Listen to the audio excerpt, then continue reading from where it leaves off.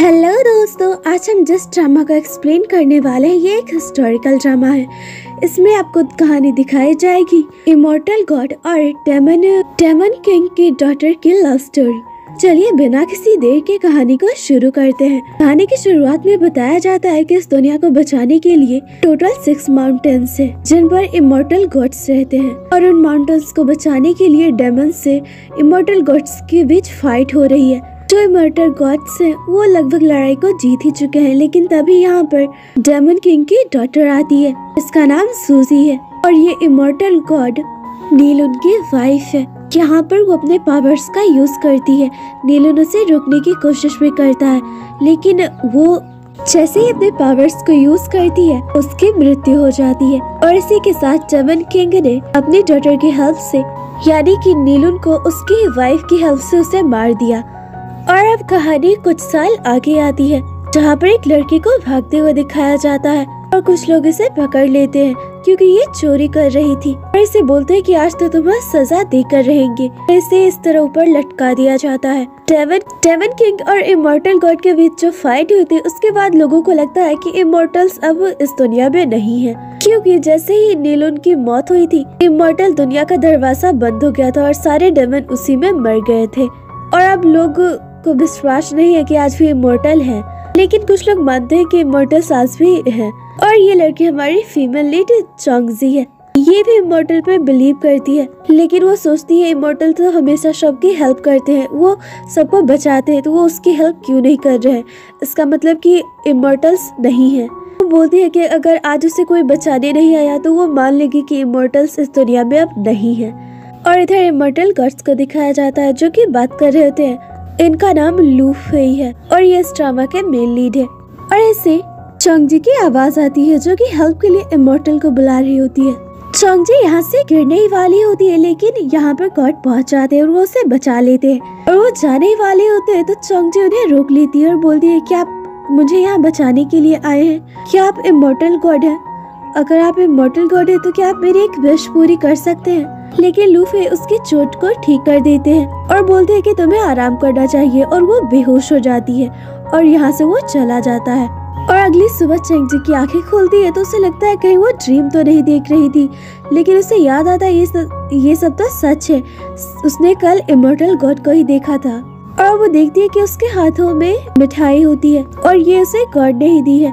तभी यहाँ पर वो लोग वापस आ जाते हैं और वो इसे परेशान करने लगते हैं। लेकिन चेंगजी बोलती है कि इमोटल गॉड सच में है। उन्होंने ही कल उसे बचाया है। तो यहाँ ये सब उसे मारने लगते हैं। तभी यहाँ पे एक दूसरे इमोटल गॉड उसे बचाया है। तो यहाँ ये सब उसे मारने लगते हैं। तभी यहाँ पे दूसरे इमोर्टल गॉड आते हैं, जो कि चेंगजी को यहाँ बचाते हैं। सभी लोग ये देखकर हैरान हो जाते हैं कि इमोर्टल्स आज भी हैं। लेकिन जो चेंगजी है, उस, उससे जो पावर सारी होती है, वो ब्लैक होती है। यानी कि उसके पास इविल उसके पास इविल पावर्स हैं।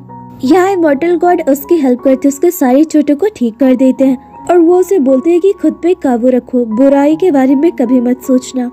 और वो बोलती है कि आप इमोर्टल गॉड है और अब इमोर्टल गॉड उसके हाथों में एक पावर देते हैं और बोलते हैं कि जब भी तुम्हें कोई परेशान करे, तब तुम उसे हार्म करने के बारे में सोचना। तब तुम्हें ये पावर्स काम में आएँगी। तो चौंगजी बोलती है कि क्या अब मैं भी इमोर्टल बन सकती हूँ? तो इमोर्टल गॉड बोलते हैं कि नहीं, तुम ऐसा कर सकती हो, लेकिन इसके लिए तुम्हें इमोर्टल्स के लिए जो नाहो माउंटेन्स पे टेस्ट होता है, उसे पास करना होगा। और मुझे लगता है तुम इस टेस्ट को पास कर सकती हो तो तुम इसके लिए नाहो माउंटेन्स पे जाओ। और वो उसे बोलते हैं कि एक बात मेरी याद रखना, हमेशा काइंड हार्टेड रहना, अपनी अंदर की अच्छाई को कभी भी मिटने मत देना। और वो चले जाते हैं और यहाँ उसके हाथों में एक मिठाई भी होती है, जो कि गॉड ने उसे दी है। अब चौंग जी अपने फ्रेंड के साथ उसे शेयर करती है, लेकिन यहाँ पर एक बिगर लेडी होती है तो वो उसे वो मिठाई दे देती है। और अब चौंग जी अपने फ्रेंड को बताती है कि उसने कल दो दो इमोर्टल गॉड को देखा, और दोनों ने उसकी हेल्प की। और एक ने उसे बोला है कि उसे नाहो माउंटेन्स पे जाकर इमोर्टल्स के लिए जो टेस्ट होता है, उसे देना चाहिए। इससे वो भी इमोर्टल्स बन सकती है। उसकी फ्रेंड बोलती है, क्या तुम जागते हुए सपना देख रही हो? पर कोई बात नहीं, अगर तुम ऐसा कर सकती हो तो मैं तुम्हारी इसमें हेल्प ज़रूर करूँगी। और ये दोनों मिठाई खाने ही वाले होते हैं, तभी यहाँ पर वो लोग वापस आ जाते हैं, जो कि चंगजी को मारने वाले होते हैं। लेकिन यहाँ पर चंगजी अपने हाथों को आगे करती है, जिससे उसके अंदर पावर्स आ जाते हैं। और अपनी पावर से यहाँ से वो उन लोगों को भगा देती है। लेकिन सब लोग बोलते हैं कि ये लड़की मॉन्स्टर है, इसमें इविल पावर्स है। और अब चैंगजी अपने फ्रेंड के साथ होती है। ये दोनों ही ऑर्फन है। चैंगजी को बार बार इमोटल्स का ही ख्याल आ रहा होता है। उसे लगता है कि अब उसे नाहो माउंटेन पे जाना ही होगा। और इधर इमोटल वर्ल्ड में दिखाया जाता है। यहाँ पर सभी इमोटल गॉड्स होते हैं। और यहाँ पर एक गॉड को इमोटल वर्ल्ड से बाहर निकालने की बात चल रही होती है। क्योंकि उन्होंने इवल स्पिरिट्स की हेल्प की है, तभी यहाँ पर लूफे आ जाते हैं। और ये बाकी गॉड्स को रोक लेते हैं और बोलते हैं कि हमें पहले इसकी जाँच करनी चाहिए, तभी हमें उन्हें बाहर निकालना चाहिए। लेकिन जो सीनियर गॉड है, वो लूफे को बोलते हैं कि मुझे पता है तुम्हारा उससे क्लोज रिलेशन है, पर अगर उसने गलती की है तो तुम्हें उसे सजा देनी होगी। और अब चौंगजी अपने जर्नी पे निकल जाती है, वो नाहो माउंटेन्स की तरफ़ चल देती है। यहाँ वो एक आदमी से पूछती है, क्या ये नाहो माउंटेन्स है? लेकिन वो आदमी बोलता है, क्या ये लड़की पागल हो गई है? यहाँ कोई भी माउंटेन नहीं है। लेकिन चेंगजी को समझ में आता है कि ये माउंटेन सिर्फ़ उसे ही दिख रहा है। और अब वो उस माउंटेन पे पहुँचती है। तो यहाँ पे बहुत सारे लोग होते हैं, बहुत सारे स्टूडेंट्स हैं जो कि इमोर्टल टेस्ट देने के लिए ही आए हैं, ये यहाँ के किंग का बेटा है, यानी कि प्रिंस है, जो कि इमोर्टल टेस्ट को देने आया है। और यहाँ सब लोग चंगजी को देखते हैं और चंगजी की हालत देखकर सब बोलते हैं, क्या ये भी इमोर्टल का टेस्ट देने वाली है? क्या ऐसी बेगर लड़की इमोर्टल्स बनेगी?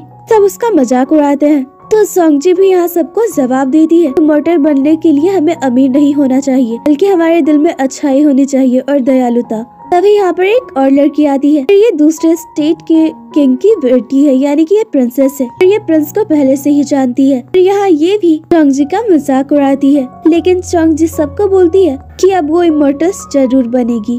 और यहाँ ये सब लोग बात कर ही रहे होते हैं, लेकिन नाहो माउंटेन्स यहाँ से गायब हो जाता है। तो चांगजन सब लोगों को बोलती है कि देखा, आप लोगों की ऐसी बातें सुनकर तो नाहो माउंटेन्स खुद ही गायब हो गया है। तो प्रिंस चंगजी को बोलता है अगर तुम्हें लगता है कि तुम इमोटल्स बन सकती हो तो तुम ये टेस्ट पार करके दिखाओ। बोलती बहुत हो। चौंगजी को भी से गुस्सा आता है और तभी यहाँ पर एक ब्रिज आ जाता है और अब जितने भी पार्टिसिपेंट्स हैं, इस ब्रिज को पार करना है। कुछ स्टूडेंट्स बहुत ही जल्दी करते हैं, लेकिन वो नीचे गिर जाते हैं। तो प्रिंस यहाँ सबको बोलता है कि हाँ आप सबको आराम से चलना चाहिए, ताकि आप गिरे ना।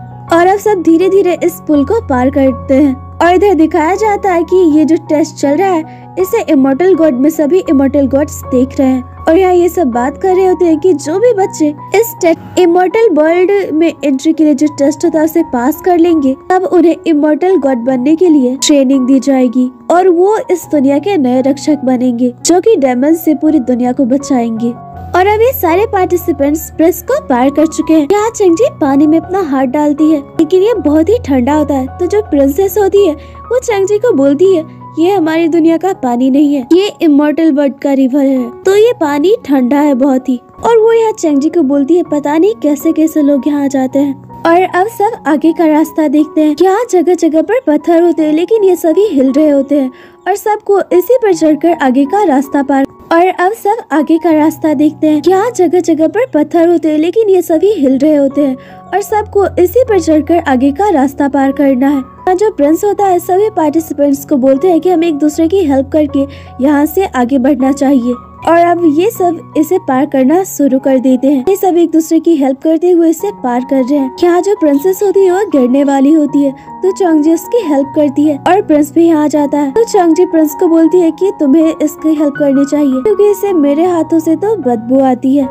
और इधर इमोर्टल वर्ल्ड में दिखाया जाता है, जहाँ सभी गॉड्स बात कर रहे होते हैं। चैंगजी प्रिंस और ये प्रिंसेस ये तीनों जो कंटेस्टेंट है, ये तीनों स्ट्रॉन्ग है। डेफिनेटली ये तीनों इस टेस्ट को पार कर लेंगे। और उधर ली फेई को भी देखते हैं। वो चैंगजी से इम्प्रेस होता है, क्योंकि वो यहाँ सबकी हेल्प कर रही होती है। और अब ये सब इसे पार कर लेते हैं। और अब आगे का रास्ता शुरू होता है। अचानक यहाँ पर एक व्हाइट टाइगर आता है, जिससे कि सभी पार्टिसिपेंट घबरा जाते हैं। और इस प्रिंस और चैंग जी दोनों मिलकर इस टाइगर का मुकाबला करते हैं। वो टाइगर चैंगजी पे हमला करने वाला होता है, लेकिन यहाँ चैंगजी अपना हाथ आगे करती है और उसकी जो पावर्स होती है, वो टाइगर वहाँ से चला जाता है। लेकिन यहाँ सभी को पता चलता है कि चैंगजी के पास इविल पावर्स हैं।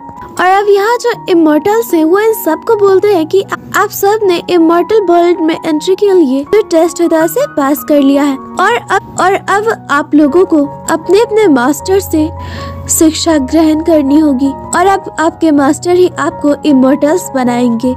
इन सबको इमोर्टल हॉल में लाया जाता है। और यहाँ पे जो सीनियर गॉड होते हैं, वो बोलते हैं कि कोई भी मास्टर आप लोगों को अपना शिष्य बना सकता है। अब आपको पूरे मन लगाकर आपके मास्टर जो कहे वही करना है। यहाँ जो सीनियर गॉड है, वो प्रिंसेस को बोलते हैं कि तुम मेरी शिष्य बनोगी और इनका नाम केंशी है। ये प्रिंस को अपना शिष्य बनाते हैं। और बाकी स्टूडेंट्स को बोला जाता है ये कल बताया जाएगा कि इनके मास्टर कौन होंगे। तो चेंगजी यहाँ थोड़ी उदास हो जाती है, लेकिन तभी सीनियर गॉड उसे रोक लेते हैं। और बोलते हैं कि तुम इमोर्टल वर्ल्ड में नहीं रह सकती हो, और न ही तुम इमोर्टल बन सकती हो, क्योंकि तुम्हारे पास इविल पावर्स है। मैं इमोर्टल वर्ल्ड से आज ही निकाला जाएगा, और तुम जहाँ रहती हो, वहाँ पहुँचा दिया जाएगा। तो चेंग जी बोलती है, आप ये गलत कर रहे हैं। मैंने तो टेस्ट में सबसे अच्छा परफॉर्म किया था। तो आप मुझे यहाँ से कैसे निकाल सकते हो? यहाँ दोनों के बीच आर्ग्यूमेंट होता है? तो जो सीनियर गॉड होते हैं, वो चेंगजी पर हमला करते हैं और चेंगजी दूर जाकर गिरने वाली होती है। लेकिन तभी यहाँ पर लू फे आ जाते हैं। वो चेंगजी को बचाते हैं और सीनियर गॉड को बोलते हैं कि चेंगजी आज से मेरे स्टूडेंट है। तो सीनियर गॉड बोलते हैं, तुम्हें पता है इसके पास इविल पावर है, जो कि कभी भी इस दुनिया को नुकसान पहुँचा सकता है और ये लोगों को भी हार्म करेगी। तो ल्यू फे बोलते हैं कि नहीं, मैंने इसे देखा है। ये अपने पावर्स का यूज़ किसी को नुकसान पहुँचाने के लिए नहीं करेगी। और लू फे चैंग जी को बोलते हैं, आज से तुम मेरे स्टूडेंट हो। और चैंग जी यहाँ उनको अपना नाम बताती है और उससे अपना मास्टर मानती है। और लू फे यहाँ उसका हाथ पकड़ के उसे लेकर जाते हैं अपने पैलेस में। वो चेंगजी को उसका रूम दिखाते हैं। यहाँ वो उसका ड्रेस भी चेंज कर देते हैं। लेकिन चेंगजी बोलती है, मास्टर, मुझे तो बहुत भूख लगी है। तो मास्टर यहाँ उसे एक बुक देते हैं और बोलते हैं कि तुम्हें ब्रीथिंग मेथड सीखना होगा। उसके बाद तुम्हें कभी भी भूख लगे तो तुम्हें खाने की ज़रूरत नहीं पड़ेगी। वहाँ से ही तुम्हारा पेट भर जाएगा। लेकिन चेंगजी बोलती है की मुझे तो पढ़ना आता ही नहीं है। तो अब वो बोलते हैं कि, यानी कि सबसे बुद्ध स्टूडेंट मेरी ही है। वो दूसरी बुक लाते हैं। इसमें ड्राइंग के ज़रिए बताया गया है। और चेंगजी को बोलते हैं कि जाकर इस बुक को ध्यान से पढ़ना। चेंगजी बोलती है, ठीक है मास्टर मैं इसे ध्यान से पढ़ूँगी। चेंगजी बहुत ही खुश होती है और मास्टर को बोलती है कि फाइनली मुझे बहुत ही खुश होती है और मास्टर को बोलती है कि फाइनली मुझे रहने के लिए घर मिल गया है। और यहाँ चैंगजी को तो पढ़ाई में मन नहीं लग रहा होता है तो वो इधर उधर घूमने लगती है। तो उसे पानी में यहाँ एक मछली मिलती है। तो वो सोचती है, मुझे तो भूख लगी है, क्यों ना इस मछली को पकाया जाए? अब वो यहाँ पर किचन ढूंढ रही होती है और किचन तो मिला नहीं। इधर मास्टर और किलश्री को देखते हैं। किलसन मास्टर को बोलते हैं कि आपके स्टूडेंट पास इविल पावर्स हैं। तो आप उन्हें फाइटिंग स्किल नहीं सिखा सकते हैं। आपने आखिर उस स्टूडेंट को क्यों चुना? मास्टर बोलते हैं, क्योंकि चैंग जी हमेशा सच बोलती है। वो दूसरों की मदद करना चाहती है। और मुझे लगता है कि वो कभी किसी को नुकसान नहीं पहुंचाएगी। इसलिए मैंने उसे चुना है। तब किलशी बोलती है, ये स्मेल कैसी आ रही है? अब ये दोनों जाकर देखते हैं। तो यहाँ चेंगजी ने मछली को पकाया हुआ है। तो मास्टर को बोलती है, मास्टर, मुझे बहुत भूख लगी थी, इसलिए मैंने इस मछली को पकाया। अब किलसी देखते हैं, उसने बहुत सारी पुरानी किताबों को जलाकर यहाँ आग लगाई थी। और मास्टर को बोलते हैं, आपकी स्टूडेंट तो वाकई में कमाल की है। इसने उतनी इम्पोर्टेंट हिस्टोरिकल बुक्स को जला दिया और यहाँ पे कचरा भी फैला दिया। और यहाँ पे मास्टर चंग को काफ़ी डांटते हैं तो चंग जी मास्टर को सॉरी बोलती है और अब मास्टर से ब्रेथिंग मेथड सिखा रहे होते हैं, लेकिन तब भी चंग जी का ध्यान नहीं होता है। वो बस मास्टर को देखे जा रही होती है तो मास्टर से बोलते तो मुझे क्यों देख रही हो? तो चेंग जी बोलती है कि आप बहुत ही हैंडसम है। मास्टर बोलते हैं, तुम अभी एक छोटी बच्ची हो तो अपनी पढ़ाई पर ध्यान दो। और अब मास्टर धीरे धीरे उसे छोटी छोटी चीज़ें सिखाते हैं। लिखना से कैसे व्यवहार करना चाहिए, ये सब। किन चौंग जी तो काफ़ी नोटी है तो वो मास्टर को काफ़ी परेशान करती है। और अब इसी तरह तीन साल पूरे हो जाते हैं, और चैंग जी की लर्निंग कंप्लीट हो चुकी है। मास्टर यहाँ आते हैं तो वो देखते हैं, मिस्टर कोलोन से एक लेटर आया होता है किन चैंग जी ने उसे खराब कर दिया होता है। यानी कि चैंग जी अभी भी उतने ही शैतान है। तो मास्टर से डांट लगाते हैं और चैंग जी यहाँ से भाग रही होती है। मास्टर से रोक लेते हैं और उसे बोलते हैं कि अब तुम छोटी बच्ची नहीं हो। तुम्हारी लर्निंग कंप्लीट हो चुकी है। और इधर दिखाया जाता है प्रिंस और उस प्रिंसेस को। उनकी भी लर्निंग कंप्लीट हो चुकी है और वो दोनों फाइटिंग स्किल में काफ़ी अच्छे हो चुके हैं। यहाँ जो मास्टर होते वो प्रिंसेस को बोलते हैं कि तीन साल हो चुके हैं, लेकिन तुम अभी भी उतने ही एग्रेसिव हो। तुम्हें अपने गुस्से पे काबू रखना सीखना होगा। जो प्रिंस है, वो अपने हर तरह से परफेक्ट है। और इधर चांगची को देखती है जो कि मास्टर को बोलती है कि मैं तीन साल से इसी पैलेस में हूँ। मैं पूरी तरह से बोर हो रही हूँ। मुझे इमोर्टल वर्ल्ड में बाकी सारी चीज़ें देखनी है और मुझे उन स्टूडेंट्स को भी देखना है जो कि मेरे साथ आए थे। उन सबको बहुत मिस कर रही हूँ। मैं पैलेस से बाहर जाना चाहती हूँ। लेकिन मास्टर से बोलते तुमने मुझसे ये कई बार बोला है, लेकिन मेरा आंसर सेम ही होगा। तुम बाहर नहीं जा सकती हो। तो चौंग जी थोड़ी उदास हो जाती है। और इधर चौंग जी बिना मास्टर को बताए घूमते घूमते पैलेस से बाहर आ जाती है। तो मास्टर को प्रणाम करती है और वहाँ प्रिंसेस उसे बोलती है कि मुझे नहीं लगता कि तुम्हें कुछ भी सिखाया गया होगा इन तीन सालों में। क्योंकि सारे स्टूडेंट्स तो यहाँ हर साल एंसेस्टर के मंदिर में पूजा के लिए आते थे। लेकिन तुम्हारे मास्टर ने कभी भी तुम्हें यहाँ नहीं लाया। तो मुझे नहीं लगता कि तुम्हें इमोर्टल बनने की ट्रेनिंग भी दी गई होगी। तुम्हें कुछ भी सिखाया गया होगा। जिससे कि चैंग जी को बुरा लगता है।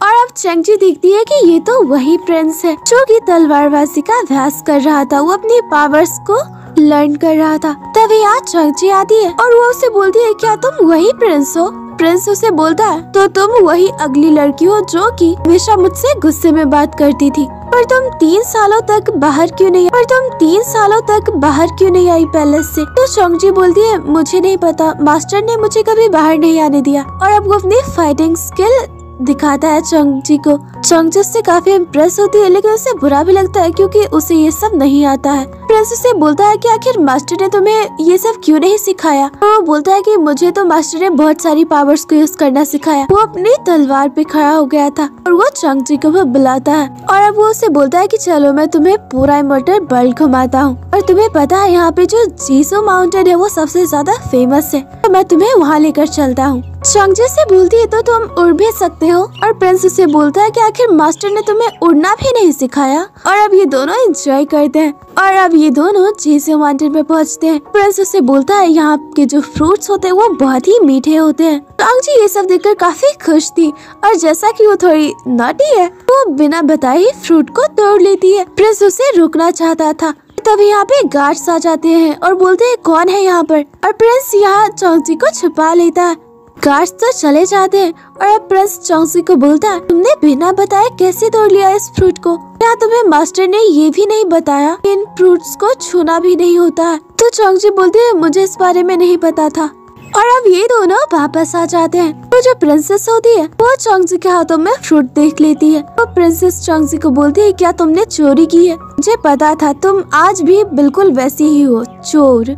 तो चौंगजी बोलती है, नहीं, मैंने चोरी नहीं की, मैंने प्रिंस के सामने से तोड़ा था और मुझे इस बारे में नहीं पता था। प्रिंसेस बोलती है कि अब तो तुम्हें सजा मिलनी चाहिए, मैं तुम्हें मास्टर के सामने लेकर जाऊँगी। और तभी यहाँ मास्टर आ जाते हैं और ये डांटते हैं चौंगसी को बिना बताए फ्रूट तोड़ने के लिए। लेकिन प्रिंस मास्टर को बताते हैं कि चौंगसी को इस बारे में नहीं पता था। मास्टर उसे माफ़ करते हैं और प्रिंसेस को बोलते हैं, अगर कभी भी ऐसी बात हो तुम सीधा मुझे आकर बताओ, आके इस तरह शोर मचाओ। और यहाँ पे जो मास्टर होते हैं, वो प्रिंस को बोलते हैं कि आखिर तुम बिना बताया चंगजी को जीजू माउंटेन पर क्यों लेकर गए थे? ये तुम्हारी गलती है, तुम्हें तो सब पता था। इसलिए अब तुम्हें सजा दी जाएगी। और यहाँ प्रिंस को बहुत सारी बुक्स लिखने की पनिशमेंट मिलती है। और प्रिंस बिना कुछ कहे यहाँ से चला जाता है। मास्टर को बोलती है की, मास्टर मुझसे माफ़ कर दीजिए, सच में मुझे इस बारे में नहीं पता था। तो अब यहाँ मास्टर में सोच रहे होता है, आखिर लूफे ने चौंगसी को इतनी छोटी छोटी बातों के बारे में भी क्यों नहीं बताया?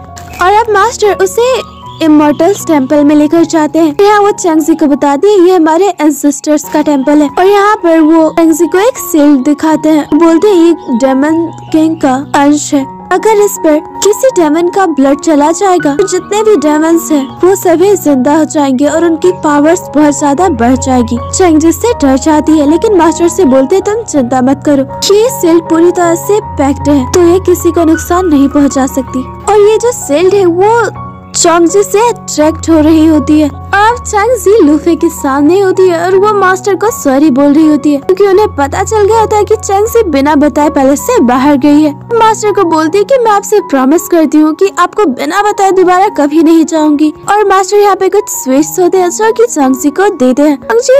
को ये बहुत अच्छा लगता है। लेकिन उसके फेस पे लगा होता है तो मास्टर से साफ़ करते और बोलते हैं, तुम बिल्कुल छोटी बच्ची ही हो। चांगजी यहाँ सोई होती है, लेकिन उसे बहुत ही बुरे सपने आ रहे थे। वो डेमंस को देखती है। और अब नेक्स्ट मॉर्निंग प्रिंस और प्रिंसेस को दिखाया जाता है, जो की दोनों साथ में अभ्यास कर रहे होते हैं। जो प्रिंसेस होती है, वो प्रिंस को हराने वाली होती है। लेकिन प्रिंस उसे हरा देता है।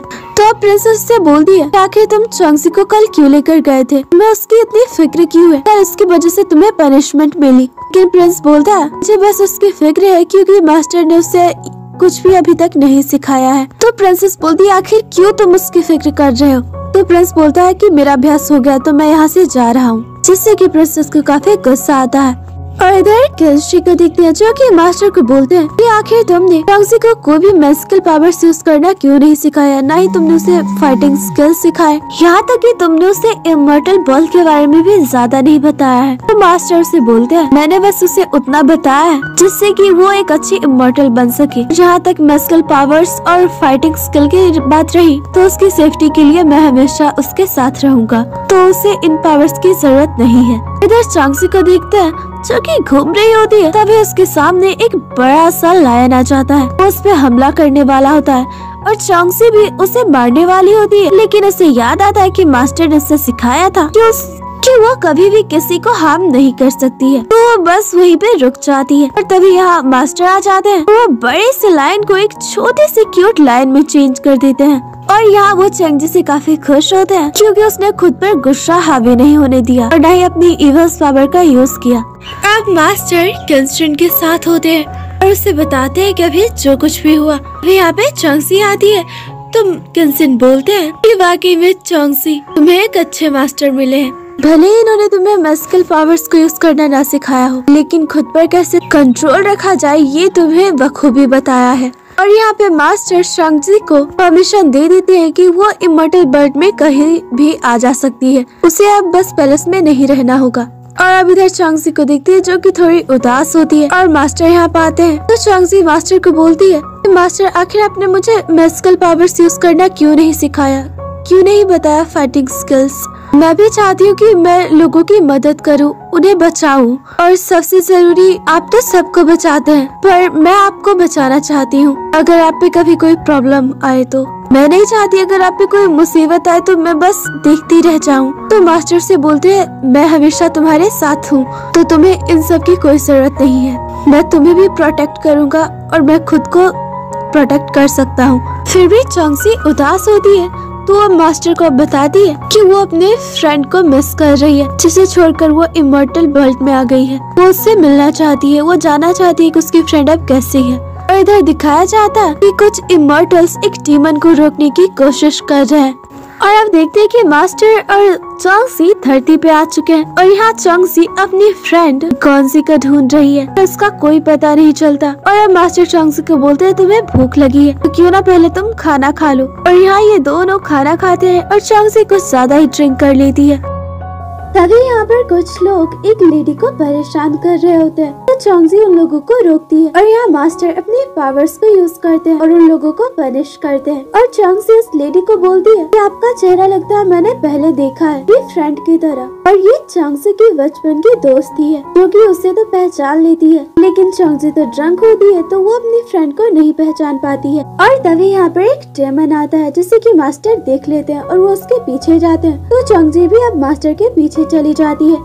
और वो डीमन चौंगसी पे अटैक करता है। लेकिन चौंगसी बोलती है कि मैं इमोर्टल वर्ल्ड से हूँ। मैं मास्टर लूफे की स्टूडेंट हूँ। तो वो रुक जाता है। लेकिन तभी यहाँ पर मास्टर लूफे आ जाते हैं। और यहाँ इन दोनों के बीच फाइट होती है। और, वो डीमन हार जाता है तो वो यहाँ से भाग जाता है। और मास्टर लूफे को देखते हैं जो कि सीनियर गॉड और किंस्टन को बताते हैं। आज उन्होंने वेंसे को देखा था। यहाँ जो सीनियर गॉड होते हैं वो परेशान हो जाते हैं। और वो मास्टर लूफे को बोलते हैं कि शायद वो चौंगजी को यहाँ से लेसाने आया था, क्योंकि चौंगजी के पास से इवल पावर्स है। और वो बोलते हैं कि चौंगजी को यहाँ से निकाल देना चाहिए, वरना वो इमोटल वर्ल्ड में खतरा बन सकती है सबके लिए। और चौंगजी यहाँ बाहर होती है, वो भी ये सब सुन लेती है। तो वो अंदर आती है और सीनियर गॉड को बोलते है कि नहीं, मैं अपने मास्टर को छोड़कर कहीं नहीं जाऊँगी। और मैं कभी भी किसी को नुकसान नहीं पहुंचाती हूँ। तो आप मुझे कैसे निकाल सकते हैं? और वो मास्टर को बोलते हैं कि मैं आपको छोड़कर नहीं जाऊँगी। तो सीनियर गॉड गुस्सा हो जाते हैं और वो किंगस्टन के साथ चले जाते हैं और चांगसी मास्टर से माफ़ी मांगती है बीच में इंटरप्ट करने के लिए। और वो मास्टर को बोलती है तो अपने फ्रेंड को ढूँढने के लिए दोबारा जाना चाहती है। तो यहाँ मास्टर उसे एक स्टोन देते हैं। और बोलते हैं कि ये मेस्कल स्टोन है। तुम हमेशा इसे अपने पास रखना। तुम कहीं भी रहोगी तो इससे मुझे पता चल जाएगा। और वो उसे मॉर्टल बर्ड यानी कि धरती पर आने की परमिशन दे देते हैं। और अब इधर डेमन बर्ग में दिखाया जाता है। ये डेमन किंग है और ये वांसी है। डेमन किंग वांसी को बोलता है तुम डेमन तो बन गए हो, लेकिन पूरी तरह से नहीं। और अब कहानी तीन साल पीछे दिखाई जाती है, जहाँ इमोर्टल वर्ल्ड में नीलुन की जो तलवार है, उसे पाने के लिए डिमंस ने अटैक किया था। यहाँ पे सभी इमोर्टल्स घायल थे, और जो वांसी है, वो भी एक इमोर्टल ही था, और उस वक्त उसका नाम बूफे था, और सीनियर कोर्ट ने उसे तलवार बचाने की ज़िम्मेदारी दी थी। उसने तलवार को बचा भी लिया था डीमन से फाइट करके। लेकिन जो डीमन किंग था, उसने उसकी वाइफ किरण को कैप्चर में लिया हुआ था। और उसके पास उतनी पावर्स नहीं थी कि वो डिमन किंग से फाइट कर सके। लेकिन उसके पास नीलुन की तलवार थी। इसमें बहुत सारी डिमंस पावर्स हैं। और अब उसके पास सिर्फ़ एक ही रास्ता बचा था कि वो नीलुन की तलवार का यूज़ करे। लेकिन जो उसकी वाइफ होती है, वो उसे ऐसा करने से रोकती है। क्योंकि एक बार अगर उसने नीलुन की तलवार का यूज़ कर लिया, तलवार की जितनी भी इवल पावर्स है, वो उसे प्रोसेस कर लेंगी। वो पावर्स उसे अपने कब्जे में ले लेगी। वो चाहकर भी वो भी एक डीमन बन जाएगा। लेकिन वो अपनी वाइफ को बचाने के लिए नीलुन की तलवार का यूज़ करता है, जिससे उसके पास बहुत सारी पावर्स आ जाती है। और यहाँ वो डीमन किंग से फाइट करता है और वो अपनी वाइफ किरण को तो बचा लेता है, लेकिन खुद एक मॉन्स्टर बन जाता है। और यहाँ हमें पता चलता है कि जो वॉन्सी है, जब वो वाइफू था, वो मास्टर लूफे का सबसे अच्छा दोस्त था। और शायद यही वजह थी कि उसने चंगसी को हार्म नहीं एक डीमन है। और अब इधर मास्टर लूफे और चंगसी को देखते हैं। चंगसी यहाँ थोड़ी अपसेट होती है क्योंकि वो अपनी फ्रेंड को नहीं ढूंढ पाई है अब तक। और अब मास्टर बोलते हैं, तुम्हें भूख लगी होगी। लेकिन इनके पास तो पैसे है नहीं। तो चंगसी यहाँ कुछ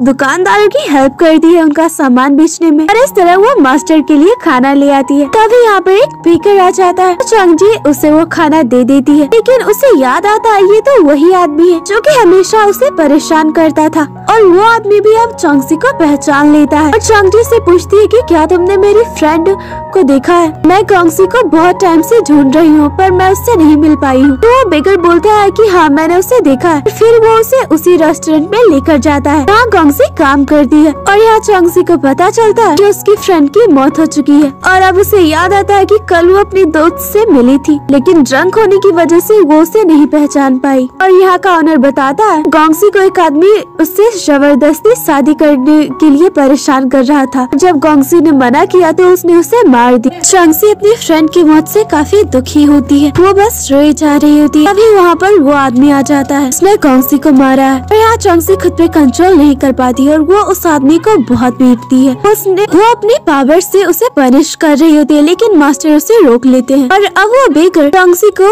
उसकी फ्रेंड का घर दिखाता है। और यहाँ पे चौंगसी अपनी दोस्त को बहुत मिस करती है। वो मास्टर को बोलती है कि अगर कल वो ड्रंक ना होती तो शायद उसकी दोस्त बच जाती, उसकी जान ना जाती। लेकिन मास्टर से बोलते कि इसमें तुम्हारी गलती नहीं है। यही उसका भाग्य था। पर तुम्हारी फ्रेंड हमेशा तुम्हें खुश देखना चाहती है तो तुम रोना बंद करो। मास्टर से गले लगाते हैं। और अब ये दोनों जा रहे होते हैं तो यहाँ एक लेडी अपनी डॉटर को परेशान कर रही होती है। वो अपनी डॉटर को बेचने जा रही होती है। मास्टर उससे रोकते हैं। और यहाँ पता चलता है कि ये लेडी उस लड़की की स्टेप मदर है और चंग यहाँ मास्टर को उस लड़की की हेल्प करने बोलती है। मास्टर उसके स्टेप मदर को पैसे देते और वो चली जाती है। और अब वो लड़की बताती है कि उसके फादर यहाँ पर एक मेडिकल शॉप चलाते थे, लेकिन उसके फादर की मौत हो गई। मास्टर से बोलती है कि अब तुम अपने फादर का मेडिकल शॉप चलाओ। लेकिन वो लड़की बोलती है कि नहीं आप मुझे अपने साथ लेकर चले, वरना मेरी स्टेप मदर मुझे दोबारा परेशान करेगी। और वो चौंगसी को भी बोलती है की प्लीज़ मुझे अपने साथ ले चलो। चौंगसी भी मास्टर को बोलती है की हमें इसकी हेल्प करनी चाहिए। लेकिन मास्टर बोलते हैं कि ये लड़की बहुत ही चालाक है। हमें इसकी जितनी हेल्प करनी चाहिए थी, उतनी हमने कर दी है। और फिर भी चौंगसी मास्टर को मना ही लेती है। और अब ये दोनों इमोटल वर्ल्ड में होते हैं। और ये यहाँ पर कॉलन केक के बर्थडे पार्टी में आए होते हैं। यहाँ पर मास्टर सबसे शंक्सी को इंट्रोड्यूस करवाते हैं। यहाँ पर बहुत सारे लोग होते हैं, जिन्हें देखकर शंक्सी काफ़ी खुश होती है। और मास्टर चंगसी को बोलते हैं, तुम यहाँ घूम सकती हो कहीं भी। और अब इसी लड़की तेंशुआ को दिखाया जाता है जिसे कि मास्टर चंगसी के कहने पर इमोल्टर बर्ड में लेकर आए हैं। ये चाओ हाउ है जो कि कुलून का प्रिंस है। ये कु, ये कुलून किंग के इकलौते बेटे हैं। ये भी एक इमोर्टल है। इसके पास भी बहुत सारी पावर्स है लेकिन ये बहुत ही शरारती है और ये सबसे फ्लर्ट करता है। हाँ ये तेंशुआ से फ्लर्ट कर रहा था। तभी यहाँ पर चंगसी आ जाती है जो कि उसे रोक लेती है। बोलती है कि मेरे दोस्त से दूर रहना। तो जाओ बोलता है तुम हो कौन? मैंने पहले तो तुम्हें यहाँ नहीं देखा है, और मेरे पैलेस में ही तो मुझे रोक रही हो। तो चौंसी बोलती है, मैं यहाँ कोलन किंग के बर्थडे पार्टी में अपने मास्टर के साथ आई हूँ। वो बोलती है कि वो मास्टर लूफे के स्टूडेंट है।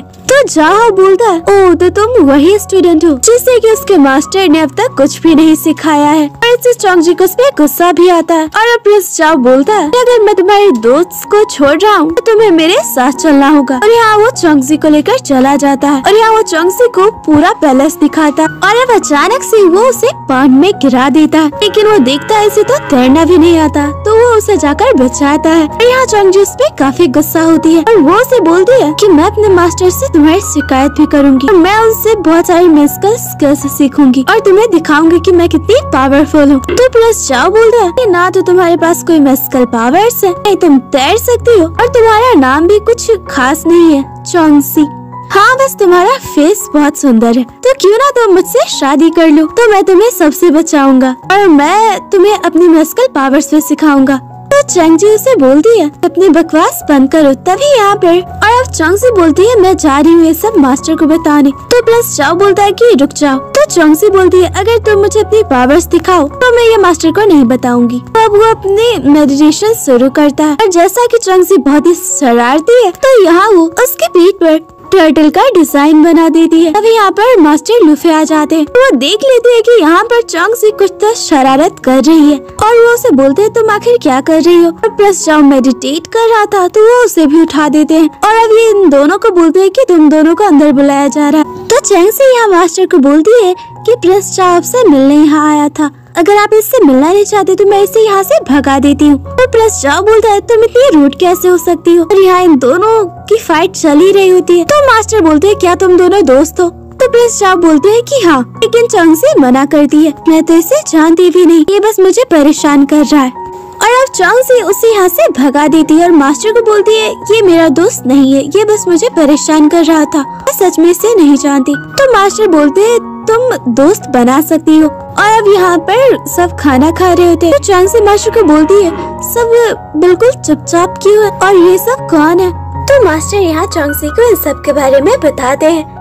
तभी यहाँ मास्टर को कोई बुलाता है तो उन्हें जाना पड़ता है। लेकिन चौंगसी मास्टर को रोक लेती है। बोलती है कि अगर आप चले जाएँगे तो मुझे यहाँ ऑकवर्ड फील होगा। लेकिन मास्टर बोलते हैं, यहाँ बहुत से लोग हैं तो तुम आराम से एंजॉय करो। मास्टर के चाहते यहाँ पे बहुत सारी लड़कियाँ आ जाती है और ये सब चौंगसी से बात कर रहे होते हैं। और इधर देखते है की एक लेडी जिसे मास्टर शायद पहले से ही जानते हैं, वो मास्टर को बोलती है की आप मुझे देखकर भी अनदेखा क्यों कर रहे हैं? को पता है, मैं आपको पसंद करती हूँ। और यहाँ वो लेडी मास्टर को बोलती है की, मैं आपसे शादी करना चाहती हूँ। और इधर चंगसी की नज़र बढ़ जाती है। वो झट से वहाँ पहुँच जाती है और वो उस लेडी को बोलती है कि नहीं, आप मास्टर से शादी नहीं कर सकती। तो वो लेडी बोलती है कि आखिर तुम हो कौन? तब चौंगसी बोलती है कि मैं मास्टर की स्टूडेंट हूँ और मुझे पता है कि मैं भी बहुत छोटी हूँ, लेकिन इतना तो मैं भी जानती हूँ कि मास्टर कैसी लेडी से शादी करेंगे। वैसी लेडी जिसके पास बहुत सारी क्वालिटीज हो, वो फाइट में बहुत अच्छी हो, वो बहुत ही सुंदर हो और बहुत ही वाइस लेकिन मुझे नहीं लगता कि आप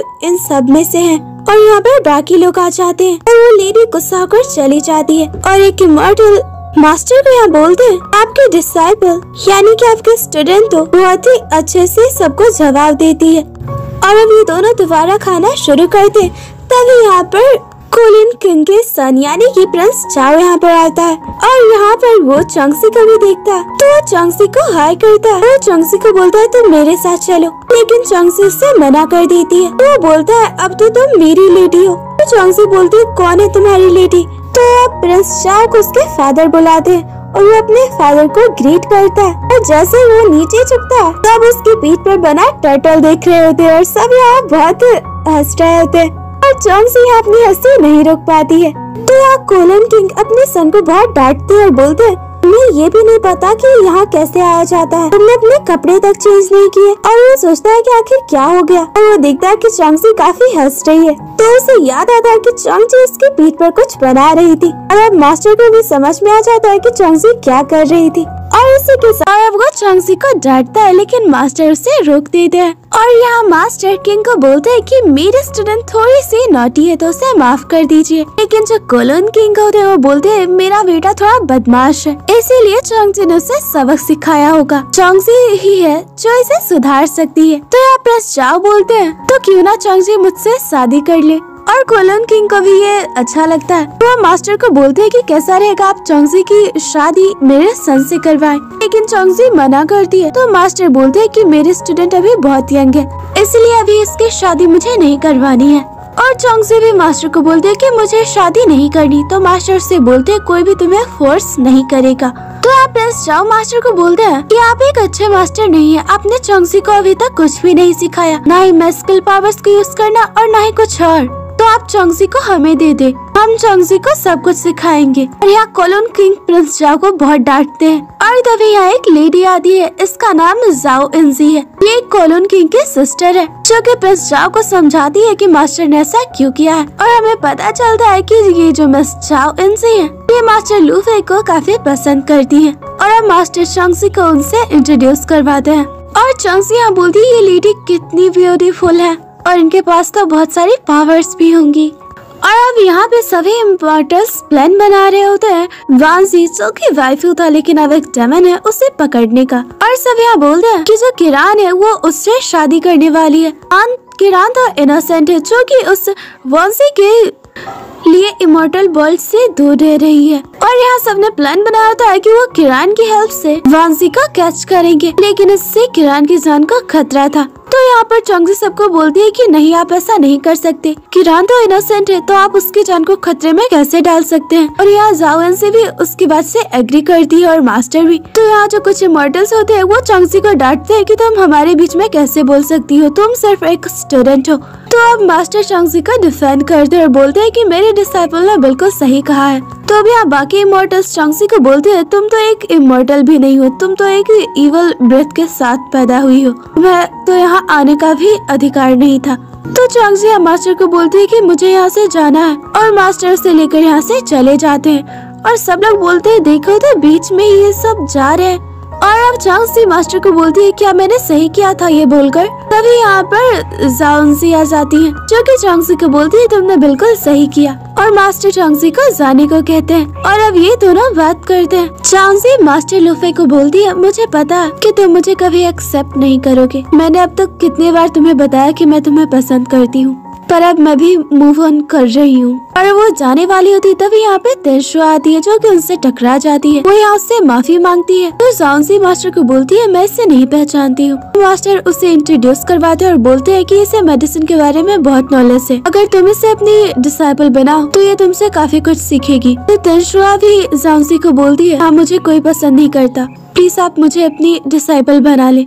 तो वो उसे लेकर यहाँ से चली जाती है। यानी कि तिलशुआ अब उनकी डिसाइपल है। और इधर कोलन किंग को देखते हैं, जो कि प्रस्ताव को काफ़ी डांटते हैं कि उनकी वजह से आज सबके सामने मास्टर लूफे ने उन्हें इनकार किया। लेकिन प्रिंस जाओ तो बोलते हैं, मैं तो शादी सिर्फ़ चौंगसी से ही करूँगा। तो वो उसे डांटते हैं और चले जाते हैं। और अब मास्टर आते देखते हैं कि चौंगसी तो यहाँ सोई होती है। और उसने पेपर्स में यहाँ टटल बनाया है। और चौंगसी की भी नींद टूट जाती है। तो वो मास्टर को बोलती है कि आप मिस चौंगसी से शादी करने वाले हैं। तो मास्टर बोलते हैं, तुम्हें ये किसने बताया? तो चौंगसी बोलती है, इसलिए आप मेरी शादी भी करवा देंगे? तो मास्टर से बोलते हैं कि तुम ये पहले बोलना बंद करो। चांजी सिर्फ़ मेरी एक दोस्त है और मैं शादी नहीं करने वाला हूँ। तो चांगजी बोलती है, तब तो ठीक है, पर मास्टर मुझे प्रिंस चाव से शादी नहीं करनी है। तो मास्टर उसकी थोड़ी टांग खींचते और बोलते हैं, प्रिंस चाव वैसे अच्छा है, वो तुम्हारी इतनी केयर भी करता है, लेकिन चांगजी बोलती है, मुझे किसी से भी शादी नहीं करनी। तो मास्टर बोलते हैं तो ठीक है लेकिन इसके लिए तुम्हें अपने रूम में ही रहना होगा। वरना बाहर तो तुम्हें प्रिंस हमेशा परेशान करेगा। और अब इधर दिखाया जाता है डेवन बांसी को। वो किरान को बोलता है कि तुम प्लीज़ मेरे साथ चलो लेकिन किरान मना कर देती है और बोलती हम दोनों अलग है। मैं एक इमोर्टल हूँ और तुम एक डेमन हो। मैं तुम्हारे साथ नहीं जा सकती। और वो चला जाता है। और यहाँ किरान काफ़ी सैड होती है। वो याद करती है कि एक टाइम था जब वा, वांजी वाइफ था उसने शॉर्ट को डेमन से बचाया था। लेकिन जब से उस शॉर्ट ने उसे प्रोसेस किया, वो एक डीमन बन गया। और अब इधर तेजरा को देखते हैं, जो कि मास्टर को बोलती है कि प्लीज़ आप मुझे अपने डिसाइबल बना ले। मैं आपको अपना मास्टर मानती हूँ। मैं मिस चांगजी के साथ नहीं जाना चाहती। मैं चांगजी से भी अच्छी स्टूडेंट बनूँगी। मैं उससे अच्छा करूँगी। लेकिन मास्टर यहाँ से डांटते और बोलते हैं कि मैं सिर्फ़ एक ही स्टूडेंट को रख सकता हूँ। वो चांगजी है। तो दिलशुआ मास्टर को बोलती तो आपने मुझे क्यों बचाया? और आखिर आप मुझे अपने डिसाइपल क्यों नहीं बनाना चाहते? तो मास्टर से बोलते हैं कि बस बहुत हुआ। अब तुम जा सकती हो यहाँ से। और यहाँ दिखाया जाता है कि तेनशुआ को अब चौंगजी पसंद नहीं, क्योंकि चौंगजी की वजह से मास्टर ने उसे रिफ्यूज किया। वो उसे अपना डिसाइपल नहीं बना रहे। और अब इधर देखते हैं कि प्रिंस चाओ चौंगजी को दोबारा परेशान करने के लिए आ चुका है। तो चौंगजी बोलते कि मैं मास्टर को बुलाऊँगी, अगर तुमने मुझे परेशान किया तो। लेकिन प्रिंस चाओ बोलते हैं कि मास्टर तो बाहर गए हैं। और अब इन दोनों की नोकझोंक शुरू हो जाती है। यहाँ प्रिंस चाओ चौंगजी की आवाज़ बंद कर देते वो कुछ नहीं बोल पा रही होती है। तो चौंगजी यहाँ रोने लगती है। तो वो उसकी आवाज़ वापस कर देता। लेकिन अब वो चिल्लाकर मास्टर को बुलाती है। तो प्रिंस जाओ, दोबारा उसकी आवाज़ को बंद कर देते हैं। और अब वो उसे बोलते हैं, मैं शादी तो तुम तुमसे ही करूँगा। अब तो मेरे फादर भी मान गए हैं। अब बस मास्टर ही बचे हैं जिन्हें मुझे मनाना है। और जाओ बोलता है, कल जो तुमने किया था, उसका तो बदला मैं लेकर ही रहूँगा। और इधर दिखाया जाता है की बांसी किरान से मिलने आया है। वो किरण का हाथ पकड़ता है और बोलता है, मेरे साथ चलो। लेकिन किरान उसे मना करती है। और जैसे ये दोनों बाहर आते हैं, यहाँ पे सभी इमोटल्स आ जाते हैं। और मास्टर लूफे बोलते हैं, हमें तुम्हारा इंतज़ार था। और यहाँ पे वांसी बोलता है, तुम मुझे नहीं रोक सकते। और अब यहाँ सब के बीच में फाइट होता है। और वांसी किरान को लेकर चला जाता है। और इधर प्रिंस जाओ। चौंगसी को यहाँ बिठा कर चले जाते हैं? और ये पे वानसी किरान को बोलता है तुम मेरे साथ आखिर क्यों नहीं चलना चाहती? और उस लूफे को तो मैं सबक सिखाऊँगा। आज उसकी वजह से तुम्हारी जान खतरे में थी। लेकिन किरान उसे रोकती है और बोलती है, मैं नहीं चाहती कि तुम मारे जाओ। किसी भी मोटर्स के हाथों तुम्हारी जान सिर्फ़ मेरी है।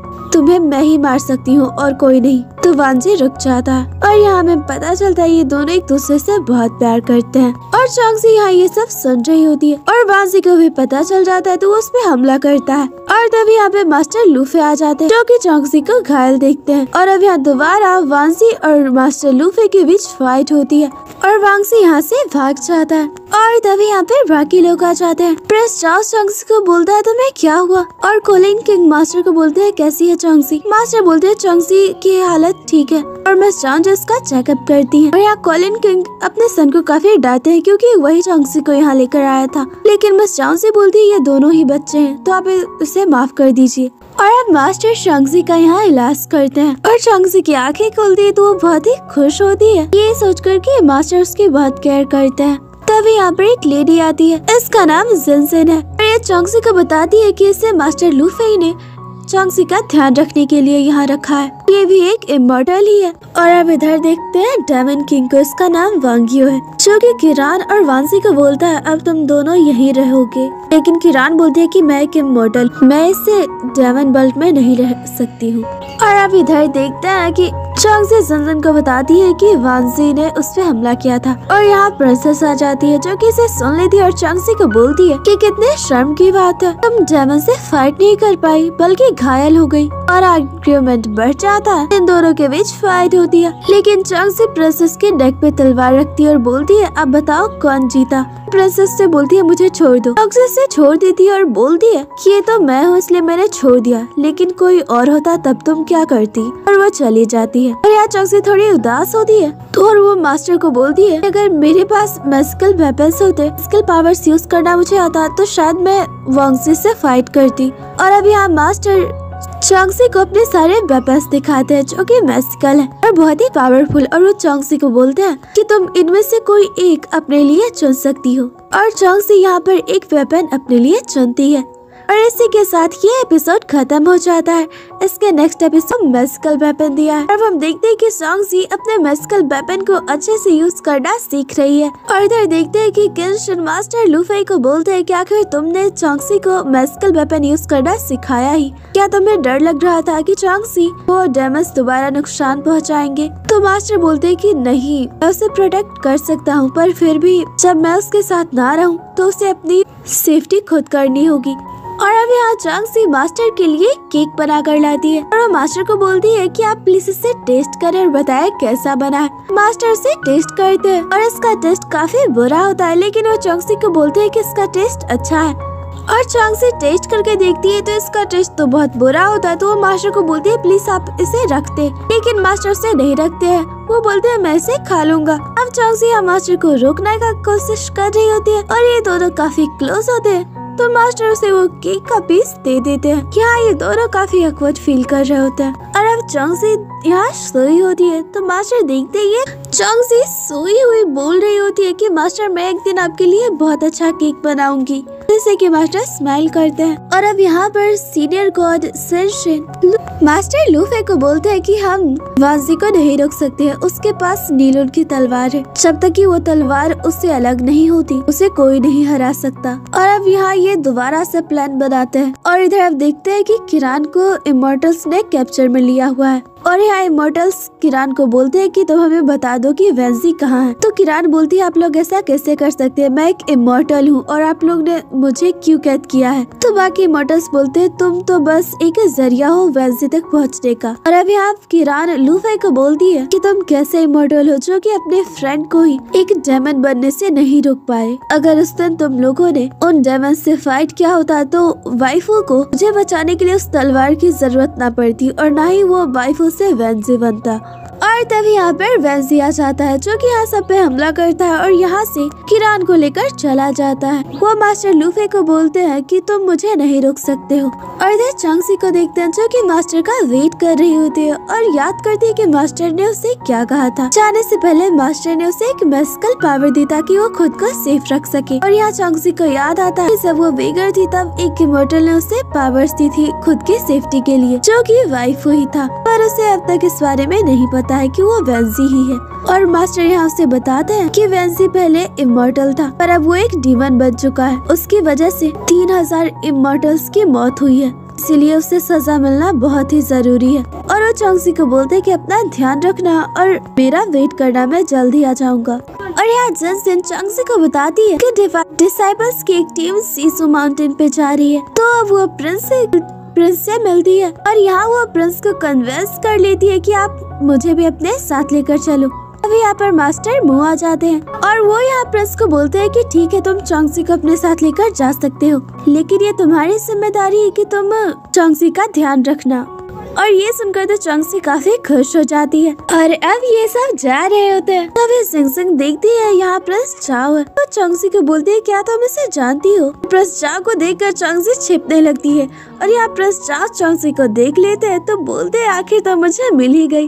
तुम मुझे अवॉइड क्यों करती हो? तो चंगसी को बोलता है, तुम मेरी हो। तो चौंगसी बोलती है, कौन तुम्हारी है? और यहाँ इन दोनों की नोक झोंक चलती ही रहती है। तो सब लोग यहाँ रुक जाते हैं। और अब और अब चौंगसी प्रिंस के पास जाती है और बोलती है कि ये आदमी मुझे परेशान कर रहा है। और यहाँ प्रिंस को पता है कि ये कोलोन किंग का सन प्रिंस जाओ है। इसलिए वो बस उससे पूछता है कि आप चौकसी को परेशान क्यों कर रहे हैं? तो अब प्रिंस जाओ बोलते हैं कि मैं इसे जानता हूँ। और मैं बस इसके साथ मज़ाक कर रहा था। और प्रिंस जाओ बोलते हैं कि मैं भी तुम लोगों के साथ चलने वाला हूँ। और अब यहाँ पे प्रिंस जाओ दोबारा चौकसी को परेशान कर रहा है। वो चौंगसी को बोलता है, मुझे तुम्हें पता है मैंने तुम्हें कितना मिस किया। अब तुम मेरी लेडी हो और मैं तुमसे ही शादी करूँगा। तो सेंसरिया प्लस चाव को बोलती है, तुम तो सबसे यही कहते हो।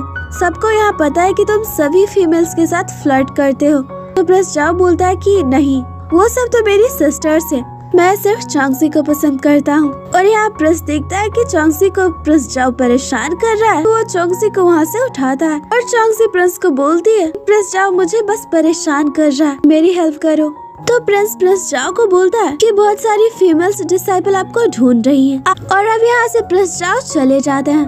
और सबको यहाँ आप रूम दिया जाता है। प्रिंस जाओ बोलते हैं, मुझे चौंगसी के पास वाला रूम चाहिए। लेकिन यहाँ प्रिंस ने, प्रिंस जाओ को बोला कि आप मेरे साथ मेरे रूम में रहने वाले हैं, जो कि चौंगसी के रूम से काफ़ी दूर है, जिससे कि चौंगसी काफ़ी खुश होती है। अब ये सब यहाँ घूम, अब ये सब यहाँ घूम रहे होते हैं। और इधर मास्टर लूफे को देखते हैं, जो कि अपने मन में बोल रहे होते हैं कि वो वांसी को ढूंढ लेंगे और उसे उस इवल सॉर्ड की पावर से आज़ाद करेंगे। तो दोबारा वो अपने दोस्त बाई को ले आएँगे। और अब इधर बाज़ार में प्रिंस चाओ और प्रिंस दोनों ही स्वीट्स खरीदते हैं कैंडी खरीदते हैं और ये दोनों चौंगसी को देते हैं। लेकिन चौंगसी इन दोनों में से किसी का भी नहीं लेती। और अब ये सब खाना खाते हैं। और यहाँ सूप गर्म होता है तो यहाँ पर प्रिंस चाओ और प्रिंस दोनों ही चौंगसी की हेल्प करने पहुँच जाते हैं। और यहाँ प्रिंसेस को ये सब पसंद नहीं आ रहा होता। और अब प्रिंस चाओ चौंगसी को बोलते हैं तो मुझसे शादी कर लो। लेकिन चौकसी मना करती है। और अब प्रिंस प्रिंस चाओ से बोल, आखिर तुम चौकसी से शादी क्यों करना चाहते हो? और ये तुमसे शादी क्यों करे? तो प्रिंस चाओ बोलते हैं, ये बहुत ही खूबसूरत है, इसलिए मैं इससे शादी करना चाहता हूँ। और मुझसे शादी करने के बाद मैं इसे प्रोटेक्ट करूँगा। इसे बहुत सारी मस्कल्स पावर सिखाऊँगा। तो आप ब्रश बोलते हैं तो क्या तुम इससे प्यार करते हो? तो ब्रश जा बोलते हैं कि हाँ। तो प्रेस बोलते हैं, ये मैटर नहीं करता। मैटर ये करता है कि चौंग से तुम्हारे बारे में क्या सोचती है। और इन दोनों के बीच आर्ग्यूमेंट हो रहा था तो यहाँ पर जिंग प्रिंसेस को बोलती है, मुझे ऐसा क्यों लग रहा है कि ये दोनों ही चौंगसी को पसंद करते हैं? जिसे सुनकर प्रिंसेस को काफ़ी गुस्सा आ जाता है और वो चौंगसी को बोलती है, तुम किसी को डिस्टर्ब नहीं करती हो, तुम सिर्फ़ एक बेकर हो। तुम बस सबका ध्यान अपनी ओर खींच रही हो। तभी तो प्रिंस जाओ और प्रिंस दोनों ही तुम्हारे पीछे पड़े हुए हैं। और यहाँ से वो गुस्सा होकर चली जाती है और प्रिंस उसके पीछे से मनाने जाते हैं। और यहाँ पे प्रिंसेस प्रिंस को बोलती है, आखिर तुम भी उसे पसंद करने लगे हो।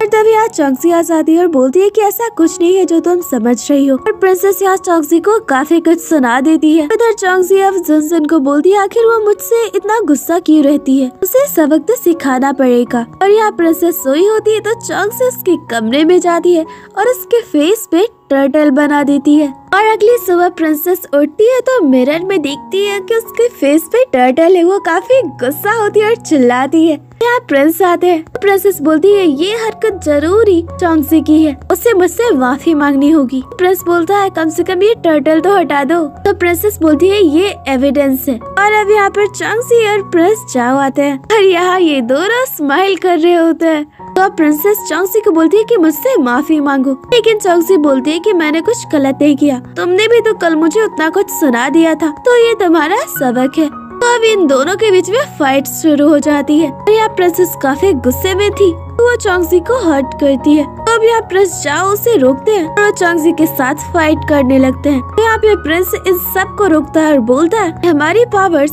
ऐसे फालतू में यूज़ करने के लिए हमें नहीं मिली है। और वो प्रिंस जाओ को बोलता है कि, तुम इन दोनों को बढ़ावा कैसे दे सकते हो? तुम्हें यहाँ से अब जाना चाहिए। और इस हेलो दोस्तों, ये इस ड्रामे के एक्सप्लेनेशन जिनका सेकंड पार्ट है। इसके लास्ट पार्ट में हमने देखा था कि सॉन्गजी और प्रिंसेस के बीच फाइट होती है। बाय कर कर जाते हैं। और अब मास्टर लूफे को देखते हैं और यहाँ पर वो बाकी इमोटल्स होते हैं जो कि पिछली बार फाइट में घायल हो गए थे। अभी यहाँ पर मास्टर मो आते हैं, जो कि मास्टर लूफे को बताते हैं चौंगसी डिसाइपल्स की टीम के साथ जेसु माउंटेन पे गई है। और मुझे माफ़ कर दीजिए, उसे जाने की परमिशन मैंने दी है। तो यहाँ मास्टर लूफे मास्टर मुँह पे काफ़ी गुस्सा होते हैं और बोलते हैं कि अभी तक बेंसी को हमने नहीं पकड़ा है और वो दोबारा चौंगसी को नुकसान पहुँचा सकता है। और तुमने चौंगसी को बाहर जाने का परमिशन दिया। मैं इसके लिए तुम्हें ज़रूर पनिश करूँगा। और मास्टर लूफे बोलते हैं कि मैं चंगसी को लाने जा रहा हूँ। और इधर चंगसी थोड़ी उदास होती है तभी यहाँ पर प्रिंस आता है। प्रिंस चंगसी को बोलता है कि तुम मुझसे गुस्सा हो लेकिन चंगसी बोलती है कि नहीं। तुम मुझे माफ़ कर दो मेरी वजह से प्रिंसेस ने तुम्हें उतना कुछ सुना दिया। और चौंगसी बोलती है मैं तुम्हें प्रॉमिस करती हूँ कि जब मास्टर मुझे वापस लेने आएँगे तो इस बार तुम्हें कोई पनिश नहीं करेगा। मैं मास्टर को बता दूँगी कि मैंने ही जिद की थी आने की। और फिर चौंगसी बोलती है कि, मैं मास्टर के लिए कोई गिफ्ट ले लेती हूँ, ताकि उन्हें मनाना आसान हो जाए। तो यहाँ पे प्रिंसेस स्माइल करता है और बोलता है, तुम कभी भी शांत बैठ नहीं सकती हो। बहुत ही शरारती हो तुम। और यहाँ प्रिंस उसे एक वेपन देता है और बोलता है, इसे अपने पास रखना। इससे हम पता कर पाएँगे कि तुम कहाँ हो। क्योंकि मैं तुम्हारे साथ अभी नहीं जा सकता हूँ। मुझे मास्टर ने कहीं और जाने को बोला है। और अब जंग यहाँ पे इधर उधर घूम रही होती है। वो मास्टर के लिए एक फ्रूट भी लेती है। अभी वो किरान और वांसी को बातें करते हैं सुनती है। जहाँ किरान वांसी को बोलती है कि मैं तुम्हारे साथ नहीं रह सकती। मैं तुमसे प्यार करती थी, तब तुम वाइफू थे, लेकिन अब तुम डेमन बन चुके हो। और इन दोनों की बातों से चांगजी समझ आती है कि ये वही इमोर्टल है, लेकिन अब ये डेमन वांसी बन चुका है। और यहाँ वांसी चांगसी को पकड़ लेता है। तो चांगसी वांसी को बोलती है, आप तो वही इमोर्टल है जिन्होंने मेरी जान बचाई, लेकिन आप पहले जैसे नहीं है। तो वांसी बोलता है तो बताओ मुझ, और जिसने तुम्हारी जान बचाई, उसमें क्या अंतर है? चांगसी बोलती है कि वो एक अच्छा इमोर्टल था, पर अब एक डेमन है, और तभी यहाँ पर लूफे आ जाते हैं। तो वहाँ से मास्टर लूफे को बोलते हैं कि तुम्हें मुझे थैंक्स करना चाहिए, क्योंकि चांगजी से तुम मेरी वजह से ही मिले हो, और तुम चाहे कितना भी इसे प्रोटेक्ट करो, पर तुम इसे नहीं बचा पाओगे। क्योंकि ये इवल्स पावर्स के साथ जन्मी है और वांसी कुरान के साथ यहाँ से चला जाता है। और अब मास्टर चौंगसी पे काफ़ी गुस्सा होते हैं क्योंकि वो बिना उनसे परमिशन लिए यहाँ आई है। चौंगसी माफ़ी भी मांगती है, पर उनका गुस्सा साथ नहीं होता। तभी यहाँ पे मास्टर मुँह और प्रिंस आ जाते हैं। प्रिंस यहाँ मास्टर को बोलता है कि इसमें चौंगसी की गलती नहीं है। मैंने उसकी ज़िम्मेदारी ली थी, पर उसे अकेला छोड़ दिया। और यहाँ मास्टर मुँह भी बोलते है की प्लीज़ चौंगसी को माफ़ कर दीजिए। पर मास्टर चौंगसी को बोलते है की तुम मेरी डिसाइपल होना डिजर्व नहीं करती हो। चौंगसी बोलती है, मैं आपको वहाँ बहुत मिस कर रही थी, आप वहाँ नहीं थे और मुझे आपकी फ़िक्र हो रही थी, इसीलिए मैं यहाँ आई। तो मास्टर बोलते हैं, मुझे अपना एक्सक्यूज मत बनाओ। तुमने रूल्स तोड़े हैं और यहाँ वो चौंगसी को पनिश करते हैं। उसे नील डाउन करके बैठने को बोलते हैं। और अब वो मास्टर मुँह को बोलते हैं, आपने ये अच्छा नहीं किया चौंगसी को यहाँ लाकर और आप दोनों को आपकी सजा ज़रूर मिलेगी। और प्रिंस को बोलते हैं, तुम अपने मास्टर के पास जाओ, वो तुम्हें पनिश करेंगे। और आज चांग चांगसी अपनी पनिशमेंट को पूरा कर रही होती है। वो काफ़ी उदास होती है क्योंकि मास्टर से गुस्सा है। इधर प्रिंस को भी मास्टर किन से पनिश करते हैं। चांगसी अब पूरे दिन ऐसे ही बैठी रहती है। तभी यहाँ मास्टर मुँह आते हैं और बोलते हैं कि मास्टर ने तुम्हें काफ़ी हार्ड पनिशमेंट दी है। और चौंगसी बोलती है कि मेरे घुटनों में तो दर्द हो रहा है। तो यहाँ मास्टर उसकी थोड़ी हेल्प करते हैं जिससे कि उसे पेन से रिलीफ मिलता है। और अब पूरे दो दिन हो चुके हैं चौंगसी को अपने पनिशमेंट के। और मास्टर लूफे देखते हैं कि चौंगसी अब बेहोश हो चुकी है। अब नेक्स्ट मॉर्निंग वो चौंगसी को बोलते है की अब हमें वापस चलना है। यहाँ चौंगसी मास्टर को बोलती है की मुझे माफ़ कर दीजिए, मेरी गलती है। मुझे आपके ऑर्डर को फॉलो करना चाहिए था, लेकिन आप वहाँ पर नहीं थे। मैं आपको बहुत मिस कर रही थी, मैं आपको देखना चाहती थी, इसीलिए मैं यहाँ आ गई। और अब वो मास्टर को वो फ्रूट देती है, जो कि उसने मास्टर के लिए लाया था। इधर किरान और वांसी को देखते हैं। वांसी किरान को बोलता है तो मेरे साथ डायमंड वर्ल्ड में चलो। लेकिन किरान बोलती है कि, मैं यहाँ सेफ़ हूँ और मैं तुम्हारे साथ नहीं जाऊँगी जब तक कि तुम वांजे से वाइफ नहीं बन जाते। और यहाँ वो अपने बालों को भी काट देती है, जिससे कि वांसी को काफ़ी दुख होता है। और अब यहाँ सिंह सिंह चौंगसी को बता दी है कि प्रिंस को भी मास्टर किंसी ने पनिशमेंट दी है, जिससे कि चौंगसी को काफ़ी बुरा लगता है और वो चाहती है प्रिंस से मिलने के लिए। हाँ वो उसके लिए मेडिसिन भी लाती है और वो प्रिंस से माफ़ी भी मांगती है और वो बोलती है कि वो हमेशा उसकी हेल्प करेगी, अगर उससे कभी उसकी ज़रूरत पड़ी तो। और यहाँ वो उसे पिंकी प्रॉमिस करती है। और यहाँ प्रिंस को भी चौंगसी को देखकर अच्छा लग रहा होता है। और अब चौंगसी मास्टर मुँह से मिलती है, वो देखती है कि उन्हें भी पनिशमेंट मिली है। उन्हें चोट लगी है तो वो क्रीम उन्हें भी देती है। और मास्टर से माफ़ी मांगती है, क्योंकि उसी की वजह से उन्हें ये पनिशमेंट मिली है। तो मास्टर मुँह चौंगसी को बोलते हैं कि इसमें तुम्हारी गलती नहीं है। मैं ये पनिशमेंट डिजर्व करता था, और वो उसे बोलते हैं, तुम बस अपना ख्याल रखो। और अब इधर डेमन बल्ट में दिखाया जाता है, जहाँ वांसी डेमन किंग वायु से मिलने आता है। और वांसी डेमन किंग को बोलता है कि अब मैं एक डेमन बने नहीं रहना चाहता हूँ। तो मुझे बताओ, मैं इस तलवार से कैसे आज़ाद हो सकता हूँ मुझे इस तलवार की शक्तियाँ नहीं चाहिए। मैं दोबारा से वाइफ बनना चाहता हूँ। तो यहाँ डेमन किंग बोलता है, आखिर तुम किरान के लिए इतनी इस तलवार को छोड़ रहे हो? तुम्हें पता है इसी की वजह से तुम इतने पावरफुल हो। और अगर तुमने ये पावर्स को छोड़ दिया तो इमोटल्स तुम्हें मार देंगे, क्योंकि तुमने तीन हज़ार इमोटल डिसाइपल्स को मारा है। लेकिन फिर भी वांसी बोलता है कि मुझे फ़र्क नहीं पड़ता। बस मैं अब एक डिमन बने नहीं रहना चाहता हूँ। हाँ डेमन किंग बोलता है, ठीक है, मैं तुम्हारे इसमें हेल्प करूँगा, लेकिन उसके लिए मेरी एक शर्त है। और यहाँ वो वांसी को बोलता है, तुम्हें मेरे लिए चौंगसी को किडनैप करना होगा, उसे डेमन बल्ट में लाना होगा। तो वांसी बोलता है कि आखिर तुम उसे यहाँ क्यों लाने चाहते हो? लेकिन वांगी उसे नहीं बताता है। और इधर चांग सी सेंसन को बोलती है, क्या मास्टर अब भी मुझसे बहुत गुस्सा है? उसे नहीं बताता है। और इधर चांग सी सेंसन को बोलती है, क्या मास्टर अब भी मुझसे बहुत गुस्सा है? उसके बाद वो जंजिन से पूछती है, क्या तुम वाइफू को जानती हो वो कौन थे? और वांजी से उनका क्या कनेक्शन है? तो यार जंजिन उसे बोलती है कि वाइफू के बारे में यहाँ बोलना मना है, लेकिन फिर भी वो उसे बताती है कि वाइफुल यहाँ एक इमोर्टल थे। उन्होंने शॉर्ट को बचाया था डेमन से, लेकिन अपनी वाइफ किरान को बचाने के लिए उन्होंने उस शॉर्ट की पावर्स को यूज़ किया और उसके बाद उस शॉर्ट ने उन्हें प्रोसेस कर लिया। और अब वो एक डीमन बन चुके हैं और वो वांसी है अब। और अब चौकसी पूरी कंफर्म हो चुकी है। जिस इमोटल ने उसकी जान बचाई थी वाइफ वही अब वांसी है जो कि अब डेमन बन चुका है। और अब इधर प्रिंस चा को देखते हैं, जिसने की चौंगसी के लिए गिफ्ट भेजा होता है। और अब वो अपने फादर से बात कर रहा होता है। और यहाँ मिस्टर कोलोनो से बोलते हैं कि तुम ये जिद छोड़ ही दो, क्योंकि चौंगसी की शादी तुमसे मास्टर लूफे नहीं होने देंगे। लेकिन प्रेस चाव बोलते कि, फादर, मैंने जब फ़र्स्ट टाइम चौंगसी को देखा था, तब से मैं उससे प्यार करता हूँ। और मैं सिर्फ़ चौंगसी से ही शादी करूँगा। मैंने अब तक आपसे कुछ भी नहीं मांगा है, पर मैं चाहता हूँ कि आप मेरी और चौंगजी की शादी करवाएँ। और अब मिस्टर कुलून को भी लगता है कि उनका सन बहुत ही सीरियस है इस बात को लेकर। और वो अपने सन से बहुत प्यार भी करते तो वो बोलते हैं, ठीक है, मैं सीनियर गॉड्स के सामने इस बात को उठाऊँगा कि वो तुम्हारी और चौंगजी की शादी करवाए। तब लूफे को भी मानना ही होगा।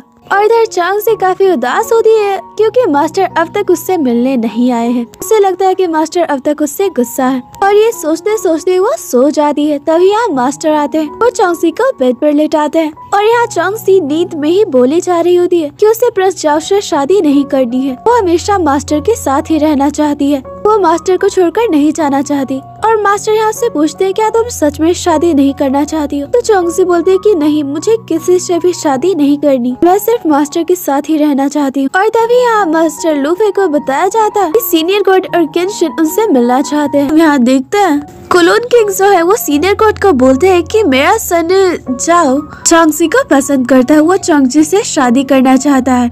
और मुझे लगता है, इससे हमारे रिलेशंस और भी अच्छे हो जाएँगे। और सीनियर गॉड तो चाहते हैं कि कैसे भी चौंगसी मास्टर लूफ और इमोटल वर्ल्ड से अलग रहे।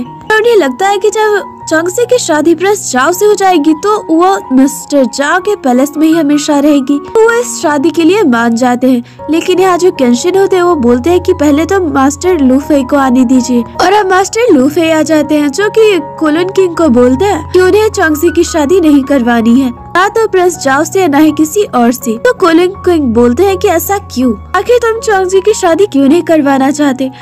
तो मास्टर बोलते हैं कि चौंगसी अभी यंग है। उसे अभी अपनी पढ़ाई, अपने मस्कल पावर्स को यूज़ करने पे ध्यान देना है। कोलोंग किंग बोलते हैं, वो तो वो शादी के बाद भी कर सकती है। तो यहाँ मास्टर लूफे बोलते हैं कि वो मेरी डिसाइपल है और वो मेरे साथ ही रहेगी। और ये मेरा फैसला है कि चौंगजी की शादी नहीं होगी। कोलोन किंग बोलते हैं कि बाकी मास्टर से अलग आप चौंगजी को ट्रीट करते हैं। कि आप चौंगजी की शादी कभी नहीं कर पाएँगे तो यहाँ गॉड क्रिश्चियन सब मामला संभालते हैं। तो मिस्टर कोलोन को समझाते हैं कि चौंगसी अभी यंग है, इसीलिए मास्टर लूफे उसकी शादी नहीं करना चाहते हैं। और यहाँ पे सीनियर गॉड भी लूफे को बोलते हैं कि तुम आखिर उसकी शादी क्यों नहीं करवा रहे हो? लेकिन मास्टर लूफे यहाँ से चले जाते हैं। कोलन किंग उसमें काफ़ी गुस्सा होते हैं। और अब हम देखते हैं कि मास्टर लूफे को यहाँ एक मिरर मिलता है। और वो समझ जाते है कि ये प्रस चाओ ने चौंगसी को दिया होगा। और तभी यहाँ पे चौंकसी आस आती है। तो मास्टर चौंगसी को बोलते हैं, ये गिफ्ट तो काफ़ी अच्छा है। प्रस चाओ सच में तुम्हें काफ़ी पसंद करता है। तुम्हें उससे शादी करनी है? तो चौंगसी बोलती है, मैं उसे नहीं जानती हूँ। ना ही वो मेरा दोस्त है और ना ही मैं उससे प्यार करती हूँ। वो यहाँ पर रो पड़ती है और मास्टर को पीछे से हक करती है और बोलती है, मुझे उससे शादी नहीं करनी। उससे तो क्या मुझे किसी से भी शादी नहीं करनी। मैं बस आप ही के साथ रहना चाहती हूँ। मुझे कहीं भी नहीं जाना है। और अब वो उस मिरर को फेंक देती है और बोलती है कि मुझे शादी नहीं करनी। वो बहुत ही ज़्यादा रो रही होती है तो मास्टर से समझाते हैं कि एक ना एक दिन उससे शादी करनी होगी। लेकिन वो फिर भी बोलती है कि उससे कभी भी शादी नहीं करनी, वो बस उनके साथ ही रहना चाहती है। और अब मास्टर से बोलते हैं कि उसे शादी के लिए कोई भी फोर्स नहीं करेगा। और वो बोलते हैं कि ये मैं लास्ट टाइम तुमसे पूछ रहा हूँ, क्या तुम प्लस जाओ से शादी करना चाहती हो? तो चौंगसी बोलती है कि नहीं, और अब मास्टर बोलते हैं कि तुम्हें कोई भी अब फोर्स नहीं करेगा। और चौंगसी बोलती है, अगर मैं आपको छोड़कर चली गई तो आपका ध्यान कौन रखेगा? और आपको मेरी जैसी ओबीडियंट डिसाइपल कभी नहीं मिलेगी। तो अब मास्टर से बोलते हैं हाँ तुमने सही कहा। और तुम्हें तो सिर्फ़ मैं ही झेल सकता हूँ। इतनी शरारती जो तो चौंगसी भी बोलती है कि मैं ही सिर्फ़ आपके डिसाइपल बन सकती हूँ। तो मास्टर बोलते हैं, ठीक है, यानी कि हम दोनों एक दूसरे के लिए ही हैं। और वो उसे प्रॉमिस करते हैं कि वो चौंगजी के साथ ही हमेशा रहेंगे। और इधर कोलोन किंग को देखते हैं, जो कि प्रस्ताव पे बहुत ही ज़्यादा चिल्ला रहे होते हैं और बोलते हैं कि तुम्हारी शादी चौंगजी से नहीं होगी। आज सबके सामने मास्टर लूफे ने ये कहा है कि वो चौंगजी की शादी किसी से नहीं करना चाहता है। जाओ यहाँ बोलते हैं कि वो चौंगजी का फैसला कैसे ले सकते हैं? मैं खुद जाकर चौंगजी से बात करूँगा। लेकिन यहाँ उसके फादर उसे काफ़ी डांटते और बोलते हैं कि अब तुम चौंगजी से नहीं मिलोगे। मेरी इतनी बेइज्जती काफ़ी है। सबके सामने उसने मुझे दो बार मना किया है। और अब इधर चौंगसी मास्टर को बोलती है, मैं आपके लिए कुछ लेकर आई हूँ। और वो यहाँ पर एक फ़िश लाती है। और मास्टर को बोलती है, आपको याद है, मैंने जब फ़र्स्ट टाइम आई थी तो एक फ़िश को कुक किया था। उसी के बदले आज मैं एक न्यू फ़िश लेकर आई हूँ। शौक ऐसी बोलते है ये फ़िश मेरी तरह हमेशा आपके साथ रहेगी। तो मास्टर यहाँ उसका नाम जी रखते हैं। तो चौंगसी बोलती है, ये तो मेरी नाम की तरह ही है। तो मास्टर बोलते हैं कि तुम ही ने तो कहा था कि ये तुम्हारी तरह मेरे साथ ही रहेगी। और अब इधर डेमन वर्ल्ड में दिखाया जाता है, जहाँ के डेमन किंग वांगियो बोल रहा होता है अब टाइम आ गया है कि हम चौंगजी का इस्तेमाल करें। और ये जो आदमी है, इसका फेस अभी तक रिवील नहीं किया गया है। ये इमोर्टल्स में से ही एक है, लेकिन ये डेमंस का साथ दे रहा है। और ये बोलता है कि चौंगसी और मास्टर लूफ एक दो एक दूसरे के साथ हैं और उनका रिश्ता काफ़ी अच्छा होता जा रहा है। तो वांगियो बोलता है ये तो पहले से ही तय था। यही उनकी किस्मत है। और आप देखते हैं कि चौंगची सोई होती है, लेकिन वो ड्रीम देख रही होती है कि वो एंसेस्टर टेंपल में है। और यहाँ जो डेमन सील्ड है, वो उसे टच करने वाली है। वो डर जाती है और उसकी नींद खुल जाती है। और अब इधर दिखाया जाता है कि जो डेमन सील्ड है, उसमें कुछ परिवर्तन हुआ है। वो अपनी जगह से हिला है। और यहाँ हॉल में सभी मॉडल्स होते हैं। और यहाँ यही डिस्कशन चल रहा होता है कि आखिर डेमन सील्ड में ये चेंजेस कैसे हुए? तो यहाँ जो सीनियर गॉड है, वो सभी इमोटल्स को बोलते हैं। अगर तुम में से कोई भी एंसेस्टर टेंपल में गया है, जिसकी वजह से ये हुआ है तो अपनी गलती मान लो, मैं उसे माफ़ कर दूँगा। वरना अगर जाँच में ये पता चला तो उसे माफ़ नहीं किया जाएगा। लेकिन कोई भी डिसाइबल नहीं आता है। तो अब सीनियर गॉड बोलते हैं कि ठीक है, अब इसकी जाँच होगी। और डेमन शिल्ड को बाहर लाया जाता है। यहाँ चौंगजी उसे देखकर काफ़ी डर रही होती है। उसे लगता है कहीं वो कल रात तो नहीं गई थी एंसेस्टर टेंपल में। फिर उसे लगता है वो तो सिर्फ़ एक नाइट था।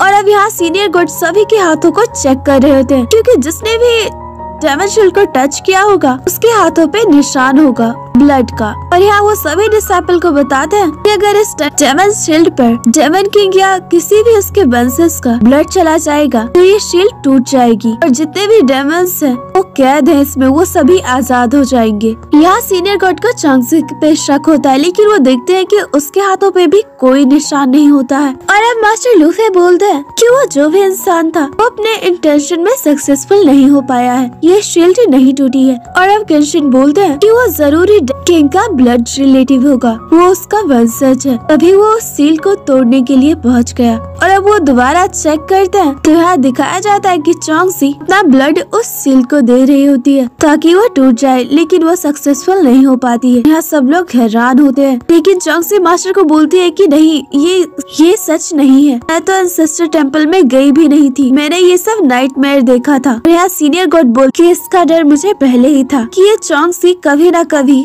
हमारे लिए मुसीबत बन ही जाएगी। कि यहाँ मास्टर मुँह बोलते हैं? कि चांगसी ने कहा वो ये सब नाइटमेयर में देखा था उसने। यानी कि जो डेमंस है, वो चांगसी का इस्तेमाल कर रहे हैं। और अब जो सीनियर गॉड होते हैं, वो बोलते हैं कि चांगसी को इसकी सजा मिलेगी। लेकिन मास्टर लूफे बोलते हैं कि किसकी हिम्मत है? तो मेरे परमिशन के बिना मेरे डिसाइपल को पनिश करे। तो कैंशन बोलते हैं कि चांगसी को उसके इनोसेंस को प्रूव करना होगा। तो चौंगसी मास्टर को बोलती है कि वो ये करने के लिए तैयार है। वो प्रूव करेगी कि वो इनोसेंट है। तो सीनियर गॉड बोलते हैं कि चौंगसी को इमोटल्स प्रिजन में भेजा जाएगा। उसे वहाँ कुछ दिन रहना होगा। और यहाँ प्रिंसेस चौंगसी को लेकर जाती है। और यहाँ वो चौंगसी को बोलती भी है कि तुम इमोटल्स के लिए खतरा हो। तुम्हारे पास इविल पावर्स है। और यहाँ इन दोनों के बीच काफ़ी आर्ग्यूमेंट हो रहा होता है। अभी यहाँ प्रिंस जाओ आ जाते हैं, जो की चौंगसी को छुड़ाते हैं। तो चौंगसी को बोलते हैं कि तुम मेरे साथ चलो। तुम्हें प्रिजन में रहने की कोई ज़रूरत नहीं है। लेकिन चौंगसी उसे मना करती और बोलती है तो उसे ये प्रूव करना ही होगा कि वो इनोसेंट है, इसलिए वो कहीं नहीं जाएगी। तभी यहाँ पर डेमन बांसी आता है, जो कि चौंगसी को किडनैप करके लेकर चला जाता है। और प्रिंसेस और प्रिंस चाओ यहाँ कुछ नहीं कर पाते हैं। और प्रिंसेस यहाँ बोलते हैं कि हमें ये न्यूज़ जल्दी सीनियर कोड और मास्टर लुफे को बतानी होगी। और इधर चौंगसी को देखते हैं, जो कि बात ही कि वो अब डेमन बल्ट में है। हाँ दूर दूर तक कोई नहीं है। तरफ़ सूखे पेड़ है जो कि काफ़ी डरावने दिख रहे होते हैं। और अब इधर मास्टर लूफे को पता चल जाता है कि चौंगसी को वांसी ने किडनैप कर लिया है।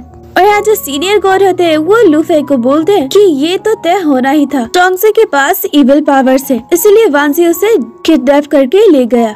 और प्रिंस चाओ यहाँ पर डेमन बल्ब में पहुँचे होते हैं, वो चंगसी को ढूंढ रहा होता है। और तभी यहाँ पर मास्टर लूफे आ जाते हैं, जो कि प्रिंस चाओ को बोलते हैं कि तुम्हें यहाँ नहीं आना चाहिए था। प्रिंस चाओ बोलते हैं कि यहाँ तो आपको नहीं आना चाहिए था। आप ही ने तो चौंगसी को इमोटल प्रेसन में भेजा था।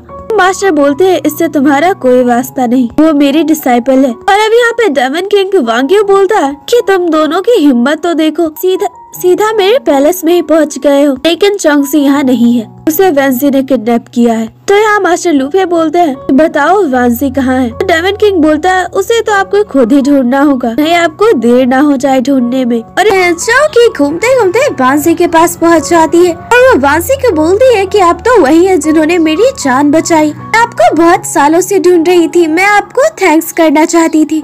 आप तो इमर्जल वाइफ हुए। ये सुनकर वांसी को काफ़ी गुस्सा आता है तो वो चौंकसी को हर्ट करता है। आपने मुझे क्यों किडनैप किया है? तो वांसी उसे बोलता कि तुम बहुत ही ज़्यादा बोलती हो। अगर तुम चुप रहोगी तो तुम सेफ़ रहोगी।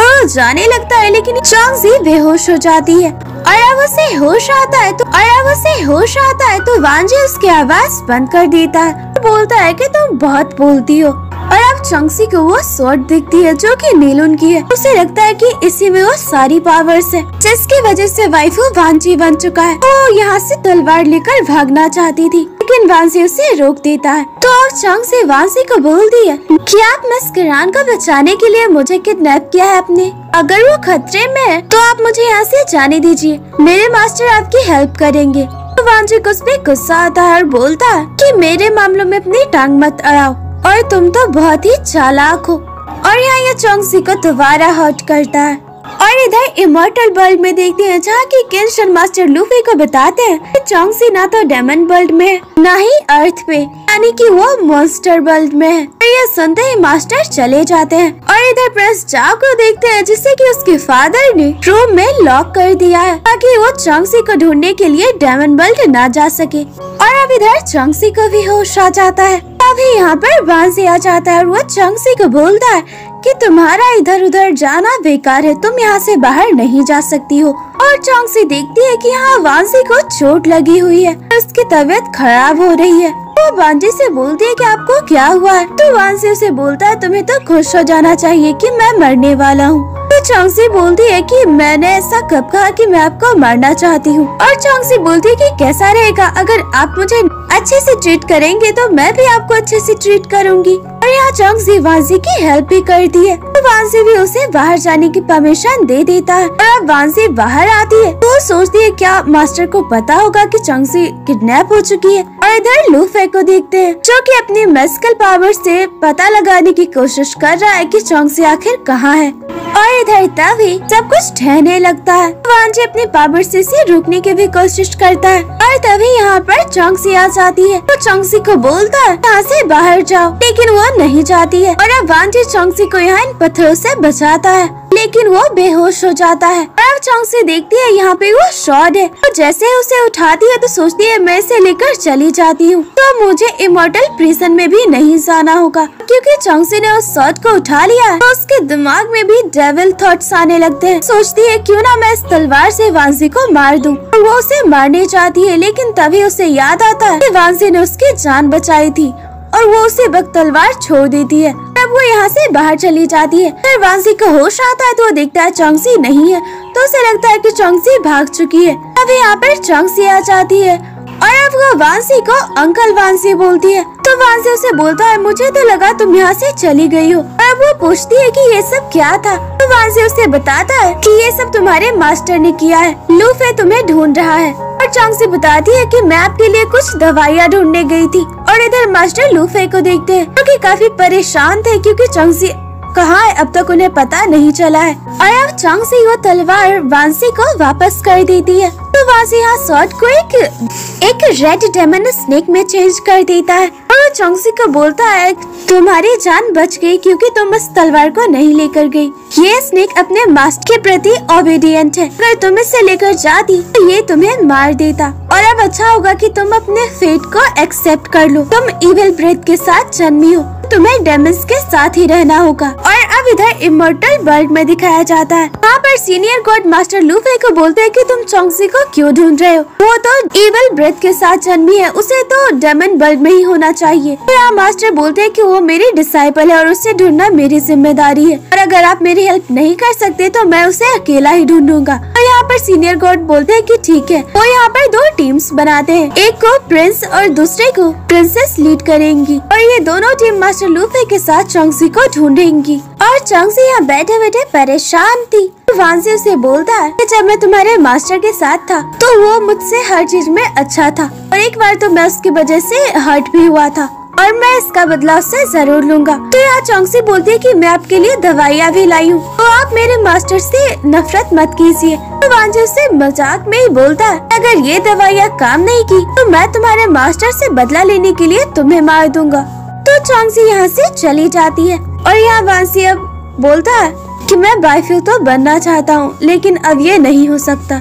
और यहाँ वांसी को बहुत ही ज़्यादा तकलीफ़ हो रही होती है। और यहाँ हमें पता चलता है कि वांसी इस तलवार को छोड़ना चाहता है। और डेमन किंग ने उसे चौंगसी को किडनैप करने के बदले उसे एक मेथड बताया था, जिससे वो इस तलवार को छोड़ सकता है। और वही प्रोसेस हो रहा है। लेकिन इस तलवार की पावर्स इतनी ज़्यादा है वांसी को दोबारा प्रोसेस कर लेती है। और इधर प्रिंस और प्रिंसेस दोनों ही अपने डिसाइपल की टीम के साथ चौंगसी को बचाने डायमंड बर्ग में पहुँच चुके हैं। और अभी ये दोनों बात कर ही रहे होते हैं, तभी अचानक से यहाँ एक इवल आता है, जो प्रिंसेस को ले जाता है। और अब हम देखते हैं कि प्रिंसेस यहाँ वांजी के सामने होती है और वांजी यहाँ उस प्रिंसेस को हर्ट करने वाला होता है। लेकिन चौंग चौंगसी प्रिंसेस को बचा लेती है। प्रिंसेस बोलते हैं कि मुझे तुम्हारी हेल्प नहीं चाहिए। वांजी उससे हर्ट करता है? और दोबारा चौंगसी के कहने पे वो उसे छोड़ देता है। लेकिन प्रिंसेस अब चौंगसी को बोलती है? कि आखिर ये डेमन वांजी तुम्हें इतना नाइसली ट्रीट क्यों कर रहा है? क्योंकि अब तुम्हें इसकी ही एक साथी हो। लेकिन चौंगसी बोलती है कि नहीं, मैं सिर्फ़ एक इमोटल हूँ। और अब वांसी प्रिंसेस को छोड़ देता है। और इधर प्रिंस की टीम को और इधर प्रिंस की टीम को दिखाया जाता है। तभी यहाँ पर मास्टर मू अपने टीम के साथ आ जाते हैं। और यहाँ ये दोनों एक दूसरे को बताते हैं कि इन्हें चौंगसी के बारे में कुछ भी नहीं पता चला। और अब हम देखते हैं कि प्रिंस और प्रिंसेस मास्टर लूफे को बताते हैं कि चौंगसी डेमन वर्ल्ड में है। और यहाँ प्रिंसेस बताती है कि वांसी ने उसे भी किडनैप किया था। लेकिन वो वहाँ से बच गई। और वो मास्टर को बताती है कि वांसी चौंगसी को अच्छे से ट्रीट कर रहा है और चौंगसी वांसी को अंकल बोल रही थी। इसका मतलब कि वो डेमस के साथ मिल गई है। तो मास्टर यहाँ से बोलते हैं, तुम्हें वांसी ने आखिर छोड़ कैसे दिया? तो प्रिंसेस बोलती है कि मैंने उससे फाइट की। यहाँ मास्टर से बोलते हैं कि तुम्हारे पास उतनी पावर्स नहीं है कि तुम उससे फाइट कर सको। तो यहाँ प्रिंसेस को उससे बताना पड़ता है कि चौंगसी ने उसकी हेल्प की। लेकिन प्रिंसेस बोलती है कि चौंगसी वहाँ खतरे में नहीं है। और इधर देखते हैं कि फांसी चौंगसी को मेडिसिन देता है। और वो चौंगसी को बोलता है कि तुम बहुत ही अच्छी हो, लेकिन तुम इवल ब्रिथ के साथ जन्मी हो। इसीलिए इमोटल्स तुम्हें कैद करके रखना चाहते हैं इमोटल प्रिजन में, ताकि तुम कभी उनके लिए कोई खतरा ना बन जाओ। इसलिए तुम्हारा यही रहना अच्छा होगा। जैसा कि तुम्हारे पास इवल पावर्स है तो तुम एक बहुत ही पावरफुल डमन बन सकती हो। लेकिन चंगसी बोलती है कि मुझे एक डमन नहीं बनना है। मैं इमोटल वर्ल्ड वापस जाना चाहती हूँ अपने मास्टर के पास। और अब चौंगसी बांसी को बोलती है कि, अंकल, आप मुझे हर्ट नहीं करेंगे। बस मुझे डरा रहे थे और आपने मुझे क्यों किडनैप किया? क्या मिस किरान कोई खतरे में है? तो वांसी अब उसे सारी बातें बताता है और अब इधर चौंगसी घूमते घूमते बोर हो रही है। तो वांसी को बोलती है कि मुझे तो भूख भी लगी हुई है, लेकिन यहाँ कुछ भी अच्छा नहीं है। वो बोलती है कि, अंकल, आप मुझे धरती पर लेकर चलिए। वांसी उसे अर्थ पे लेकर आता है। वो उसे खाना भी खिलाता है और यहीं पर डेमन किंग वांगी होता है। और यहाँ किरान है। ये किरान नहीं, बल्कि उसकी पार्टनर होती है जिसने की किरान का रूप लिया है। और यहाँ वो डेमन को बताती है कि उसने किरान का रूप लेकर इमोटल्स को यकीन दिला दिया है कि किरान खतरे में है और बांजी उसे मारना चाहता है और इसलिए अब सारे इमोटल्स बांजी को मारना चाहते हैं। यानी कि दोनों ने मिलकर बांजी को ट्रैप किया है। और इधर वांसी चौंगसी को बोलता है, जैसा कि तुम्हारे पास इवल पावर्स है तो आगे फ्यूचर में तुम्हें काफ़ी प्रॉब्लम्स का सामना करना होगा। लेकिन चौंगसी बोलती है कि मास्टर हमेशा मेरे साथ ही रहेंगे। और अब ये दोनों बाहर आते थे यहाँ दो लोग बात कर रहे होते हैं कि किसी इमोटल लेडी को, वांसी, जो डेमन बन चुका उसने किडनैप किया है। और इसलिए जो इमोटल्स है, वो वांसी जिस लेडी से प्यार करता है, उसे हर्ट करने वाले हैं। और ये सुनते ही वांसी उन दोनों पे गुस्सा होता है बोलता है, किसके बारे में बात कर रहे हो तुम सब? अब चौंगसी वांसी को बोलती है आपको नहीं लगता कि यहाँ कोई ट्रैप है? को फंसाया जा रहा है। मिस्टर कुरान शायद खतरे में है। तो वांसी उसे बोलता है कि मैं उसे बचाने जा रहा हूँ। मुझे कुछ दिनों का टाइम लगेगा। जब तक मैं वापस नहीं आ जाता, तुम यहीं पे रहना। वहाँ से कहीं मत जाना। चौंगसी भी उन्हें प्रॉमिस कर दी है सीखते हैं। जिसे कि मिस जानसी बताती है कि वो डायमंड बल्ट में चौंगसी को कैसे ढूंढ सकते हैं। और मास्टर चले जाते हैं। जो तिनशुआ है, वो अपने मास्टर को बोलती है, मास्टर लूफ चौंगसी के लिए बस आपका इस्तेमाल कर रहे हैं। क्या आपको इससे दुख नहीं होता? लेकिन सांसी बोलती है, मैं बस उसकी मदद करना चाहती हूँ। और इधर चौंगसी को देखते हैं, जो कि उसी रेस्टोरेंट में अब काम कर रही है। और यहाँ का ओनर काफ़ी खुश है, वो चौंगसी को बोलता है कि आप जब तक चाहे यहाँ काम कर सकती हैं, आपकी वजह से हमारे बहुत सारे कस्टमर सब आ रहे हैं। और तभी यहाँ पर एक आदमी होता है, जो कि घायल होता है, वो बताता है कि वो एक इमोर्टल है। और डेमन से फाइट के बीच वो घायल हो गया है। तो यहाँ चंगसी अब उसकी हेल्प करती है। और यहाँ वो इमोटल बोलता है, मुझे नहीं लगता कि तुम कोई आम लेडी हो। क्या तुम भी इमोटल हो? तो चंगसी वो बताती है उसे कि वो मास्टर लूफे के डिसाइपल है। वो भी एक इमोटल है। तो ये इमोटल चंगसी थैंक्स करता है और बोलता है कि अगर तुम्हें मेरी कोई भी हेल्प चाहिए तो मुझे याद करना, मैं आ जाऊँगा। और अब इधर देखते हैं कि बहुत सारे लोग एक बेगर को हर्ट कर रहे होते हैं। तो चौंगसी उन्हें रोकने की कोशिश करती है। तभी यहाँ पर डेमन किंग वांगी आ जाता है, जो कि चौंगसी की हेल्प करता है यहाँ पे। और अब चौंगसी यहाँ से जा रही होती है। तो देखती है कि वांगी उसका पीछा कर रहा है। वो उससे पूछती है कि आखिर तुम मेरे पीछे क्यों आ रहे हो? तो वांगी उससे बोलता है कि मैं बस तुम्हारी हेल्प करना चाहता हूँ। और यहाँ वो अपनी पावर्स का यूज़ करता है। उसने चौंगसी पे कुछ तो मैजिक किया है। इसके बारे में हमें आगे दिखाया जाएगा। तो चौंगसी उससे बोलती है कि मुझे लगता है तुम डेमन वर्ल्ड से हो। वांगी बोलता है कि हाँ लेकिन मैं एक अच्छा डेमन हूँ। और वो चौंगसी को बोलता है कि मुझे पता है तुम इमोर्टल वर्ल्ड जाना चाहती हो। मैं तुम्हें वहाँ लेकर जा सकता हूँ। अब ये दोनों आगे बढ़ते हैं। चौंगसी देखती है यहाँ बहुत सारे इमोर्टल घायल होते हैं। अभी यहाँ पर डेमंस उस पर हमला करते हैं, लेकिन वांगियो यहाँ चंगसी को बचा लेता है। और अब हमें पता चलता है, ये सारे डेमंस को वांगियो ने ही लाया है। और वो डेमंस दोबारा चंगसी पे हमला करता है तो चौंगसी उनसे फाइट करती है। और वो वांगियो थैंक्स भी करती है उसकी हेल्प के लिए। और तभी यहाँ पर इमोर्टल्स आ जाते हैं।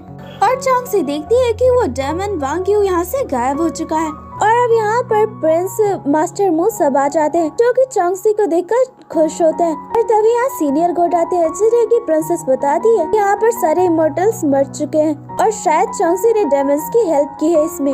ये सुनते ही सीनियर गॉड का गुस्सा आसमान पे चढ़ जाता है। लेकिन मास्टर मो और प्रिंस बोलते हैं कि चौंगसी ऐसा नहीं कर सकती है। लेकिन सीनियर गॉड किसी की भी नहीं सुनते। और वो यहाँ पे सील स्टोन का यूज़ करते हैं, जिससे कि इमोर्टल्स को मारा जाता है। और अब वो चौंगसी पे हमला कर देते हैं और तभी यहाँ पर मास्टर लूफे आ जाते हैं, जो कि उस सील को तोड़ देते हैं और बोलते हैं कि चौंगसी को कोई नहीं मार सकता और उसने कुछ भी गलत नहीं किया है। सीनियर गॉड बोलते हैं, क्या तुम्हारे लिए मोटल वर्ल्ड के रूल्स कोई मायने नहीं रखते? तुम्हारे इस डिसाइपल ने डेमस की हेल्प की है और यहाँ पर बहुत सारे इमोर्टल्स मारे गए हैं। लेकिन मास्टर बोलते हैं कि इसने ऐसा कुछ भी नहीं किया है और वो चौंगसी को लेकर चले जाते हैं। और अब मास्टर चौंगसी को बोलते हैं, क्या तुम ठीक हो? तो चौंगसी बोलती है कि आपको कुछ देर पहले आना चाहिए था, आप उन इमोर्टल्स को बचा पाते। और चौंगसी यहाँ मास्टर को बोलती है कि एक डेमन उसकी हेल्प कर रहा था इमोर्टल वर्ल्ड आने में। तो यहाँ मास्टर सब कुछ समझ जाते हैं, तभी यहाँ मास्टर मुँह आते हैं। क्योंकि चौंगसी और मास्टर को बताते हैं। सीनियर गोड ने बोला है कि चंगसी जैसे ही ठीक हो जाए उसे सीनियर गॉड से मिलने के लिए जाना है। तो चंग सिंह अपने मास्टर को बोल दिए कि, मास्टर, मैं तो अभी बहुत बीमार हूँ।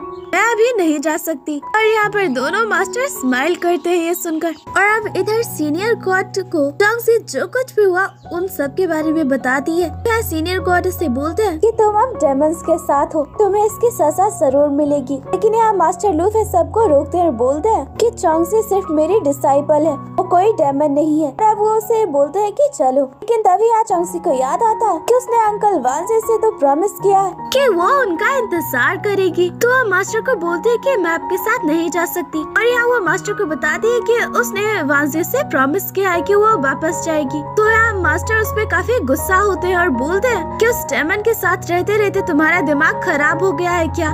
उसने तुम्हें किडनैप किया था। तुम्हारी जान खतरे में थी। तो तुम उसका इंतज़ार करोगी वापस जाकर। तो यहाँ चौंग बोलती है कि उन्होंने मुझे कभी भी हर्ट नहीं किया बल्कि उन्होंने मेरी जान बचाई है। मास्टर, प्लीज़ मुझे जाने दे। यहाँ पे सीनियर गॉड मास्टर लूफे को बोलते हैं कि देख लो, इसने उस डेमन को प्रॉमिस किया है कि वो उसके पास वापस जाएगी। तो मास्टर उसका हाथ पकड़ते हैं और उसे लेकर जाने लगते हैं। लेकिन चौंगसी रुक जाती है और उससे अपनी पावर्स का यूज़ हो जाता है मास्टर को रोकने के लिए। इसे देखकर सब लोग हैरान हो जाते हैं। यहाँ चौंगसी मास्टर से माफ़ी मांगती है। यहाँ जो सीनियर गॉड होते हैं, वो इमर्टल्स का ऑर्डर देते हैं। चौंगसी को इमर्टल प्रिजन में लेकर जाओ। और तभी यहाँ पर बांसी आ जाता है। रोज सबको बोलता है कि अगर अगर तुम लोग चौंगसी को नहीं चाहते हो तो मैं उसे लेकर जाता हूँ। और यहाँ मास्टर अब बांसी को रोकते हैं और बोलते हैं कि चौंगसी मेरी डिसाइपल है, वो मेरे साथ जाएगी। लेकिन बांसी उसे बोलता है कि चौंगसी मेरे साथ जाएगी। यहाँ इन सब के बीच में फाइट होती है। और यहाँ चौंगसी वांसी की हेल्प करती है और उससे चोट भी लग जाती है। तो वांसी अब चौंगसी को लेकर यहाँ से गायब हो जाता है। और सीनियर कोर्ट बोलते हैं कि चौंगसी ने वांसी के यहाँ से भागने में हेल्प की है। और अब इधर डायमंड बल्ब में देखते हैं। चौंगसी बेहोश होती है, तभी यहाँ पर डेमन किंग वांग्यू आता है, जो की वांसी को बोलता है की चौंगसी को मुझे सौंप दो। लेकिन वांसी बोलता है की मैं तुम्हें चौंगसी को कभी भी मारने नहीं दूँगा। और वांग्यू वांसी को कुछ नहीं कर सकता है, क्योंकि वांसी के पास सोड होने की वजह से वो सबसे ज़्यादा पावरफुल है। तो यहाँ वांग्यू बोलता है, तुम्हें किसने कहा कि मैं चौंगसी को मारना चाहता हूँ? मैं भला उसे क्यों मारूँगा? और अब इधर वांसी चौंगसी को बोलता है आज जो भी तुमने किया है, उसके बाद तो शायद ही तुम्हें इमोटल वर्ल्ड में वापस जाने को मिलेगा। क्या तुम्हें पता है तुम एक लौती हो? उसने ऐसा किया है। तुमने अपने मास्टर के ऑर्डर को अनफॉलो किया और एक डेमन की हेल्प की और उसके साथ तुम भाग आई हो। तो चौंगसी बोलती है कि मैं तो बस आपको क्या प्रॉमिस पूरा कर रही थी? तो वांसी उसे बोलता है कि अब तुम इमोटल वर्ल्ड तो नहीं जा सकती हो। तो चौंगसी बोलती है कि ठीक है, अब मैं यही रहूँगी आपके साथ। तो वांसी उसे बोलता है कि तुम एक इमोटल हो। तो चौंगसी बोलती है कि आप भी तो एक इमोटल ही थे। और अगर आप यहाँ रह सकते हो तो मैं भी आपके साथ यहाँ रह सकती हूँ। वांसी उसे बोलता है कि तुम मुझसे अलग हो। मैं नहीं चाहता कि मैं जैसे एक डेमन बन गया, तुम भी एक डेमन बन जाओ। और वो चांगसी को समझाता है कि वो कभी भी एक डेमन ना बने। चांगसी वांसी को प्रॉमिस करती है। वो कभी भी अपने पावर्स का गलत यूज़ नहीं करेगी और न ही किसी इनोसेंट को हर्ट करेगी। और यहाँ वांसी उसे बताते हैं, तुम्हारे पास जो इवल पावर्स है, उसी की वजह से डेमन किंग वांग्यू तुम्हारा यूज़ करना चाहता है। और तुम्हारा मास्टर हमेशा तुम्हें बचाता है, ताकि तुम्हारी पावर्स का कोई गलत यूज़ ना कर सके। और इधर प्रिंस को देखते हैं जो कि अपने मास्टर कैंसन को बताता है। कि चांगसी ने डेमन बांसी के साथ मॉडल के साथ फाइट की और उसके साथ डेमन बल जा चुकी है। यहाँ तक कि उसने अपने मास्टर के ऑर्डर को भी अनफॉलो किया मास्टर मैं उसकी हेल्प करना चाहता हूँ उसे वापस लाना चाहता हूँ। क्योंकि अब तो उसके मास्टर भी उससे उससे नाराज़ है। अगर हमने उसे अभी नहीं लाया तो कभी उसे इमोटल वर्ल्ड में वापस नहीं ला पाएँगे। कैंसन उसे बोलते हैं कि अभी हम उसकी कोई मदद नहीं कर सकते। और इधर देखते हैं कि मास्टर मुँह मास्टर लूफे को बोलते हैं कि चौंसी का कोई गलत इंटेंशन नहीं था। वो तुम्हारे ऑर्डर को अनफॉलो नहीं करना चाहती थी। तो तुम्हें उसे डेमन वर्ल्ड से वापस लाना चाहिए। वो तुम्हारी डिसाइपल है। लेकिन जैसा कि मास्टर लूफे चौंगसी से नाराज़ है वो बोलते हैं कि चौंगसी मेरी डिसाइपल नहीं है अब। और इधर देखते हैं कि वांसी फ्लूट बजा रहा होता है। तो चौंगसी बोलते हैं कि अंकल आप तो बहुत ही अच्छा फ्लूट बजाते हैं। आप ये किसके लिए बजाते हैं हमेशा? और यहाँ वांसी याद करता है कि जब वो वाइफ होता, तब वो हमेशा किरान के लिए से बचाया करता था।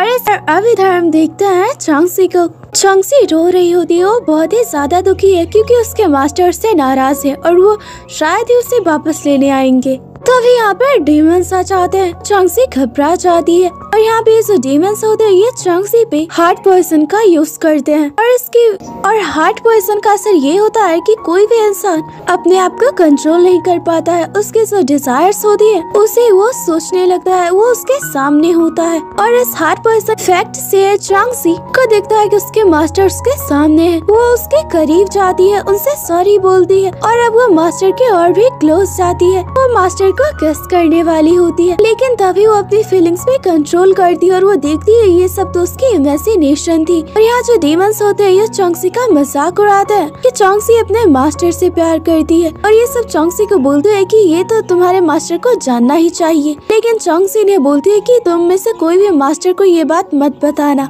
ये डेमंस चौंगसी के साथ और भी बुरा करना चाहते हैं। लेकिन तभी यहाँ पर बाइफो आ जाता है। और वो चौंगसी को बोलता है, माफ़ कर दो, मुझे आने में देर हो गई। और अब बंसी को भी पता है कि चौंगसी अपने मास्टर से प्यार करती है। और वो चौंगसी को बोलता है, क्या तुमने ये लूफे को बताया है? लेकिन चौंगसी बोलती है कि मास्टर को कुछ भी नहीं पता है। और अब वांसी उसे बताता है ये सब हार्ट पर्सन का असर है। तुम्हारे अंदर जो इच्छाएँ हैं, वो सब तुम्हें सामने दिखाई दे रही है। तुम्हें अपने आप को कंट्रोल करना होगा।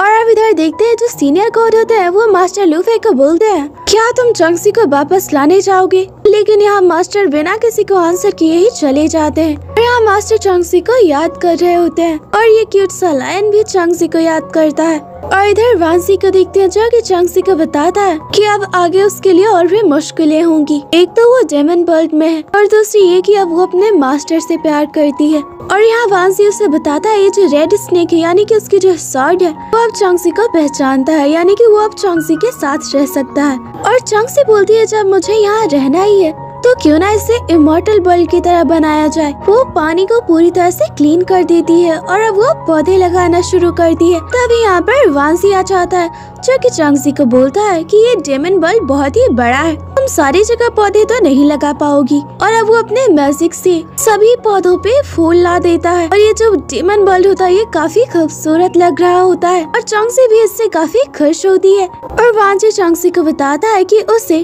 किरान को लाने के लिए वापस जाना है। और इधर मिस चांसी और तनशुआ को देखते हैं, जो कि एक माउंटेन पे हार्ट पर्सन के इलाज के लिए हर्स लेने के लिए आई होती है, लेकिन ये बहुत ही रेयर होते हैं। तभी यहाँ पे उस माउंटेन की गार्ड आ जाती है। तो चांसी यहाँ बताती है कि वो सिर्फ़ कुछ मेडिसिन लेने आई है। और यहाँ पे जो गार्ड होती है, वो चांसी को बोलती है, तुम कोई भी मेडिसिन यहाँ से ले सकती हो, लेकिन हार्ट पर्सन का नहीं, क्योंकि वो बहुत ही रेयर है। और चांसी तो वही लेने आई है। और इधर देखते हैं कि वांसी चांसी को शॉपिंग के लिए लेकर आता है। तो यहाँ पे चांसी वांसी को बोलती है कि ये जो रेड वेडिंग ड्रेस है, क्यों ना आप इसे मिस किरान के लिए ले जाएँ? और यहाँ वांसी को भी अच्छा लगता है कि किरान जब इसे पहनेगी तो वो कितनी सुंदर लगेगी। और अब वांजी और चांसी मिस किरान के पास पहुँच जाते हैं। और यहाँ चांसी इन्हें बोलती है की आप दोनों बात कीजिए, तब तक मैं यहाँ घूमती हूँ। तो मिस किरान वांसी को बोलती है कि ये लड़की कौन है? तो वांजी उससे बताता है कि ये बहुत ही स्वीट है। और अब ये मेरे साथ ही रहती है। मानो कि ये मेरी डॉटर है। और मैं है,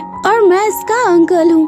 और अब वांसी किरण को बोलता है कि तुम मेरे साथ डेमन बल्ब में चलो। वहाँ हम दोनों साथ रह सकते हैं। लेकिन फिर मिस किरण बोलती है कि तुम एक डेमन और मैं एक इमोर्टल मैं तुम्हारे साथ नहीं रह सकती। तो अब वांसी बोलता है, मैं अपने सावरी पावर्स को छोड़ रहा हूँ। अब मैं सिर्फ़ तुम्हारे साथ ही रहना चाहता हूँ। मुझे भी अब कोई डेमन नहीं बनना है। तो मिस किरान उसके साथ जाने के लिए मान जाती है। तभी यहाँ पर इमोर्टल्स आ जाते हैं, जो कि बांसी और मुस्कुरान को साथ देखते हैं। तो अब वो दोनों पे हमला कर देते हैं। और यहाँ मुस्कुरान को चोट भी लग जाती है। और अब बांसी इन सभी मॉडल्स पे हमला करता है। और यहाँ पर चौंग से भी उसकी हेल्प करती है। और अब ये तीनों डेमन बल्ट में आ चुके हैं। तो यहाँ पे मिस किरान बोलती है, मैंने नहीं सोचा था कि डेमन बल्ट इतना खूबसूरत होगा। तो वांसी बोलता है, ये तो सब चौंगसी ने किया है। और वांसी मुस्कुरान को बोलता है कि मैं तुमसे शादी करना चाहता हूँ, लेकिन मुस्कुरान अभी इसका आंसर नहीं देती है और वो चली जाती है। और यहाँ वांसी काफ़ी उदास हो जाता है। इधर मुस्कुरान को देखते हैं, जो कि याद करती है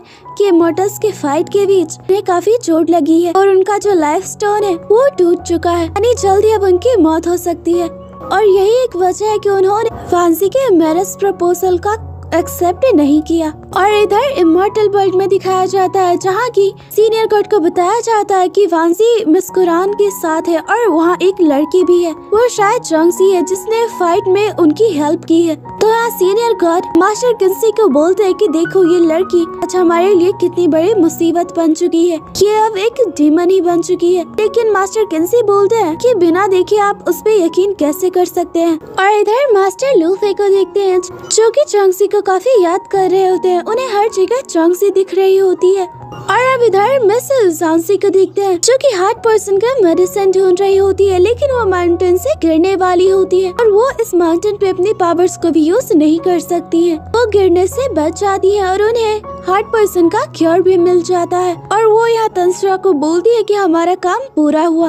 और इधर वांसी को देखते हैं, उसने जो वेडिंग ड्रेस खरीदी थी। मिस कुरान के लिए वो लाके चांगसी को दे देता और बोलता है, ये अब मेरे किसी काम का नहीं है। तो चांगसी समझ आती कि मिस कुरान ने उनके प्रपोजल का कोई एक्सेप्ट नहीं किया है? और वो मिस कुरान के पास जाती है और वो मिस कुरान को बोलती है कि आपने अंकल के मैरिज प्रपोजल का एक्सेप्ट क्यों नहीं किया? आप तो उनसे प्यार करती है। तो मिस कुरान बोलती है कि मैं उससे प्यार करती हूँ, इसीलिए मैंने इस मैरिज प्रपोजल का एक्सेप्ट नहीं किया। और अब वो उन्हें बता दी है कि उनकी मौत जल्द ही होने वाली है और वो नहीं चाहती कि शादी के वक्त फांजी हमेशा उसे याद करके दुखी होता रहे। तो यहाँ चौंग से मुस्कुरान को बोल दिया कि अंकल, अब अपनी लाइफ में और कुछ नहीं चाहते, वो बस आपके साथ रहना चाहते हैं। तो आप जब तक उनके साथ हैं, आप उनके विश को पूरा कर सकते हैं। वो चाहते हैं कि आप इस वेडिंग ड्रेस को पहने और उनसे शादी करें। तो अब मुस्कुरान को भी लगता है उन्हें वांसी के इस विश को पूरा करना चाहिए। और अब मुस्कुरान चांगसी को बोलती है वांसी ने मुझे बताया कि तुम अपने मास्टर से प्यार करती हो। तो क्या तुम उसे ये बताओगी तो चांगसी बोलती है कि पता नहीं, अब मैं कब अपने मास्टर से मिलूँगी। वो मुझसे बहुत ही नाराज़ है। वो बहुत ही सैड होती है और यहाँ से चली जाती है। चांगसी और मास्टर लूफी दोनों ही एक दूसरे को मस्त कर जाए वो दोनों एक दूसरे को देखना चाहते हैं। और अब इधर बांसी को देखते हैं जो कि फ्लूट बसा रहा होता है, जिससे कि मस्कुरान बहुत ही इमोशनल हो जाती है सुनकर। उन्हें लगता है कि जब उनकी मौत हो जाएगी, तब वांजी क्या करेगा? वो आज भी उनके लिए फ्लूट बजाता है वो उनके साथ हो या नहीं। और अब इधर मॉर्टल वर्ल्ड में देखते हैं। यहाँ पे प्रिंस और मास्टर मू दोनों मास्टर लूफे को ये, को कहते हैं कि प्लीज़ स्ट्रॉन्गसी को बचा लीजिए। उसे डेमन वर्ल्ड से वापस ले आए। लेकिन मास्टर लूफे यहाँ कोई फैसला नहीं करते हैं और चले जाते हैं। तो यहाँ प्रिंस मास्टर मू को बोलता है, क्या चौंगसी हमेशा डेमन वर्ल्ड में ही रहेगी? तो मास्टर मू बोलते हैं कि, तुम बस देखो। मुझे यकीन है कि मास्टर लूफे चौंगसी को वापस ले आएँगे। वो खुद नहीं चाहते कि चौंगसी डीमन वर्ल्ड में रहे। और इधर मास्टर लूफे चंगसी को बहुत ही मिस कर रहे होते हैं और उन्हें बहुत भूख भी लग रही होती है। उन्हें याद आता है कि चंगसी हमेशा उन्हें पेस्ट्री बनाकर खिलाती थी। तो वो चंगसी जो पेस्ट्री बनाती है, उसे ही बनाते हैं और उसे खाते हैं। और इधर देखते हैं कि मस्करा ने वो वेडिंग ड्रेस पहन ली है और वो वांसी के सामने आती है। वो वांसी को बोलती है कि वो कैसी लग रही है। फैंसी उसे इस ड्रेस में देखकर काफ़ी खुश होता है और अब कुरान उसे बोलती है कि वो उससे शादी करना चाहती है। फांजी उसे फोरेट पे किस करता है और ये दोनों बहुत खुश होते हैं और कुरान उसे किस करती है और अब इन दोनों को साथ देखकर चंग से भी काफ़ी खुश होती है। लेकिन हार्ट पॉइजन के इफ़ेक्ट की वजह से वो भी इमेजिनेशन करने लगती है कि वो अपने मास्टर के साथ है। और अब वांसी और कुरान एक दूसरे को हस्बैंड एंड वाइफ एक्सेप्ट कर लेते हैं, यानी इन दोनों की शादी हो गई। और अब ये दोनों साथ में वक्त बिताते हैं। और इधर इमोटल बर्ड में देखते हैं। बस चांसी मास्टर लूफे के पास आती है। और वो मास्टर लूफे को एक बांसुरी देती है और बोलती है कि तुम इससे पता कर सकते हो कि चौंगसी डेमन बल्ट में कहाँ है। यानी कि मास्टर लूफे चौंगसी को लाना चाहते हैं वापस। और वो वेट कर रहे थे जानसी का। और अब मास्टर लू फेस सीनियर गार्ड के पास जाते हैं और वो उन्हें बोलते हैं कि वो चौंगसी को ढूँढने जा रहे हैं। लेकिन यहाँ सीनियर गार्ड बोलते हैं वो लड़की अब एक डेमन है। तो तुम उसे वहीं रहने दो, उसके लोगों के साथ। तो यहाँ मास्टर लूफी बोलते हैं कि चौंगसी मेरी डिसाइपल है, वो कोई डेमन नहीं है। मैं मानता हूँ कि उससे गलती हुई है, और मैं ये भी जानता हूँ कि उसका उसे पछतावा होगा। और अब मास्टर लूफे उस बांसुरी का बचाना शुरू करते हैं, जिससे कि यहाँ बहुत सारे पक्षी जो होते हैं, वो डेमन बल्ट में जाते हैं। और इधर कुरान फ्रांसी को बोलती है मैं तुम्हारी आँखों पे पट्टी बाँध रही हूँ तो मुझे ढूंढना। और ये दोनों गेम स्टार्ट करते हैं। फ्रांसी मुस्कुरान को ढूंढता है, लेकिन यहाँ मुस्कुरान काफ़ी सैड होती है। वो बहुत ही इमोशनल होती है। और वो वांसी को बोलती है कि, अपना ध्यान रखना। मैं तुमसे बहुत प्यार करती हूँ, मुझे माफ़ कर देना। और इसी के साथ उनका जो पूरा शरीर होता है, वो फ्लावर्स में चेंज होने लगता है। और पूरी तरह से उनका शरीर बैनिश हो जाता है। और जैसे ही वांची अपनी पट्टी खोलता है तो वो देखता है कि कुरान नहीं है और वो समझ जाता है कि वो कुरान को हमेशा के लिए खो चुका है।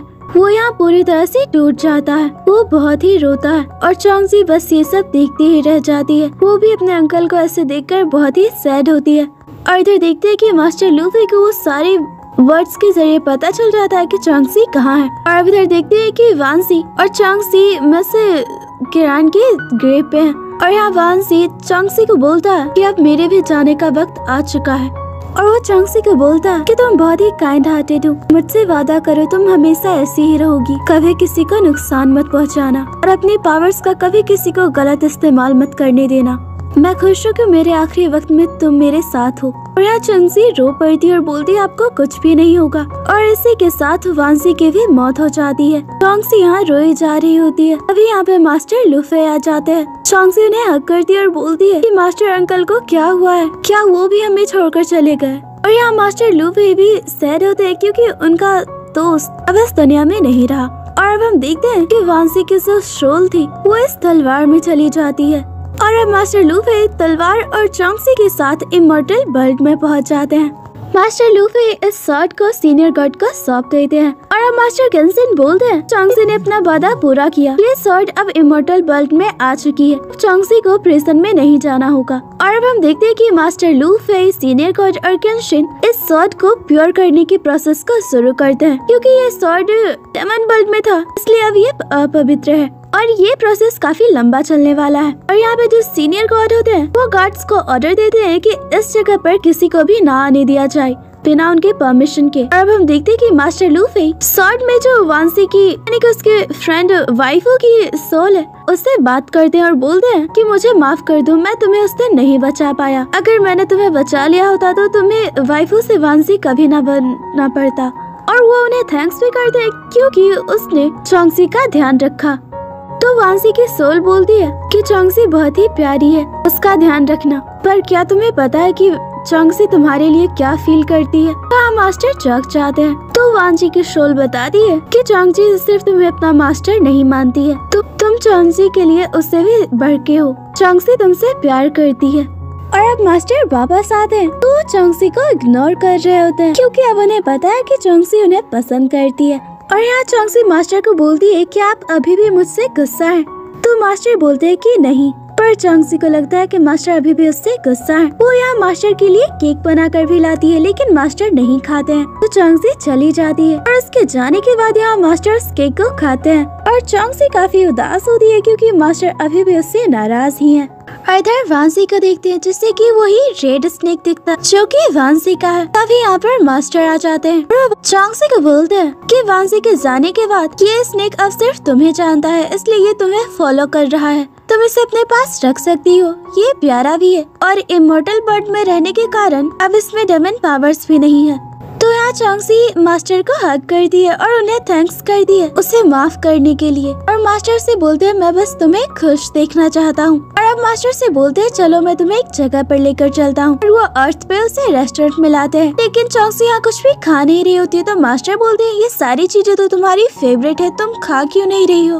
तो चौंगसी बोलती है, मैं यहाँ पहले भी आई हूँ अंकल के साथ और मुझे अंकल की याद आ रही है। तो यहाँ मास्टर बोलते हैं हाँ मुझे पता है तुम अंकल से बहुत प्यार करती हो, लेकिन तुम्हें नहीं लगता, अब तुम मुझे भूल गई हो। तो चंगसी बोलती है कि ऐसा नहीं है। अंकल से मैं प्यार करती हूँ क्योंकि वो मेरे फैमिली मेंबर की तरह है, लेकिन आप उससे अलग हैं। तो मास्टर बोलते हैं कि कैसे?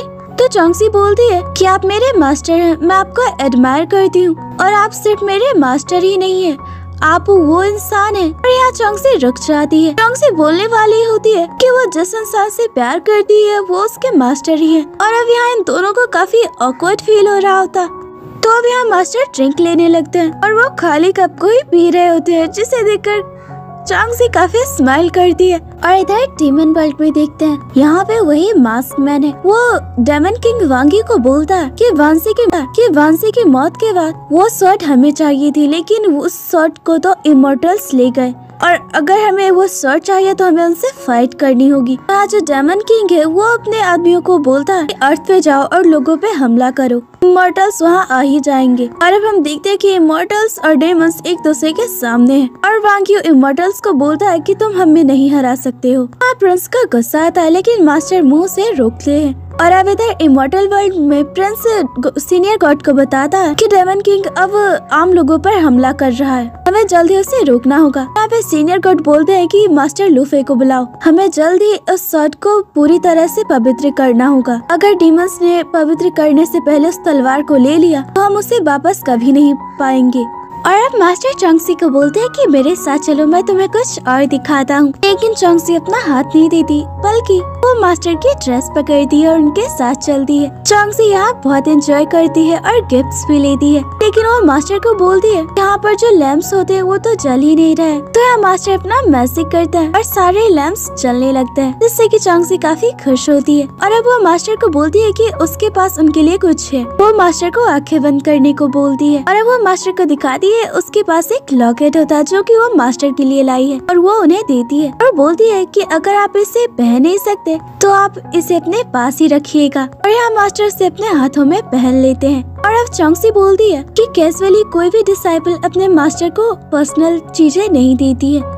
लेकिन मैंने आपको गिफ्ट दिया है। इसका मतलब हम दोनों अलग हैं। और अब वो मास्टर के और भी क्लोज जाती है। और यहाँ वो मास्टर को कन्फेस करने वाली होती है कि वो उन्हें पसंद कर दी है। लेकिन तभी यहाँ पे मैसेज आता है और मास्टर लूफ चांगसी को बोलते हैं कि मुझे जाना होगा। मेरा इंतज़ार करना और चांगसी को सबके लिए खतरा बताते हैं लेकिन मास्टर लूफे बोलते हैं कि उनके होते हुए कोई चांगसी को हर्ट नहीं कर सकता और न ही कोई चांगसी का गलत यूज़ कर सकता है। और चांगसी से इतना बड़ा सेक्रीफाइस करना चाहती है। मास्टर उसे रोकते हैं और उसे अपने साथ लेकर चले जाते हैं। और यहाँ सीनियर गॉड मास्टर कंसी को बोलते हैं कि हमेशा हमारी बातों को इनकार क्यों करता है? क्या हमारी बातें इसके लिए मायने नहीं रखती? और आप देखते हैं कि चांग से यहाँ मास्टर से माफ़ी मांगती है, क्योंकि बिना मास्टर के परमिशन के उसने सीनियर गार्ड के सामने वो बात रखी थी। और यहाँ एक्सीडेंटली मास्टर उसके ऊपर गिर जाते हैं, और वो जैसे ही उठने लगता है चांग से यहाँ मास्टर को किस करने वाली होती है। लेकिन मास्टर यहाँ रुक जाते हैं, और तभी यहाँ चांगसी के हाथ में बहुत पेन होने लगता है। और अब मास्टर से पूछते हैं, क्या ये हार्ट पॉइजन का असर है? लेकिन चांगसी इसका आंसर नहीं करती। और अब वो बोलती है कि उसे किसी से भी शादी नहीं करनी, वो प्रेस चाव को पसंद नहीं करती है। वो बस अपने मास्टर के साथ रहना चाहती है, क्योंकि वो जिससे प्यार करती है, उसके दिल में जो इंसान है, वो उसके मास्टर है। और वो बोलते हैं कि मैं कभी भी आपके लिए परेशानी नहीं बनना चाहती हूँ। अंकल ने मुझे बताया था कि मैं इविल ब्रेथ के साथ जन्मी हूँ, और जो नील उनकी सौर है, उसने मुझे चुना है। उस सौर की सारी पावर्स सिर्फ़ मेरे लिए है, और मैं एक डेमन कभी नहीं बनना चाहती हूँ। इसीलिए मैंने सीनियर गॉड के सामने गोल्डन प्रोसेस के बारे में बोला था। और वो बोलते है कि मैं सिर्फ़ एक ऑर्फन हूँ। मैं आज जो कुछ भी हूँ, वो ही की वजह से हूँ। लेकिन मास्टर से बोलते हैं कि तुम चौंगसी हो और तुम्हारा अस्तित्व किसी की वजह से नहीं है। और मास्टर यहाँ समझ चाहते हैं कि चौंगसी हार्ट पॉइजन की वजह से अपनी फीलिंग्स को कंट्रोल नहीं कर पा रही थी। तो अब मास्टर से बोलते हैं कि मैं सिर्फ़ तुम्हारा मास्टर हूँ और तुम मेरी डिसाइपल इससे ज़्यादा कुछ नहीं। और आगे से तुम अपने बिहेवियर पे ध्यान रखना। और ये सुनकर चौंगसी बहुत ही उदास हो जाती है। और अब इधर मास्टर को देखते हैं जो कि सोच रहे होते हैं कि आखिर चौंगसी को हर्ट पॉइजन से कब हर्ट हुई। नहीं तो इस बारे में पता भी नहीं था। और चौंगसी की ये सारी जो फीलिंग्स है, वो सभी हार्ट पॉइजन के इफ़ेक्ट की वजह से ही है। लेकिन मास्टर यहाँ सोचते हैं कि उन पर तो हार्ट पॉइजन का असर नहीं था, पर उनकी फीलिंग्स का क्या? वो तो चौंगसी को पसंद करते हैं। पर अब उन्हें एक ही तरीका सोच रहा है चौंगसी को नीलिन के शॉट से बचाने का, कि चौंगसी को यहाँ से दूर भेजा जाए। और जब चौंगसी उनसे दूर रहेगी तो वो अपनी फीलिंग्स को भी कंट्रोल कर पाएगी। और इधर प्रिंस को देखते हैं, जो कि अपने मास्टर कंसे को बोलते हैं कि वो चौंगसी की हेल्प करना चाहता है ताकि उससे उसके इवल ब्रेथ को अलग कर दिया जाए और चौंगसी भी एक अच्छी लाइफ जी सके। वो बोलता है कि वो मास्टर लूफे जितना पावरफुल बनेगा, ताकि वो चौंगसी को बचा सके। तो यहाँ उसके मास्टर बोलते हैं कि जब तक तुम लूफे इतना पावरफुल नहीं बन जाते, दोबारा इस बात को मेरे सामने मत बोलना। और इधर सीनियर गॉड को देखते हैं, जो कि प्रिंसेस को बोलते हैं कि मैं तुम्हें ये रिस्पॉन्सिबिलिटी दे रहा हूँ कि तुम एक टीम के साथ सॉर्ड की रखवाली करो। और अब इधर प्रिंसेस को देखते हैं, जो कि चौंगसी को बोलती है, तुम एक बच हो, जिसने इमोर्टल वर्ल्ड के सभी अच्छे इमोर्टल्स को अट्रैक्ट किया हुआ है। और अब तो डेमस भी तुम्हें प्रोटेक्ट करते हैं। तो चौंगसी से बोलती है कि अपने बकवास बंद करो। अगर तुम प्रिंस की बात कर रही हो तो वो सिर्फ़ मेरा एक दोस्त है। और प्रिंस जाओ भी, सिर्फ़ मेरे एक अच्छे दोस्त है। और यहाँ इन दोनों में आर्गुमेंट बढ़ जाता है। तो प्रिंसेस उस पर हमला करने वाली होती है। लेकिन यहाँ प्रिंस जाओ आ जाते हैं, जो कि उसे रोक लेते हैं। तो प्रिंसेस उसे बोलती है, तुम हमेशा इसे क्यों बचाते हो? इससे तो तुम्हारी केयर भी नहीं है। और अब प्रिंस चाओ चांगसी को बोलता है तो मैं सिर्फ़ तुम्हारे लिए एक दोस्त हूँ। चांगसी, मैं तुमसे प्यार करता हूँ। तुम मुझसे शादी कर लो। हम दोनों खुश रहेंगे। लेकिन चांगसी बोलती है कि तुम्हें पता है कि मैं तुम्हें पसंद नहीं करती हूँ। तो प्रिंस चाओ बोलता है, क्या तुमने मास्टर लूफे को बताया कि तुम उन्हें पसंद करती हो? उनके साथ तुम्हारा फ्यूचर पेनफुल होगा। वो कभी भी तुमसे शादी नहीं करेंगे। उनके ऊपर जिम्मेदारियाँ इस दुनिया को बचाने की। वो सिर्फ़ लोगों का ध्यान रखते हैं। तुम उनका इंतज़ार करते ही रह जाओगी, पर वो कभी तुम्हें प्यार नहीं करेंगे। तो चौंक से बोलती है कि अगर ये दुनिया खत्म होने वाली भी होगी, तब भी मैं मास्टर का इंतज़ार करूँगी। तो प्रिंस चाओ बोलता है कि ठीक है, अब मैं तुमसे मिलने कभी नहीं आऊँगा। और वो यहाँ गुस्से से चला जाता है। और अब सीनियर कार्ड को देखते हैं, जो कि प्रिंस और प्रिंसेस को बोलते हैं कि तुम दोनों स्वत की प्रोटेक्शन के लिए साथ जाओ। और यहाँ प्रिंसेस सैड होती है, क्योंकि उसके पेरेंट्स ने भी डेमन से बचाने के लिए उसकी हेल्प मांगी थी। पर वो अपने पेरेंट्स की हेल्प नहीं कर पाई। इससे, उसे काफ़ी बुरा लग रहा था। तो प्रिंस यहाँ उसे बोलता कि तुम एक अच्छी इमोर्टल हो। तुमने अपने पेरेंट्स की हेल्प ना करके आम लोगों की मदद की है। तुम्हें दुखी नहीं होना चाहिए। और ये सुन, उसे भी अच्छा फील होता है। और इधर चांगसी को, और इधर चांगसी को देखते हैं, जो कि गार्ड से दोबारा परमिशन लेकर सॉट के पास चली आती है। और अब वो अंकल को बताती है कि वो प्रिंस और प्रिंस चाओ को दोनों को ही अपना दोस्त मानती है सिर्फ़। और वो जिस इंसान को पसंद करती है, वो तो सिर्फ़ उसके मास्टर ही है। पर मास्टर के दिल में उसके लिए कोई भी फीलिंग्स नहीं है। मास्टर ने तो उसे साफ़ कह दिया कि वो सिर्फ़ उसके मास्टर ही है। और अब चांग सी अंकल को बोलती है कि इस इमोटल वर्ल्ड में सिर्फ़ आप ही हैं, जिससे कि मैं ये सारी बातें बता सकती हूँ। और मास्टर जल्द ही आपको ज़िंदा कर देंगे और आप दोबारा मेरे पास होंगे। और तभी यहाँ पे प्रिंसेस आ जाती है। और यहाँ वो चंगसी को बोलती है कि जैसे ही प्योरिफिकेशन प्रोसेस पूरी होगी, तुम तो अपने अंकल से कभी नहीं मिल पाओगी, क्योंकि वांसी की सोल तो नष्ट हो जाएगी। तो चंगसी बोलती है कि ऐसा नहीं हो सकता है। मास्टर ने तो कहा था कि वो अंकल को दोबारा ज़िंदा करेंगे। और प्रिंसेस यहाँ प्रोसेस को शुरू कर दी और चली जाती है। और चंग से ये सुनकर तो शॉक ही होती है। डिसाइड करती है कि वो अंकल को ऐसे मरने नहीं देगी। वो मास्टर से जाके बात करेगी। और इधर डेमन वर्ल्ड में उसे मास्क मैन और एक और आदमी को दिखाया जाता है, जो कि बात करते हैं कि जब तक मास्टर लूफे है, हम चौंगसी की हेल्प से उस शॉट को नहीं पा सकते। और अब इधर चौंगसी मास्टर के पास आती है। वो मास्टर को बोलती है कि हम अंकल को नहीं बचा सकते। तो मास्टर लूफे बोलते हैं, मैं उसे बचाना चाहता हूँ, लेकिन उसे बचाने का कोई तरीका नहीं है। उस शॉट की इवेल पावर संजी के सोल को कभी भी आज़ाद नहीं करेगी। और अब वो चौंगसी को बोलते हैं कि अब तुम उस शॉट के पास नहीं जाओगी। जब तक ये प्योरिफिकेशन प्रोसेस पूरी नहीं हो जाती तो चौंगसी बोलती है कि मुझे लास्ट टाइम अंकल से मिलना है, मुझे जाने दे। लेकिन मास्टर बोलते हैं कि ये मेरा ऑर्डर है, और वो जाने लगते हैं। तो यहाँ चौंगसी बोलती है कि आप अंकल को नहीं बचा रहे हैं। अगर उस शॉट में अंकल की जगह मैं होती, तब आप क्या करते? और यहाँ मास्टर रुक से जाते हैं और वो बोलते हैं कि दुनिया को बचाने की रिस्पॉन्सिबिलिटी मेरे ऊपर है। तो चौंगसी बोलती है, इसका मतलब आप मुझे भी मरने देते। और अब मास्टर से बोलते हैं कि तुम यहीं पे रहना। बिना मेरे ऑर्डर के यहाँ से बाहर मत जाना।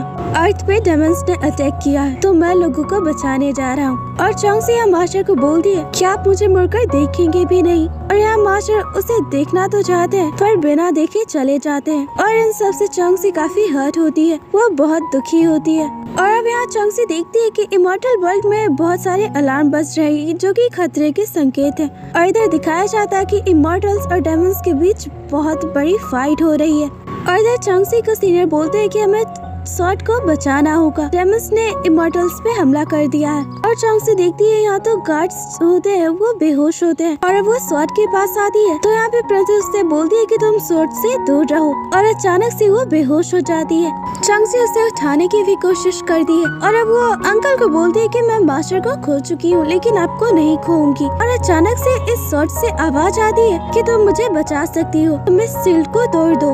मैंने हमेशा तुम्हारा ख्याल रखा है। क्या तुम मुझे नहीं बचाओगी। तो चौंगसी बोलते है कि तुम कौन हो? तुम मेरे अंकल नहीं हो। और तभी यहाँ पर वो रेड स्नेक होता है, जो की उस सील को तोड़ने लगता है और वो सील टूट जाती है। और यहाँ जो इवल पावर्स होती है सोच की, वो चौंगसी के अंदर चली जाती है। और इधर सीनियर गॉड और सबको पता चल जाता है कि सील टूट चुकी है। यानी कि ये डेमंस की ट्रिक थी कि वो सभी सीनियर इमोटल्स को शॉर्ट से दूर कर दे। और अब सब यहाँ पहुँचते हैं तो मास्टर लूफे देखते हैं कि चौंगसी और प्रिंसेस दोनों ही बेहोश है। और इसी के तो यहाँ पे सभी इमोटल्स भी आ चुके हैं। और यहाँ पे सीनियर गॉड चौंगसी को ब्लेम करते हैं कि ये सब उसी की वजह से हुआ है। शॉर्ट के ऊपर जो शील्ड थी, वो उसे चौंगसी ने ही तोड़ा है। उसी की वजह से बहुत सारे इमोटल्स मारे गए हैं। और यहाँ पर प्रिंसेस भी चौंगसी को इस सब के लिए ब्लेम करती है और बोलती है कि चौंगसी के आने के बाद ही वो बेहोश हो गई थी। लेकिन चौंगसी अब मास्टर को बोलती है कि उसने कुछ भी नहीं किया है। तो मास्टर से बोलते हैं, मैंने तुम्हें यहाँ आने के लिए मना किया था, तब तुम क्यों आई हो? तो चौंगसी बोलती है कि मैं सिर्फ़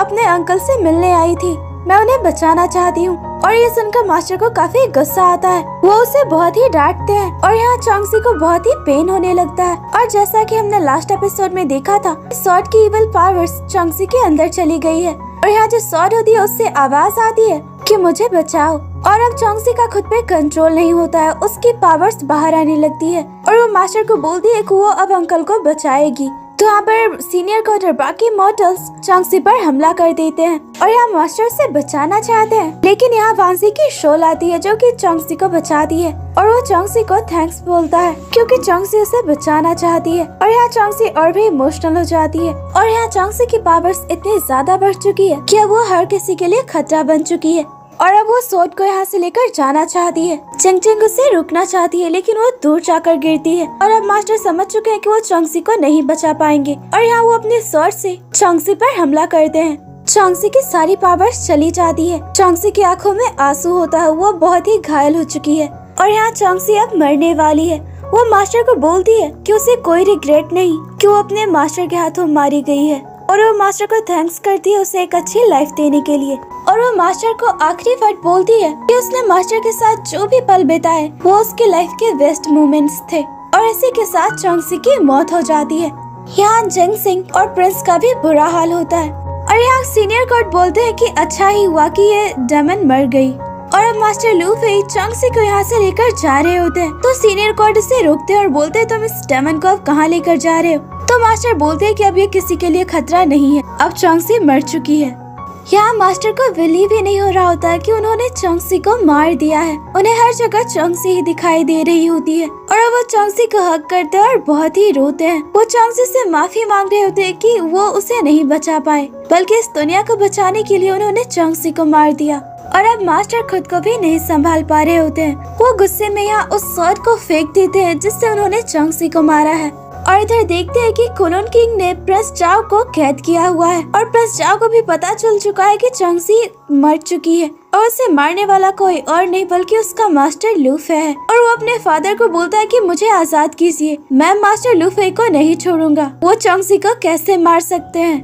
यहाँ इसका भी बुरा हाल होता है और अब प्रिंस को दिखाया जाता है, जिसे कि उसके मास्टर समझाते हैं कि मेरा यकीन करो, लूफे कभी भी चौंगसी को नहीं मारना चाहता था। उसने तो हमेशा चौंगसी को बचाया है। ये करना उसके लिए भी काफ़ी मुश्किल था। और प्रिंस बोलता है कि मैं उसके लिए कुछ भी नहीं कर पाया। मेरे आँखों के सामने वो मर गई।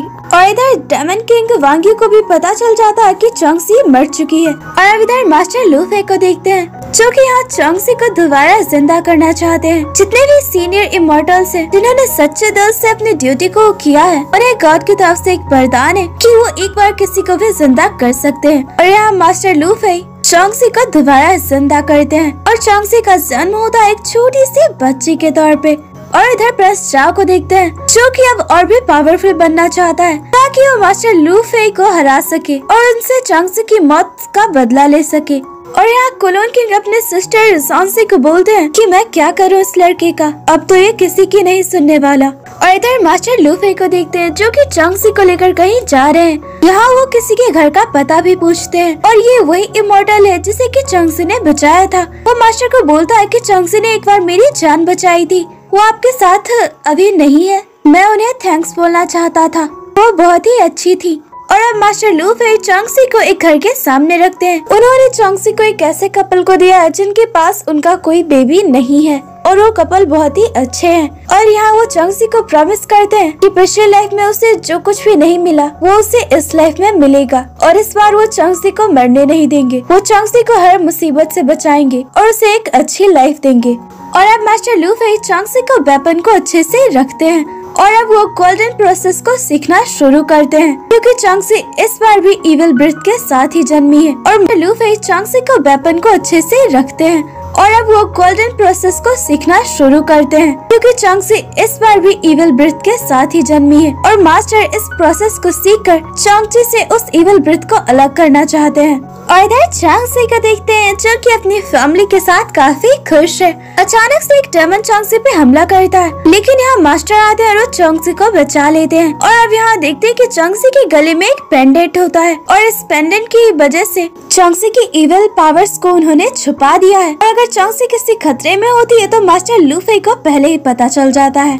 और ये वही पेंडेंट है जिसे कि चंगसी ने मास्टर को गिफ्ट किया था। और यहाँ चंगसी फ़र्स्ट टाइम मास्टर लूफे को देखती है। और अब वो अपने फादर को बताती है कि उसने एक आदमी को देखा, जो कि हवा में उड़ रहा था। और अब इसी तरह पंद्रह साल बीत जाते हैं। और यहाँ सीनियर गॉड मास्टर लूफे को बोलते हैं कि जब से चंगसी मरी है, तुमने किसी भी फीमेल को अपना डिसाइपल नहीं बनाया है। लेकिन यहाँ मास्टर लूफे कुछ भी नहीं बोलते हैं। और इधर चंगसी को देखते हैं, जो कि अब काफ़ी बड़ी हो चुकी है। वो इमोर्टल टेंपल में अपने अंकल के साथ वर्शिप के लिए आई होती है। और अब यहाँ एंट्री होती है डेमन किंग वांगियो की, जो कि यहाँ लोगों को बोल रहा होता है कि तुम जिन इमोर्टल्स की पूजा करते हो, वो कभी भी तुम्हारी हेल्प नहीं करेंगे। यहाँ सभी लोगों से बोलते हैं कि तुम एक नाच देखो तो चंगसी यहाँ वांगियो को समझाती है कि इमोर्टल से सच में है और वो लोगों की हेल्प करते हैं। तो अब से बोलता है कि मैं कोई बुरा इंसान नहीं हूँ और वो चंगसी को बोलता है कि मैं तुम्हारा दोस्त हूँ और मुझे लगता है तुम बहुत ही काइंड हार्टेड हो और बहुत ही वाइस भी। तो क्यों ना तुम जेसु माउंटेन पे जाओ। तुम भी एक अच्छी इमोटल्स बन सकती हो। तुम्हें वो टेस्ट देना चाहिए। तो चांगची उससे बोलती कि मैं तो तुम्हें जानती भी नहीं हूँ। तो भला मैं तुम्हारी बात क्यों मानूं? तो वांग्यू बोलता है कि अब ये तुम्हारी मर्ज़ी। और अब हम देखते हैं कि चांगसी के फादर काफ़ी बीमार है और वो चांगसी को बोलते हैं कि जिस दिन तुम मेरी लाइफ में आई, मैं और तुम्हारी मदर काफ़ी खुश थे। हम बहुत ही लकी है कि तुम हमारी बेटी हो। लेकिन जब से तुम्हारी मदर की मौत हुई है, तुम्हारी स्टेप मम हमेशा तुम्हें परेशान करती है। और मेरी मौत के बाद पता नहीं वो तुम्हारे साथ क्या करेगी। लेकिन यहाँ चौंगसी बोलती है कि आप सिर्फ़ अपना ध्यान रखिए, आपको कुछ भी नहीं होगा। और ये सारी बातें चौंगसी की स्टेप मदर सुन रही होती है? और चौंगसी अब बाँस बांकियो ने उसे जो भी बोला था, उसे सोच रही होती है और सो जाती है। और यहाँ उसे इमोर्टल बर्ड्स के विजन्स आने लगते हैं, जो कि उसके पास्ट लाइफ के हैं। चांगसी इमोर्टल बर्ड में एंसेस्टर टेंपल के सामने है। अपने फादर के कामों को देख रही होती है। तभी आकर उसके अंकल बताते हैं कि तुम्हारे फादर मरने वाले हैं और चांगसी अपने फादर के पास होती है। और चांगसी के फादर उससे बोलते हैं कि मैं तुम्हारा बायोलॉजिकल फादर नहीं हूँ और मैं चाहता हूँ कि तुम अपने बायोलॉजिकल पेरेंट्स को ढूंढो। तुम्हारे पास ये जो पेंडेंट है, ये जब तुम हमें मिली थी तब से ही तुम्हारे गले में है। शायद ये तुम्हारे जन्म से जुड़ा हुआ है। शायद ये तुम्हें वहाँ ले जाए जहाँ से तुम्हारी शुरुआत है। मैं तुमसे बहुत प्यार करता हूँ और मैं चाहता हूँ कि तुम हमेशा खुश रहो। और मेरे बाद मेरी इस पूरी फैमिली को तुम संभालो। मेरे सारे कामों को भी। और तभी यहाँ चौंगसी के स्टेप मदर सिस्टर आ जाती है, जो कि चौंगसी को दूर हटाते हैं। चौंगसी अपने फादर की मौत से काफ़ी दुखी होती है। और ऐसे कि अपने फादर के फ्यूनरल पे होती है। अपने फादर को बहुत मिस करती है। और इधर चांगसी के स्टेप माता को देखते हैं, जिसने चांगसी के फादर के सारे बिज़नेस और घर का चार्ज खुद ले लिया है। जबकि चांगसी के फादर ने अपना सारा बिज़नेस चांगसी को दिया है। और यहाँ वो एक आदमी को घर के बहुत सारे कीमती सामान बेच रही होती है। चांगसी का सारा सामान बाहर निकाल देती है और वो उस आदमी को बोलती है, तुम चांगसी से शादी कर सकते हो। तुम्हें इसके बदले मुझे पैसे देने होंगे। और चांगसी के अंकल ये सब सुन लेते हैं और बोलते हैं कि, मैं तुम्हें ऐसा नहीं करने दूँगा। तुम चौंगसी का सामान नहीं लेकर जा सकते। अब चौंगसी भी बाहर आ जाती है। तो ये आदमी चौंगसी को बोलता है कि, तुम मुझसे शादी करोगी। लेकिन चौंगसी बोलती कि, किसने कहा? तुम इस सामान को कहीं नहीं लेकर जा सकते। मेरे फादर के बाद ये सब कुछ अब मेरा है और मुझसे बिना पूछे तुम ये सब कहीं नहीं लेकर जा सकते। और यहाँ चौंगसी की मदर बोलती है की तुमसे ये किसने कहा? इस घर अब ये घर मेरा है और यहाँ सब मेरा कहना मानेंगे। और यहाँ वो चौंगसी का सारा सामान जलवा देते हैं और चौंगसी के अंकल को भी मारते हैं। यहाँ चौंगसी उन्हें नहीं रोक पा रही होती है, लेकिन अचानक से उसका पेंडेंट नीचे गिर जाता है और उसकी सारी पावर्स आउट ऑफ़ कंट्रोल होती है। और यहाँ वो इन सबको इनके किए की सजा देती है। और यहाँ ये सब चौंगसी को एक डेमन बोलते हैं। और अब चौंगसी के फादर का फ्यूनरल होता है। और यहाँ चौंगसी के अंकल चौंगसी को बोलते हैं अगर तुम यहाँ रहोगी तो तुम्हारे स्टेप मोम कभी भी तुम्हें खुश नहीं रहने देगी। और तुम्हारे फादर चाहते थे कि तुम खुश रहो। इसलिए मैं चाहता हूँ कि तुम यहाँ ना रहो, कहीं और चली जाओ। और अब चौंगसी तय करती है कि वो जेसो माउंटेन पे जाएगी। और इमरजेंस के लिए जो टेस्ट होता है, वो उसे देगी। और उसके अंकल बोलते हैं कि अपना ध्यान रखना। और अगर तुम्हें किसी भी चीज़ की ज़रूरत पड़े तो तुम मुझे बुलाना। और चांग से अपने अंकल को बोलती है कि फादर के बाद सिर्फ़ आप ही मेरे अपने, आप भी अपना ख्याल रखना। और अब चांग से अपने जर्नी पे निकल जाती है। और यहाँ उसे वांग्यू मिलता है। और वो बोलता है मुझे पता था कि तुम ज़रूर आओगी। चलो, मैं भी जीजो माउंटेन पे ही जा रहा हूँ। तो तुम भी मेरे साथ चल सकती हो। लेकिन चौंगसी बोलती है कि मैं तुम्हारे साथ क्यों जाऊँ? और यहाँ पे दो रास्ते होते तो चौंगसी को नहीं पता कि कौन सा चुनना है। तो वांग्यू बोलता है, तुम मेरी हेल्प ले सकती हो। और वो चौंगसी को रास्ता बतलाता है और बोलता है कि मैं विश करता हूँ कि तुम्हें एक अच्छा मास्टर मिले। और अब वांग यू अपनी फ्रेंड को बोलता है कि चांगसी को इमोर्टल बर्ड में जाना ही होगा। तभी वो अपने लाइफ के रियल एम को पहचान पाएगी। और इधर बहुत रात हो चुकी होती है, तभी चांगसी पे बहुत सारे डायमंड्स हमला कर देते हैं। और तभी यहाँ मास्टर लूफे पहुँच जाते हैं। और चांगसी उन्हें देखते ही बोलती है, ये आप है। और वो बेहोश हो जाती है। और मास्टर बोलते है की मैं तुम्हें कुछ नहीं होने दूँगा। और अब चांगसी की आँखें खोलती है। वो बाहर आके देखती है तो उसे मास्टर दिखते हैं। वो बहुत खुश होती है। और अब यहाँ वो मास्टर लूफे को बताती है जीसू माउंटेन पे जा रही है ताकि इमोटल्स के लिए एंट्री एग्ज़ाम होता है उसे वो पास कर सके, वो भी एक इमोटल बन सके। और वो मास्टर लोफाई को बोल है कि मैं जब छोटी थी, तब मैंने आपको देखा था। मैं लोगों को बताती थी, लेकिन किसी ने मेरा बिलीव नहीं किया। और वो मास्टर को बोलती है आप मेरे मास्टर बने, मुझे एज ए डिसाइबल एक्सेप्ट करे। लेकिन मास्टर लोफाई बोलते हैं, ऐसा नहीं हो सकता। तो चांगसी बोलती है चाहे एग्ज़ाम कितना भी डिफ़िकल्ट क्यों ना हो, मैं उसे पास करूँगी, और मुझे आपकी ही डिसाइबल बनना है। और अब वो मास्टर को अपना नाम बताती है वानसी यानी कि चांगसी का इस जन्म नाम वानसी है। और तभी यहाँ पर मिस चांसी आ जाती है, जो कि चांसी को देखकर हैरान हो जाती है। वो उसे मेडिसिन देती है। मास्टर लूफे को बोलती है कि ये तो बिल्कुल उसी की तरह है। और यहाँ चांसी भी सोचने लगती है कि आखिर कौन है जो उसकी तरह है? और अब मिस चांसी मास्टर लूफे को बोलती है, ये लड़की कौन है? और मैंने सुना ये तुम्हारी डिसाइपल बनना चाहती है। अगर तुम उसे एज ए डिसाइपल एक्सेप्ट कर लेते हो तो ये तुम दोनों के लिए बहुत ही बुरा होगा। तो मास्टर से बोलते है कि ये मेरा काम है। तुम इसकी चिंता ना करो। तो अब मिस चांगसी चांगसी को बोलती है तुम वापस अपने घर को लौट जाओ। मैं एक अच्छी लाइफ जीने के लिए जो कुछ भी चाहिए पैसे हर चीज़ मैं तुम्हें दे दूँगी। लेकिन चांगसी बोलती है कि जब मैं मास्टर से मिली हूँ, तब से मैं एक आम आदमी नहीं बनना चाहती। मैं भी उनकी तरह एक इमोटल बनना चाहती हूँ और लोगों की हेल्प करना चाहती हूँ। और वो मास्टर के सामने नील डाउन कर दी और बोलती है की प्लीज़ मुझे अपनी डिसाइपल एक्सेप्ट कर ले। और यहाँ मास्टर को वो मोमेंट याद आता है, जब चौंगसी उन्हें बोलती है कि मास्टर मुझे छोड़कर ना जाए। आपको मेरी तरह डिसाइपल कभी नहीं मिलेगी। और इधर मिस चांटी चौंगसी को बोलती है, तुम उसकी डिसाइपल नहीं हो, तुम उसे मास्टर नहीं बोल सकती और उठो वहाँ से। चौंगसी उठने लगती है, लेकिन मास्टर से बोलते हैं कि नेल डाउन करो। आज से तुम मेरी डिसाइपल हो। और अब चौंगसी अपने मास्टर को अपना इंट्रोडक्शन देती है। और यहाँ मास्टर से बोलते हैं, आज से तुम मेरी डिसाइपल हो और मेरा हर ऑर्डर तुम्हें फॉलो करना होगा। मैं तुम्हें जो भी सिखाऊँगा, तुम्हें उसे पूरी लगन से सीखना होगा। और इमोर्टल बनने का तुम्हारा एक ही एम होगा कि तुम हर किसी की मदद करो। कभी किसी को हर्ट ना करो। और मास्टर यहाँ जॉन्सी को बोलते हैं आज से ये मेरे डिसाइपल है। तो मिस चांसी बोलती है कि तुम्हें कोई नहीं रोक सकता। तुम वही करते हो जो तुम्हारा मन करता है। और अब मास्टर लूफे को वो बोलती है कि आखिर कौन है ये लड़की? ये चांसी की तरह क्यों दिखती है? तो मास्टर लूफे बोलते है की एक आम लड़की है बस, जिसे की मैंने डेमन से बचाया है। और अब ये मेरी डिसाइपल है, इसलिए मैं इसे इमोटल बर्ड लेकर जा रहा हूँ। तो मिस चांसी बोलती है, तुम्हें पता है कि इसका चेहरा चांसी जैसा है। सभी इस पे सवाल उठाएँगे। तो मास्टर लूफे बोलते हैं कि तुम इसकी चिंता ना करो। बस मैं चाहता हूँ कि तुम किसी को ना बताओ। कि इसका फेस चौंगजी जैसा है। और अब मास्टर लूफे चौंगसी के पास आते हैं। और यहाँ चौंगसी मास्टर को बोलती है कि आपने अपना माइंड चेंज कर लिया है। अब आप मुझे अपने डिसाइपल नहीं बनाएँगे। क्योंकि मिस चांगजी नहीं चाहती कि मैं आपके डिसाइपल बनूं। लेकिन मास्टर उसका हाथ पकड़ते और बोलते हैं कि मेरे साथ चलो। और सिर्फ़ मेरे ऑर्डर को फॉलो करो। और अब मास्टर लूफे चौंगसी के साथ सीनियर गॉड और बाकी मॉडल्स के पास पहुँचते हैं। और यहाँ सबको बताते हैं कि ये मेरी न्यू डिसाइपल है। सीनियर गॉड और मास्टर कंसन काफ़ी खुश होते हैं, क्योंकि काफ़ी टाइम बाद मास्टर लूफे ने किसी फीमेल डिसाइपल को चुना है। और और चांगसी यहाँ सबको अपना इंट्रोडक्शन देती है कि उसका नाम वांसी है। लेकिन मास्टर यहाँ लूफे बोलते हैं कि मैं वांसी को एक नया नाम देता हूँ। आज से वो चांगसी है। और ये सुनकर सब हैरान हो जाते हैं। और यहाँ हमें पता चलता है, कोई भी चांगसी के फेस से उसे नहीं पहचान पा रहे होते हैं यानी कि मास्टर लूफे ने कुछ तो जादू किया है, जिसकी वजह से चांगसी का रियल फेस कोई भी नहीं पहचान पा रहा है। और चांगसी यहाँ इमोर्टल वर्ल्ड में काफ़ी खुश होती है, उसे बहुत ही अच्छा लग रहा होता है। और द सीनियर कॉर्डर मास्टर केंसी मास्टर लूफे को बोलते हैं कि, कौन है लड़की और तुमने इसे चांगसी का नाम क्यों दिया है? तो मास्टर लूफे बोलते हैं कि, मैंने उसे सिर्फ़ नाम दिया है, वो एक आम लड़की है, जिसे कि मैंने डेमन से बचाया था, और ये भी एक इमोर्टल बनना चाहती है, इसलिए मैंने इसे एज ए डिसाइबल एक्सेप्ट किया।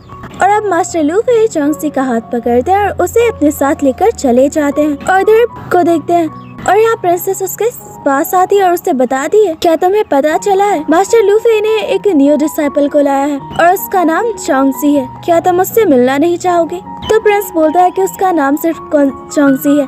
वो चौंगसी नहीं है। और हमें पता चलता है कि प्रिंसेस प्रिंस को पसंद करती है। और इधर चौंगसी मास्टर के साथ चलते चलते थक ही जाती है। लेकिन मास्टर से बोलते है कि तुम्हारी जर्नी अभी बहुत लंबी है। और अब चौंगसी मास्टर के पैलेस में पहुँच जाती है। यहाँ मास्टर उसे उसका रूम दिखाते हैं। ये चौंगसी का ही रूम है। और वो चौंगसी को बोलते हैं कि कुछ देर बाद आकर मुझसे मिलना। और चौंगसी अंदर एंट्री करती है। तो यहाँ पर जो सामान होते हैं उसे देखकर वो काफ़ी खुश होती है की ये सब उसी के लिए है। और यहाँ वो सोचती है की मास्टर बहुत ही अच्छे हैं। बहुत ही पावरफुल भी है। उनके पास बहुत सारी पावर्स हैं। और उन्होंने उसे डिसाइपल एक्सेप्ट किया तो अब चौंगसी भी एक अच्छी मॉडल बन जाएगी। और वो यहाँ चौंगसी सारे सामानों को देख रही होती है। तभी यहाँ मास्टर आते हैं। और चौंगसी बोलती है कि, क्या ये सारे सामान मेरे लिए है? तो मास्टर बोलते हैं कि, तुम इन सब का यूज़ कर सकती हो। और अब वो उसे सारा पैलेस दिखाते हैं। और यहाँ चौंगसी फ़िश को देखती है। तो मास्टर को बोलती है कि आज हम फ़िश खाने वाले हैं? तो मास्टर से बोलते हैं कि मॉडल वर्ल्ड में तुम्हें खाने खाने की कोई ज़रूरत नहीं। मैं तुम्हें ब्रीथिंग मेथड सिखाता हूँ। इसके बाद अगर तुम्हें कभी भी भूख लगेगी तो तुम इस मेथड का यूज़ करना और तुम्हारा पेट भर जाएगा। और यहाँ चांग चांगसी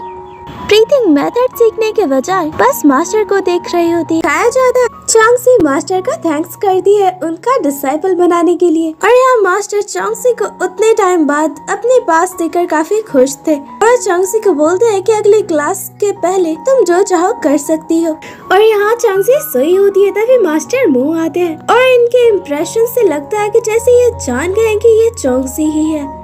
और अब वो चौंगसी को बोलते हैं कि मैं तुम्हारा सीनियर हूँ और तुम बिल्कुल उसी की तरह हो। यहाँ चौंगसी पूछते हैं कि किसकी तरह? तो बोलते हैं कि तुम्हारे मास्टर की पहली डिसाइपल और वो देखते हैं कि चौंगसी को इस बारे में नहीं पता तो अब उसे और कुछ नहीं बताते हैं। और अब वो चौंगसी को प्रिंसेस के पास लाते हैं और बोलते हैं कि चौंगसी की भी लर्निंग अब तुम ही करो। इसे भी बाकी न्यू डिसाइपल्स की तरह सिखाओ। और यहाँ प्रिंसेस को तो पहले से ही चंगसी पसंद नहीं थी। और चंगसी की जगह पर ये लड़की भी उसे पसंद नहीं। और वो अपनी तलवार निकाल दी और चंगसी को बोलती कि दिखाओ तुम क्या कर सकती हो। तभी यहाँ पे जंग सिंह आती है, जो कि प्रिंसेस को सबक सिखाती है। और बोलती है कि ये अभी न्यू है। और प्रिंसेस और जंग सिंह के बीच आर्ग्यूमेंट बढ़ जाता है तो यहाँ मास्टर मुँह इन दोनों पे गुस्सा होते हैं। और जंग सिंह खुद को चंगसी से इंट्रोड्यूस करवाती है। वो उसे हक करती है। बोलती है की तुम मेरी दोस्त की तरह हो। और इधर सीनियर मूव प्रिंसेस को काफ़ी डांटते हैं और बोलते हैं कि तुम चौंसी को टारगेट नहीं कर सकती हो। और इधर तेंशुआ को देखते हैं, जो कि अपने मास्टर के लिए गिफ्ट लेती है। और अब इधर मिस चौंसी को देखते हैं, और वो यहाँ तेंशुआ को बताती है। मास्टर लूफाई ने एक न्यू डिसाइपल को चुना है तंशुआ को ये सुनकर काफ़ी गुस्सा आता है, क्योंकि मास्टर लूफाई ने उसे अपना डिसाइपल नहीं बनाया। उन्होंने उसे रिजेक्ट कर दिया था। और तभी मास्टर लूफे आते हैं, जो कि मिस चांसी को बोलते हैं चांसी का फेस सिर्फ़ तुमने देखा है। और मैं चाहता हूँ कि तुम इसे बस एक सीक्रेट रखो। तो मिस चांसी बोलती है कि तुम सिर्फ़ उसके लिए इतना कुछ क्यों कर रहे हो? तो मास्टर लूफे बोलते हैं, क्योंकि वो मेरे डिसाइपल है। और इधर चांगसी के पैरों में चोट लग जाती है और बारिश भी हो रही थी। अभी यहाँ पर मास्टर मुँह आते हैं। चांगसी को लगा था उसके मास्टर है। और मास्टर मुँह देखते हैं कि चांगसी के पैर में तो चोट है तो वो उस चोट को ठीक करते हैं। और चांगसी मास्टर मुँह को बता दिए कि मॉडल वर्ल्ड इतना बड़ा है तो अपने मास्टर के पैलेस का भूल गई कहाँ है? तो मास्टर से बोलते हैं कि चलो मैं तुम्हें हर जगह के बारे में बताता हूँ, ताकि तुम दोबारा खो ना जाओ। और इधर मास्टर लू हुए वापस आते तो देखते कि चौंगसी कहीं नहीं है। और अब मास्टर मुँह चौंगसी को इमोटल टेंपल में लेकर जाते हैं, और यहाँ वो उसे शील्ड के और नीलन के शॉट के बारे में भी बताते हैं और बोलते हैं कि ये जो शील्ड है, इसे नीलन का कोई ब्लड रिलेटिव भी तोड़ सकता है। और चौंगसी इस सेल को देखकर घबरा रही होती है और चौंगसी के यहाँ आने की वजह से इस सेल में थोड़ा चेंज होता है यहाँ सीनियर गॉड भी आ जाते हैं। और चौंगसी को बाहर आते देखते हैं। वो चौंगसी को बोलते हैं कि तुम यहाँ क्या कर रही हो? तुम्हें तो अपने पैलेस में होना चाहिए। तो चौंगसी बोलते है की मैं तो बस टेंपल में आई थी और यहाँ सीनियर गॉड बोलते हैं कि अभी सील्ड में चेंज हुआ था। तुमने कुछ तो किया है, लेकिन सॉन्ग से बोलते हैं कि मैंने कुछ भी नहीं किया। और तभी हम मास्टर मुँह आ जाते हैं और सीनियर गार्ड से माफ़ी मांगते हैं और बोलते हैं कि चौंगसी को मैं यहाँ लेकर आया था। तो यहाँ सीनियर गार्ड चौंगसी को पनिश करते और बोलते हैं कि नील डाउन करके बैठ जाओ। लेकिन चौंगसी बोलती है कि मैंने तो कुछ गलत नहीं किया। कोई भी न्यू डिसाइपल इमोर्टल टेंपल में जा सकता है। और जैसे वो नीचे बैठने लगती है, यहाँ मास्टर लूफे आ जाते हैं और बोलते हैं कि तुम्हें पनिशमेंट की ज़रूरत नहीं है, तुमने कुछ भी गलत नहीं किया। और अब वो सीनियर गार्ड को बोलते हैं कि कोई भी न्यू डिसाइपल इमोर्टल टेंपल में जा सकता है तो आप चौंगसी को पनिश नहीं कर सकते। वैसे भी ये मेरी डिसाइपल है तो इसे पनिशमेंट सिर्फ़ मैं दे सकता हूँ। और वो चौंगसी को लेकर चले जाते हैं। यहाँ सीनियर गॉड को बहुत ही गुस्सा आता है। और इधर चौंगसी मास्टर को जो कुछ भी हुआ बताती है। और मास्टर लूफी बोलते है कि तुम्हारे पैर का चोट कैसा है, मुझे दिखाओ। और चौंगसी बोलती है की सीनियर मो ने मेरी बहुत हेल्प की। और अब मास्टर जाने लगते है तो चौंगसी बोलती है कि मुझे बहुत ही डर लग रहा है। जब तक मैं सोना चाहूँ की आप यहाँ रुक सकते हैं? और मास्टर से बोलते हैं कि मैं तुम्हारे साथ हूँ। तुम्हें घबराने की कोई ज़रूरत नहीं। और चौंगसी यहाँ सो जाती है, लेकिन वो नींद में ही बोल रही होती है। अपने पेरेंट्स को बहुत ही मिस करती है। और मास्टर से बोलते हैं कि इस लाइफ में वो उसे कुछ भी नहीं होने देंगे। और इधर सीनियर गॉड सीनियर मो को काफ़ी पनिश करते हैं। और मास्टर किंसी को बोलते हैं कि इस लड़की का बैकग्राउंड पता करो। अब मुझे शक हो रहा है कहीं ये वही लड़की तो नहीं इबल ब्रथ के साथ जन्मी थी। लेकिन मास्टर किंसी बोलते हैं कि नहीं, ये लड़की एक आमर नेक्स्ट की क्लासेस चलती है। और यहाँ मास्टर से बोलते हैं, तुम बाकी न्यू डिसाइपल्स को भी ज्वाइन कर लो। वहाँ तुम और भी अच्छे से सीख पाओगी। और चांगसी अब प्रिंसेस के सामने प्रिंसेस से बोलती है कि मैं तुम्हारी सीनियर हूँ तो मेरी रिस्पेक्ट करो। और प्रिंसेस एक न्यू डिसाइपल को अपनी शर्ट देती है। उसे चांगसी के साथ फाइट करने को बोलती है। तभी यहाँ पर प्रिंस आ जाता है, जो कि प्रिंसेस को बोलता है, ये तो चंगसी के साथ अनफेयर है। वो अपनी शर्ट चंगसी को देता है। और चंगसी और इसके बीच फाइट शुरू हो जाती है। यहाँ चंगसी की स्किल्स तो काफ़ी अच्छी होती है जिसे देखकर सभी हैरान होते हैं। चंगसी यहाँ उस न्यू डिसाइपल को हर्ट भी कर देती है। प्रिंस उसे रोकता है, लेकिन वो नहीं रुकती है। तभी यहाँ मास्टर लूफे आ जाते हैं। और चौंसी को शांत करते हैं। तो यहाँ प्रिंसेस चौंसी को बोलती है कि तुम अपने क्लासमेट के साथ इतनी क्रूएल कैसे हो सकती हो? तुमने उसे काफ़ी चोट दी है। और यहाँ मास्टर लूफे बोलते हैं कि आज से चौंगसी को सिर्फ़ मैं ही सिखाऊँगा। वो प्रिंस को उसके सौर वापस करते हैं और चौंगसी को लेकर यहाँ से चले जाते हैं। और अब यहाँ मास्टर लूफे बोलते हैं कि मैं तुम्हारा मास्टर हूँ तो तुम्हें मेरे साथ ऑनेस्ट रहना चाहिए। और आज से तुम्हें शॉर्ट मैं चलाना सिखाऊँगा। और चौंगसी बोलती है की कैसा रहेगा, आप मुझे कल से सिखाएँ, क्योंकि चंगसी को तो यहाँ भूख लगी थी। और इधर प्रिंसेस को देखते हैं जो कि सीनियर गॉड को बता दी, आज जो कुछ भी हुआ तो सीनियर गॉड से बोलते हैं, उस लड़की ने अभी तक कुछ भी नहीं सीखा है। और फिर भी तुम्हारे एक स्किल्ड न्यू डिसाइपल को हरा दिया। ये सच में कुछ अजीब है। तभी यहाँ पे मास्टर मुँह आते हैं, जो कि सीनियर गॉड को बताते हैं कि चौंगसी के पेरेंट्स अब इस दुनिया में नहीं है। लेकिन उसके बारे में कुछ और भी पता चला है। चौंगसी के पेरेंट्स ने उसे गोद लिया था। और अब सीनियर गॉड मास्टर मुँह और प्रिंसेस को बोलता है मुझे लगता है की ये लड़की डेमंस की कोई स्पाई है, जो की मास्टर लूफे की डिसाइपल बनी है। तो इस पे नज़र रखो। और अब देखते हैं कि ये दोनों, और अब देखते हैं कि ये दोनों खाना खा रहे होते हैं। चौंग सी तो थोड़े ही ड्रिंक के बाद नशे में होती है। और यहाँ वो मास्टर को बोलती है कि जब से वो मास्टर से मिली है, उसके कुछ दोस्त भी बन गए और उसकी लाइफ अच्छी चल रही है। लेकिन वो अपने फादर को बहुत मिस करती है। तो मास्टर को बोलती है, कहीं आप मेरे फादर की तरह एक दिन मुझे छोड़कर तो नहीं चले जाएँगे। और यहाँ मास्टर को वो मोमेंट याद आता, जब चौंगसी ने मास्टर को बोला था कि मुझे छोड़कर ना जाए, लेकिन वो चले गए थे। इसलिए वो चांगसी को प्रॉमिस करता कि इस बार मैं तुम्हें छोड़कर नहीं जाऊँगा। और चौंगसी यहाँ मास्टर के लिए पेस्ट्री बना कर लाई होती है, जो की काफ़ी अच्छी होती है। तो यहाँ चौंगसी बताती है की उसके फादर ने उसे कुकिंग करना सिखाया था। और तभी यहाँ पर प्रिंस आ जाता है, जो की मास्टर लूफे को बोलता है, मैं आपके साथ चेस खेलने आया हूँ। और अभी दोनों चेस खेलते हैं, लेकिन मास्टर लूफे प्रिंस को हरा देते और बोलते हैं, तुम्हारी स्किल्स तो अच्छी है। मैं और इसे इम्प्रूव करना चाहिए। तो प्रिंस बोलता है कि मैं यहाँ किसी और वजह से आया हूँ।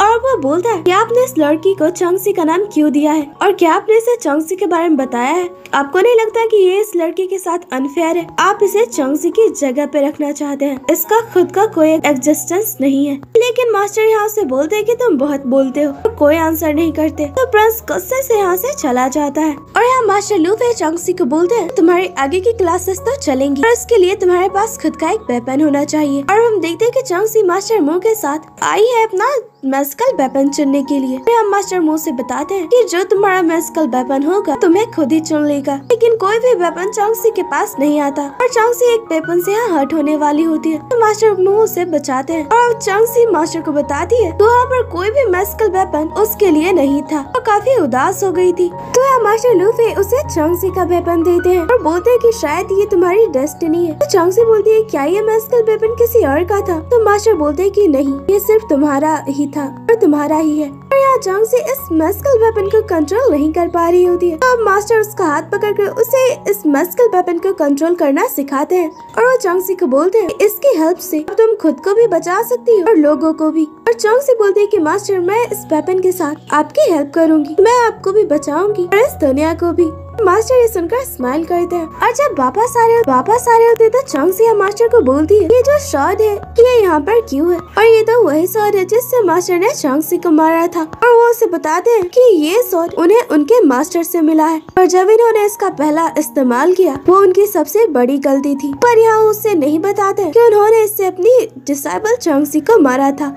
और इधर डेमन बल्ब में दिखाया जाता है, जहाँ की डेमंस डेमन किंग वांगी को बताते हैं। बहुत सारे डेमंस इमोटल्स की वजह से घायल हो चुके हैं। तो यहाँ वांगी बोलता है, चिंता ना करो। इमोटल्स को सबक सिखाने के लिए मैंने कुछ और ही प्लान किया है। और यहाँ एंट्री होती है एक न्यू कैरेक्टर की इसका नाम जूही है। और ये उसका हस्बैंड है, जो कि काफ़ी बीमार है। उसका हस्बैंड बोलता है कि मैं यहाँ काफ़ी टाइम से हूँ। बाहरी दुनिया में क्या हो रहा है मुझे इस बारे में नहीं पता है। और यहाँ में पता चलता है की जूही अपने हस्बैंड को बहुत टाइम से बाहरी दुनिया में नहीं लेकर गई है। और इसकी जो वजह है, ये हमें आगे जाकर पता चलेगी। और यहाँ मीटिंग में मास्टर लूफे भी आते हैं। कुलिन किंग बोलते हैं, मुझे नहीं लगा था कि तुम इस मीटिंग में आओगे। और सीनियर गॉड बताते हैं कि अर्थ पर जो ड्रैगन किंग है, वो लोगों को परेशान कर रहा है। शायद वो ये सब डेमन किंग वांग्यू के कहने पे कर रहा है। यहाँ मास्टर लूफे बोलते हैं कि उसे अर्थ से दूर करने के लिए वो खुद जाएँगे। और इधर जंग सिंह चंग से मिलने आई होती है। चंग से उसे अपने मेडिकल वेपन के बारे में बताती है। और यहाँ वो पेस्ट्री खा रही होती है। तो जंग सिंह को भी ऑफ़र करती है। तो यहाँ वो उससे बोलती है मास्टर लूफे तुम्हें काफ़ी नाइसली ट्रीट करते हैं। जैसा कि वो तुम्हारे सीनियर को करते थे। चौंगसी बोलती है कि क्या मेरी कोई सीनियर भी है? जंग सिंह उसे बताती है कि उसका नाम भी चौंगसी था और उसने कुछ गलती की थी जिसकी वजह से उसकी मौत हो गई है। और चौंगसी के साथ जो भी इंसिडेंट्स हुए, वो इन सबसे समझ जाती है कि मास्टर के पहले डिसाइपल ने कुछ तो गलत किया था। और यहाँ जिंग सिंह चौंगसी को जेफिंग से इंट्रोड्यूस करवाती है। जेफिंग चंग सिंह का सीनियर है और जिंग सिंह जेफिंग से प्यार करती है। और चंग सिंह चौंगसी को बोलती है कि इमोल में मीटिंग हो रही है। चलो हमारे साथ और आप यहाँ देखते हैं कि सीनियर गॉड सभी डिसाइपल्स को बोलते हैं कि ड्रैगन किंग ने लोगों पर हमला किया तो हमें उससे सबको बचाना है। इसके ड्रैगन किंग से फाइट के लिए जो भी मास्टर लूफे के साथ जाना चाहता है, वो आगे आ जाए। तो यहाँ कुछ डिसाइपल्स ही आते हैं और चौंग से भी आती है। लेकिन यहाँ सीनियर गॉड उसे मना कर देते और बोलते हैं कि तुम अभी एक न्यू डिसाइपल हो, तुम्हारा जाना सही नहीं। प्रिंसेस चौंगसी तो सैड ही हो जाती है। यहाँ प्रिंसेस चौंगसी को बोलती है, भले तुम मास्टर लूफे के स्टूडेंट हो, पर तुम हमारी बराबरी नहीं कर सकती हो। तो चौंगसी यहाँ ऐसी अपना मेस्कल वेपन दिखाती है, जिसे देखकर प्रिंसेस भी हैरान हो जाती है, क्योंकि ये तो पहली वाली चौंगसी का है। और इधर सीनियर गॉड मास्टर लूफे को बताते हैं कि ड्रैगन किंग के पास बहुत सारे मॉन्स्टर्स हैं, तो तुम्हें वहाँ केयरफुल रहना होगा। और अब वो बोलते हैं कि मैं चाहता हूँ कि तुम चौंगसी को इस मामले से दूर रखो। वो अभी एक न्यू डिसाइपल है तो उसे अभी इमोटल वर्ल्ड में ही रहना चाहिए और अपने स्किल्स को इम्प्रूव करना चाहिए। लेकिन मास्टर लूफे बोलते कि वो मेरे डिसाइपल है और अगर वो जाना चाहेगी तो मैं उसे अपने साथ लेकर जाऊँगा और उसे अच्छे से हर एक चीज़ के बारे में बताऊँगा कि कैसे आगे चलकर वो डेमन से फाइट करेगी और लोगों की हेल्प सीनियर गॉड बोलते हैं तुम दोबारा वही गलती कर रहे हो। कहीं ये भी डेमन ना बन जाए। मुझे तो लगता है इसके पास भी इवल ब्रेथ है। तो यहाँ मास्टर लूफे गुस्से से बोलते हैं कि चौंगसी कोई डेमन नहीं है और मैं ये बात दोबारा रिपीट नहीं करूँगा। और इधर चौंगसी उदास होती है, उसे लगता है कि उसे भी जाना चाहिए था। और इधर देखते हैं कि डिसाइपल्स की टीम को प्रिंस और प्रिंसेस लीड कर रहे हैं। प्रिंस देखता है कि यहाँ चौंगसी छुपकर सुन रही होती है। और इधर मास्टर लूफे आते हैं तो वो चौंगसी को यहाँ नहीं पाते हैं। और यहाँ मास्टर समझ जाते हैं, बाकी डिसाइपल्स के साथ चंग से भी गई है। और इधर देखते हैं कि सिंह सिंह को सेफिंग बोलता है कि अपनी सेफ्टी का ध्यान रखना। तभी यहाँ चंग से भी आ जाती है। और इन तीनों को प्रिंसेस देख लेती है। और चंग से को बोलती है कि तुम्हें तो सीनियर गॉड ने आने से मना किया था। तो चंग से यहाँ बोलती है कि मैंने अपने मास्टर से परमिशन लिया है। तो प्रिंसेस से बोलती है कि मुझे तुम पे भरोसा नहीं। तुमने पहले भी मुझसे ये झूठ बोला था पास्ट में। तो चंग से बोलती है कि कब यहाँ प्रिंस आके प्रिंसेस को रोकता है। और प्रिंस बोलता है कि मास्टर लूफे ने मुझे बताया है चौंगसी हमें ज्वाइन करेगी। तो प्रिंसेस चौंगसी को बोलती है कि अब तुम हमारे साथ हो तो अपने काम को सीरियसली लेना। और यहाँ चौंगसी मेडिटेशन कर रही होती है। अभी मास्टर लूफे का पार्सल आता है। ये चौंगसी के सेफ्टी के लिए और चौंगसी को लगता है की मैंने मास्टर को नहीं बताया था, पर फिर भी वो मुझसे गुस्सा नहीं है। अब देखते कि प्रिंस चौंगसी के पास आता है। वो अकेले बैठी होती है। तो प्रिंस उसे इमोटल्स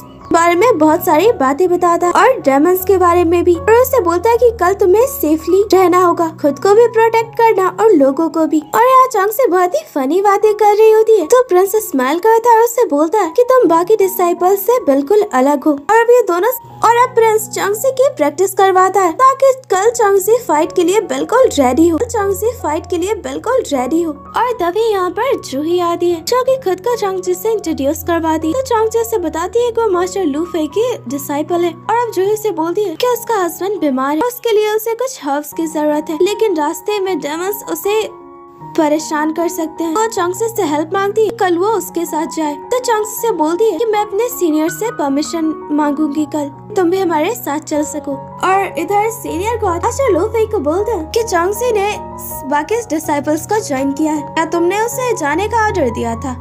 मास्टर लूफे भी बोल देते हैं कि हाँ उसने काफ़ी प्रैक्टिस की है, इसलिए मैंने भी उससे जाने का ऑर्डर दे दिया। और इधर नेक्स्ट डे देखते हैं, यहाँ चौंसी उस जोही को ढूंढ रही होती है, पर वो उसे नहीं मिलती। अब सभी मॉडल्स यहाँ लोगों की हेल्प करते हैं। अब प्रिंस प्रिंसेस को बोलता है कि एक टीम के साथ तुम यहाँ लोगों की हेल्प करो, और एक टीम के साथ मैं जाकर ड्रैगन किंग से फाइट करूँगा। और अपनी टीम को लेकर चला जाता है और कुछ ही देर बाद यहाँ एक डिसाइपल आता है और वो प्रिंसेस को बताता है कि प्रिंस जिस टीम को लेकर गए थे ड्रैगन से फाइट करने के लिए, उस टीम का कुछ भी पता नहीं चल रहा है, शायद वो खतरे में है। और यहाँ प्रिंसेस अपनी टीम को बोलती है हमें दूसरी टीम की हेल्प के लिए जाना चाहिए। लेकिन चौंसी यहाँ प्रिंसेस को बोलती है हम उतने पावरफुल नहीं है, हम उनसे फाइट कर सके तो हमें अपने सीनियर से भी हेल्प लेनी चाहिए। और इधर देखते हैं कि ड्रैगन किंग और प्रिंस के बीच फाइट हो रही होती है और यहाँ प्रिंस ड्रैगन किंग का कैद कर लेता है बोलता है कि बताओ तुम लोगों को क्यों मार रहे हो? तुम डेमन किंग से मिले हुए हो। लेकिन यहाँ ड्रैगन किंग उससे बोलता है कि तुम गलत समझ रहे हो। मैंने कभी भी लोगों को हार्म नहीं किया है। ना डेमन किंग से मिला हुआ हूँ। शायद डेमन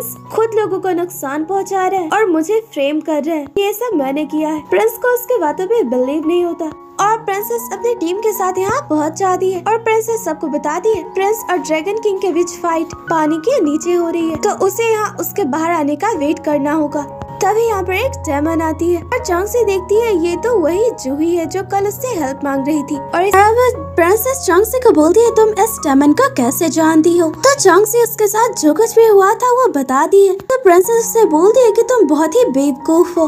और प्रिंसेस सबको बोलती है कि ज़रूर ही प्रिंस किसी खतरे में है। मैं रिवर के अंदर जाना होगा। यहाँ जो जूही है, वो बोलती है कि मुझे नहीं लगता कि तुम्हारा वो प्रिंस बचा होगा। ड्रैगन किंग ने तो उसे मार ही दिया होगा। अगर तुम लोग रिवर के अंदर जाओगे तो तुम सभी मारे जाओगे। और यहाँ प्रिंसेस और इस जूही के बीच फाइट शुरू हो जाती है। और यहाँ प्रिंस का भी समझ में आ जाता है कि उसकी टीम यहाँ आ चुकी है और उनके डेमन के साथ फाइट हो रही है। आज ड्रैगन किंग होता है वो प्रिंस को बोलता है की मैं इनोसेंट हूँ, मैंने किसी को भी हार्म नहीं किया तो तुम्हें मुझे छोड़ देना चाहिए। और यहाँ चंगसी भी जूही से फाइट करती है। सब हैरान होते हैं चंगसी के स्किल्स को देखकर। अब यहाँ एक और डेमन जूही की हेल्प के लिए पहुँच जाता है। तो जूही को बोलता है, हमारा टारगेट ड्रैगन किंग है। हमें उसे मारना है। इसका मतलब की डेमस का प्लान था कि वो ड्रैगन किंग और इमोटल्स को लड़ाए। तभी यहाँ पे प्रिंस आ जाता है। तो जोए से बोलती है, क्या तुमने ड्रैगन किंग को मार दिया? प्रिंस बोलता है, यहाँ तो कोई ड्रैगन किंग है ही नहीं। तो जूही बोलती है कि तुम झूठ बोल रहे हो। और अब इन सब के बीच फाइट शुरू हो जाती है। यहाँ जूही चौंसी का हद करने वाली होती है। अब यहाँ पे मास्टर लूफी आ जाते हैं, जो कि चौंसी को बचा लेते हैं और जूही पे अटैक करते हैं, लेकिन जूही को यहाँ बचाने के लिए डेमन किंग वांग्यू आ जाता है। और वांग्यू यहाँ मास्टर लूफे को बोलता है, वाकई में तुम्हें एक अच्छी डिसाइपल मिली है। अब ये मुझे पसंद है तो इसे बचा कर रखना मुझसे। और वो अपने साथियों के साथ यहाँ से चला जाता है। और यहाँ चांग से उसे देखकर पहचान लेती है, ये तो वही आदमी है, जिसने उसे जीसू माउंटेन का रास्ता बताया था। मास्टर उसे बोलते हैं, क्या तुम ठीक हो? और अब मास्टर लूफे प्रिंस को बोलते हैं कि, बताओ, ड्रैगन किंग कहाँ है? तो प्रिंसेस बोलती है कि, उसने तो बोला कि यहाँ कोई ड्रैगन किंग नहीं है। तो मास्टर लूफे प्रिंस को बोलते हैं कि, मुझे सच सुनना है। प्रिंस मास्टर को बताते हैं, मैंने ड्रैगन किंग को छोड़ दिया। वो इनोसेंट था। उसने किसी को भी हार्म नहीं किया, बल्कि डेमंस लोगों को हार्म कर रहे थे और उसे फ्रेम कर रहे थे। और वो चाहते थे कि ड्रैगन किंग और इमोटल्स के बीच फाइट हो। इसलिए मैंने उसे जाने देने का फैसला लिया। और वो मास्टर को बोलता है की अगर मैंने गलत किया तो आप मुझे पनिश कर सकते हैं। लेकिन मास्टर लूफे उससे बोलते हैं कि तुम वाकई में बहुत ही सेंसिबल हो चुके हो। तुम्हारा ये डिसीज़न अच्छा था। और अब इधर मास्टर चांगसी को बोलते हैं, आज जो ही ऑलमोस्ट तुम्हें मार ही दी थी। तुम्हें और भी ज़्यादा प्रैक्टिस की ज़रूरत है। ताकि तुम अपने मस्कल पावर से खुद को भी प्रोटेक्ट कर सको और लोगों को भी। और अब चांगसी मास्टर से यहाँ पूछती है, क्या आप मुझे अपनी पहली डिसाइपल के जगह पर सब्सटीट्यूट बना कर लाए हैं। तो मास्टर से बोलते हैं कि नहीं, तुम्हारी खुद की पहचान है। तो चांग से यहाँ मास्टर को बोल दिया कि मैं वो कभी भी कोई गलती नहीं करूँगी। जो कि सीनियर ने किया था। मैं और भी प्रैक्टिस करूँगी और डेमन से फाइट लेकिन मास्टर से बोलते हैं कि मैं बस चाहता हूँ कि तुम खुद का ख्याल रखो और मेरे साथ यहाँ रहो। और अब इधर सीनियर गार्ड बोलते हैं कि डेमन किंग वागियों ने इमोटल्स और ड्रैगन के बीच फाइट करवानी चाहिए। इसकी कोई तो बड़ी वजह होगी। इसका मतलब है कि वो कुछ बड़ा करने का सोच रहा है। मैं इसकी तैयारी पहले से ही कर लेनी चाहिए, ताकि हम किसी भी मुसीबत से लड़ सके। तभी यहाँ पे मास्टर लूफे आ जाते हैं। तो मास्टर किंसन बोलते हैं, हमें तिनशान किंग से मिलना चाहिए। जैसे कि मॉडल बल्ब में कुलून एक जगह है वैसे ही तिनसान भी है, और सभी मॉडल्स की मीटिंग वही होगी। तो मास्टर लूफे बोलते हैं कि, ठीक है, आप लोग चले, मैं कुछ देर बाद आऊँगा। तो सीनियर कट बोलते हैं, क्या तुम अपनी डिसाइपल की वजह से देर से आ रहे हो? तो मास्टर लूफे बोलते हैं कि उन्हें पहले चौंसी को बताना है, वो उसे भी अपने साथ लेकर जाएँगे। और यहाँ सीनियर गॉड प्रिंसेस और प्रिंस को बाकी मॉडल्स के साथ आगे चलने का ऑर्डर देते हैं। और इधर जूही को देखते हैं। यहाँ हमें पता चलता है कि जूही पहले एक इमोटल ही थी। उसका हस्बैंड अभी भी एक इमोटल है। लेकिन डेमन से फाइट के बीच वो बहुत ही घायल हो गया था। इसलिए वो अभी तक बीमार है। और अब जूही डेमन क्यों बनी है, इसका पता हमें आगे चलेगा। और अब यहाँ चौंसी सोई होती है तो उसे उसकी पास्ट लाइफ के मोमेंट्स दिखते हैं। लेकिन चौंसी को लगता है, ये सब उसका ड्रीम है। अपने मास्टर के साथ ही ये सोच कर ही काफ़ी खुश थी। यानी कि चौंसी अब धीरे धीरे मास्टर लूफे को पसंद करने लगी है। और अब चौंसी अपनी प्रैक्टिस करती है, तभी यहाँ पर मास्टर लूफे आते हैं। वो उसे कुछ स्वीट्स भी देते हैं। मास्टर को भी वो खिला है। यहाँ मास्टर से बताते हैं उन्हें तंशान जाना है। चौंसी को भी उसके साथ चौंसी यहाँ खुश होती है कि इस बार मास्टर उसे अकेले छोड़कर नहीं जा रहे और इधर डेमन बल्क में देखते हैं, जहाँ पर डेमन किंग वांग्यू कुछ और ही प्लानिंग कर रहा है। वो अपने एक डेमन को यहाँ एक स्टोन देता है और ये उसी आदमी को देने को बोलता है, जो की है तो एक इमोर्टल लेकिन वो डेमन बल्क के लिए काम करता है, यानी कि वही मास्क मैन और बोलता है कि इस बार जो खतरा इमोर्टल्स पे आने वाला है, वो उससे नहीं बच सकते। और यहाँ चांग से अपने मास्टर के साथ तनसान जा रही है। मास्टर से बोलते हैं कि तुम्हें अपना ख्याल भी रखना चाहिए, और चांग से यहाँ बहुत ही एंजॉय करते हुए जाती है। यहाँ पर तिरशान का प्रिंस मास्टर और चांगसी का वेलकम करते हैं, और चांगसी यहाँ बहुत ही एक्साइटेड थी। वो मास्टर को बोलती है, जल्दी चले। और यहाँ चलते चलते बेचारी गिर भी जाती है। सबके सामने इसकी बेजती भी हो जाती है। तो जिंग जिंग उसे उठाती है और तरीशान प्रिंस भी उसकी हेल्प करता है। और यहाँ प्रिंसेस बोलती है, ये लड़की तो क्रेजी है। और अब मास्टर लूफे शान किंग से माफ़ी मांगते हैं लेट होने के लिए और वो चौंगसी से उसे इंट्रोड्यूस करवाते हैं। और यहाँ तनशान किंग को लगता है पहले वाली चौंगसी है, लेकिन उन्हें बताया जाता है कि ये न्यू चौंगसी है। और यहाँ तनशान किंग अब उसके तारीफ़ भी करते हैं। क्योंकि एक न्यू डिसाइपल होने के बावजूद भी उसने प्रिंसेस के साथ मिलकर डेमन से फाइट की। और सभी सीनियर मॉडल्स अब यहाँ से चले जाते हैं। और यहाँ प्रिंसेस शान प्रेस को बोलती है तुम मुझे अपनी ये जगह दिखा सकते हो। देखते हैं कि सिंह सिंह और शांग सिंह खेल रहे होते हैं। प्राइस बोली यहाँ जाकर प्रिंसेस को लगती है इससे कि उसे काफ़ी गुस्सा आता है। और प्रिंसेस चंगसी को बोलती है कि मैं तुम्हें नहीं छोड़ूँगी। वो भी आइस बॉल उठा लेती है। लेकिन यहाँ सीनियर गॉड आ जाते हैं और ये सबको डांटते हैं और बोलते हैं, क्या तुम सब छोटे बच्चे हो? अब सीनियर गॉड प्रिंस और प्रिंसेस को बोलते हैं कि ध्यान रखना, चंगसी कोई गड़बड़ ना करे, क्योंकि ये यहाँ पर पहली बार आई है। और अब यहाँ प्रिंस उसे बताता है, जिस जूही से तुम मिली हो, अभी तो एक डेमन है, लेकिन पहले वो भी एक इमोटल ही थी। और जिंग उसे बताती है कि जूही का हस्बैंड उसका मास्टर था।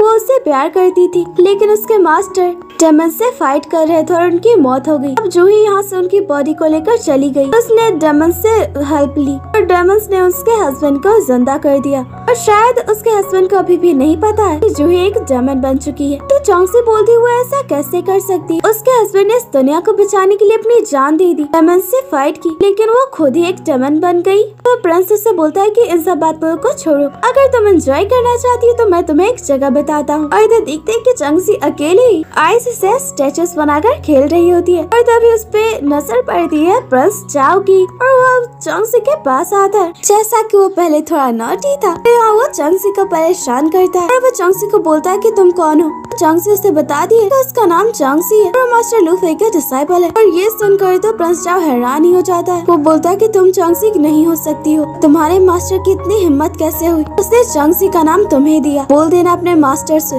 कि मैं उसे चंगसी की मौत का बदला लेकर रहूँगा। तो चंगसी से बोलती कि तुम मेरे मास्टर को हर्ट नहीं कर सकती। तो प्रिंस चाओ बोलता है कि तुम अभी भी अपने मास्टर के लिए लॉयल हो। और वो चंगसी पे गुस्सा करते हुए बोलता है कि तुम इस नाम को डिजर्व नहीं करती हो। तुम चंगसी नहीं हो और चला जाता है। और अब इधर उसी मास्क वाले मॉडल को देखते हैं जो कि पानी में रास्ता बना रहा होता है और चांग से समझ जाती है कुछ तो गड़बड़ हुई है। यहाँ के वो प्रिंस को बताती है। तो प्रिंस उसे बताता है कि सिक्स वर्ल्ड को जोड़ने के लिए वंगली लेक में एक रास्ता था, जिससे कि सिर्फ़ इमोटल्स ही ट्रैवल करते थे। लेकिन जो नेलो ड्रैगन किंग नेलो ने उस जगह का यूज़ करने लगा ताकि वो अर्थ पे ट्रेवल कर सके। और उसे ही रोकने के लिए एक इमोटल ने अपने लाइफ स्टोन का यूज़ किया था और उसने नीलन को रोक दिया था। और वो जूही का हस्बैंड ही था। उस वक्त वो उसका मास्टर था। और जूही ने ये सब अपनी आँखों के सामने होते देखा और तब से वो यही सोचती है कि मोटस उसके हस्बैंड को बचा सकते थे, लेकिन वो मारा गया। इसलिए वो डेमंस के साथ है। और अब यहाँ सीनियर कोच और तिरशान किंग भी वनली लेक पे पहुँच जाते हैं। तो समझ जाते हैं जो कुछ भी हुआ है। और तभी यहाँ पर उसी रास्ते से डेमंस आते हैं। और तिरशान किंग जूही को बोलते हैं, तुम एक इमोर्टल हो, तुम हमसे फाइट कैसे कर सकती हो? लेकिन जूही बोलती है कि अब वो भी एक डेमन है। उसे डेमन बनने पे मजबूर इमोर्टल्स नहीं किया है। अगर वो चाहते तो उसके हस्बैंड को बचा सकते थे, लेकिन उन्होंने नहीं बचाया। बल्कि उसे डेमन से हेल्प लेनी पड़ी। और यहाँ डेमंस और इमोटल्स के बीच फाइट शुरू हो जाती है। ये फाइट बहुत ही भयंकर होती है। और डेमस यहाँ पर इल्यूशन स्टोन का यूज़ करते हैं, जिससे किसी को भी मारा जा सकता है। मास्टर लूफे इन सारे स्टोन को खत्म कर देते हैं। और इधर मास्टर किन सीनियर मो को बताते हैं अगर हेम अगर हेवनली लेक का वो रास्ता बंद नहीं किया गया तो इमर्टल बल्ट खतरे में होगा। हेमस कभी भी हम पर हमला कर सकते हैं। हमें जल्द इसे रोकना होगा। और इधर चंग सी जोई को बोल दी, तुम्हारे हस्बैंड ने इमर्टल बल्ट को बचाते हुए अपनी जान दे दी। तुम्हें अपने प्यार के रिस्पेक्ट करनी चाहिए। तुम्हें डेमस का साथ नहीं देना चाहिए। लेकिन जोए से बोल दी तुम अभी उतनी बड़ी नहीं हुई को तुम मुझे एडवाइस दो। और अब मास्टर लूफे आते हैं जो इन सभी डायमंड्स को मार देते हैं। और यहाँ वो इस रास्ते को भी बंद कर देते हैं शील्ड बनाकर। और जूही और ये डायमंड सब उनकी कैद में मास्टर लूफे जूही को बोलते हैं कि मुझे वो रेस्टिंग सॉइल दे दो। बदले में मैं तुम्हारी जान बख्श दूँगा। इस रेस्टिंग सॉइल से रास्ते को बंद किया जा सकता है। और अपने जान बचाने के लिए वो रेस्टिंग सॉइल मास्टर को दे देते हैं और जहाँ से चले जाते हैं। और अब चंग से मास्टर के पास आती है। बोलती है की आज उसने डायमंड से अच्छे से फाइट की बिना किसी गड़बड़ के। और मास्टर से बोलते हैं की तुम कैसी हो और सीनियर गॉड आ जाते हैं, जो मास्टर लूफे को बोलते हैं कि तुमने इस मुसीबत को तो टाल ही दिया तनशान किंग बोलते हैं कि अब रोस्टिंग सोइल भी हमारे पास है डेमन बल के रास्ते को ब्लॉक कर सकते हैं। तो यहाँ मास्टर लूफे बोलते हैं कि ये सब अभी खत्म नहीं हुआ है। मुझे हेवनली लेक के बॉटम में जाना होगा और वहाँ से इस रास्ते को ब्लॉक करना होगा। और यहाँ सीनियर गॉड देखते हैं हेवनली लेक में डेमन वर्ल्ड का वाटर भी है, जो पूरी तरह से रेड है। मास्टर लूफे बोलते हैं की मैं जा रहा हूँ। तो चांग से बोलते हैं की मैं भी आपके साथ चलूँगी, लेकिन मास्टर से मना करते हैं। सीनियर गॉड बोलते हैं की मैं तुम्हारे साथ चलता हूँ। और वो बोलते हैं कि अपना ख्याल रखना, क्योंकि ये बहुत ही डेंजरस है। और अब ये दोनों चले जाते हैं। पर प्रिंस चंग को बताता हेवनली लेक के वाटर में स्पिरिचुअल पावर्स इतने ही ज़्यादा है। कोई भी आदमी चाहे वो कितना ही पावरफुल हो, वो उसे बर्दाश्त नहीं कर सकता है। और जब नीलो ने हेवनली लेक से एमएस के साथ इमोटल्स वर्ल्ड में आने के लिए रास्ता बनाया था, तब इमोटल्स ने उसे रेस्टिंग सोइल के ज़रिए बंद कर दिया था। आज फिर वो ब्लॉक खुल चुका है। चंग से बोलते की मुझे मास्टर की फ़िक्र हो रही है तो प्रिंस बोलता है की चिंता न करो। मास्टर लूफे इमोटल वर्ल्ड के सबसे पावरफुल इमोटल है। तो वो इस काम को कर सकते हैं। और चंग से यहीं पे मास्टर का वेट कर रही है। तो दर्शान किंग उससे बोलते हैं कि तुम भी हमारे साथ चलो। लेकिन चंग से बोलती है नहीं जब तक मास्टर नहीं आता है मैं यहाँ से नहीं जाऊँगी। और दर्शान किंग बोलते है कि तुम्हें अपने मास्टर की बहुत फ़िक्र है। और, और इसमें चांसी आ जाती है। और वे चांसी को बोलती है की तुम्हें यहाँ नहीं रहना चाहिए। तुम्हारी तबीयत खराब हो जाएगी। चांसी बोलती है की मास्टर को गए काफ़ी टाइम हो चुका है। लेकिन वो वापस नहीं आए हैं। मुझे उनकी फ़िक्र है। तो हम चांसी उसे बोलती है की ये मेडिसिन ले लेना ताकि तुम्हारी तबीयत खराब ना हो। और तंसा उसे मेडिसिन दे रही होती। है और मिस चांगसी प्रिंस से बात कर रही होती। है तो तंसरा चांगसी को बोलती तो तुम हो मास्टर लूफे के न्यू स्टूडेंट तुम नहीं जानती, मेरी मास्टर मास्टर लूफे को बहुत टाइम पहले से जानती है। और तुम्हें इस तरह अपने मास्टर की फ़िक्र नहीं करनी चाहिए। तुम तो बस एक्टिंग कर रही हो। और इन दोनों के बीच आर्गुमेंट बढ़ जाता। तो चांग सी तनशुआ को बस कर दी है। तो मिस चांगसी आती है। सोया मेडिसिन को फेंक देती है और बोलती है। मैं तो बस चांगसी को मेडिसिन दे रही थी। पर उसने मुझे धक्का दिया।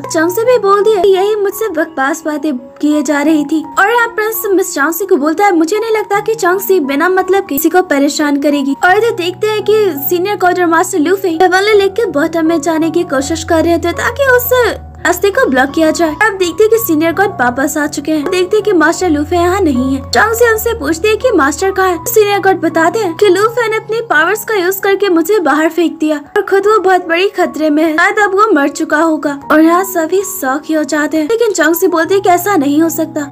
और यहाँ सीनियर का चंगसी को बोलते हैं अब तुम्हारा मास्टर मर चुका है। लेकिन चंगसी बोलते है ऐसा नहीं हो सकता। मैं मौत से नहीं डरती। और वो हेवनली लेक के अंदर चली जाती है अपने मास्टर को बचाने के लिए। सब उसे देखते ही रह जाते हैं। और यहाँ चंगसी मास्टर लूफे के पास पहुँच जाती है। वो देखती है की मास्टर पूरी तरह से कमज़ोर हो चुके हैं। मास्टर चौंगसी को बोलते हैं कि रस्टिंग सॉइल और कलरफुल स्टोन का यूज़ करके जल्दी से उस रास्ते को ब्लॉक करो। तो मैं कर सकती हूँ। लेकिन चौंगसी बोलते है कि मुझे तो ये आता भी नहीं। तो मास्टर बोलते हैं कि मुझे तुम पे भरोसा है, तुम कर सकती हो। और अब चौंगसी ट्राई करती है और वो उस रास्ते को ब्लॉक कर देती है। और वो मास्टर के पास आकर उन्हें बताती है कि उसने कर दिया। वो मास्टर को बहुत ही उठाने की कोशिश करती है, लेकिन मास्टर की सारी पावर्स खत्म हो चुकी है। वो जैसे मास्टर को कस करती है, मास्टर लूफे को तो होश आ जाता है। और से बेहोश हो जाती है। वो जंग से को बाहर लेकर आते हैं? और यहाँ मास्टर सबको बताते हैं कि डेमन बल का रास्ता ब्लॉक हो चुका है। सुनकर सभी खुश हो जाते हैं। मास्टर लूफ है, यहाँ सीनियर गॉड को बोलते हैं की उनके स्पिरिचुअल पावर्स बहुत ही कम हो चुकी है। इसीलिए उसे रिकवर करने के लिए उन्हें जाना होगा। लेकिन तनशान किंग बोलते हैं, तुम अभी बहुत ही कमज़ोर हो। मैं बहुत ही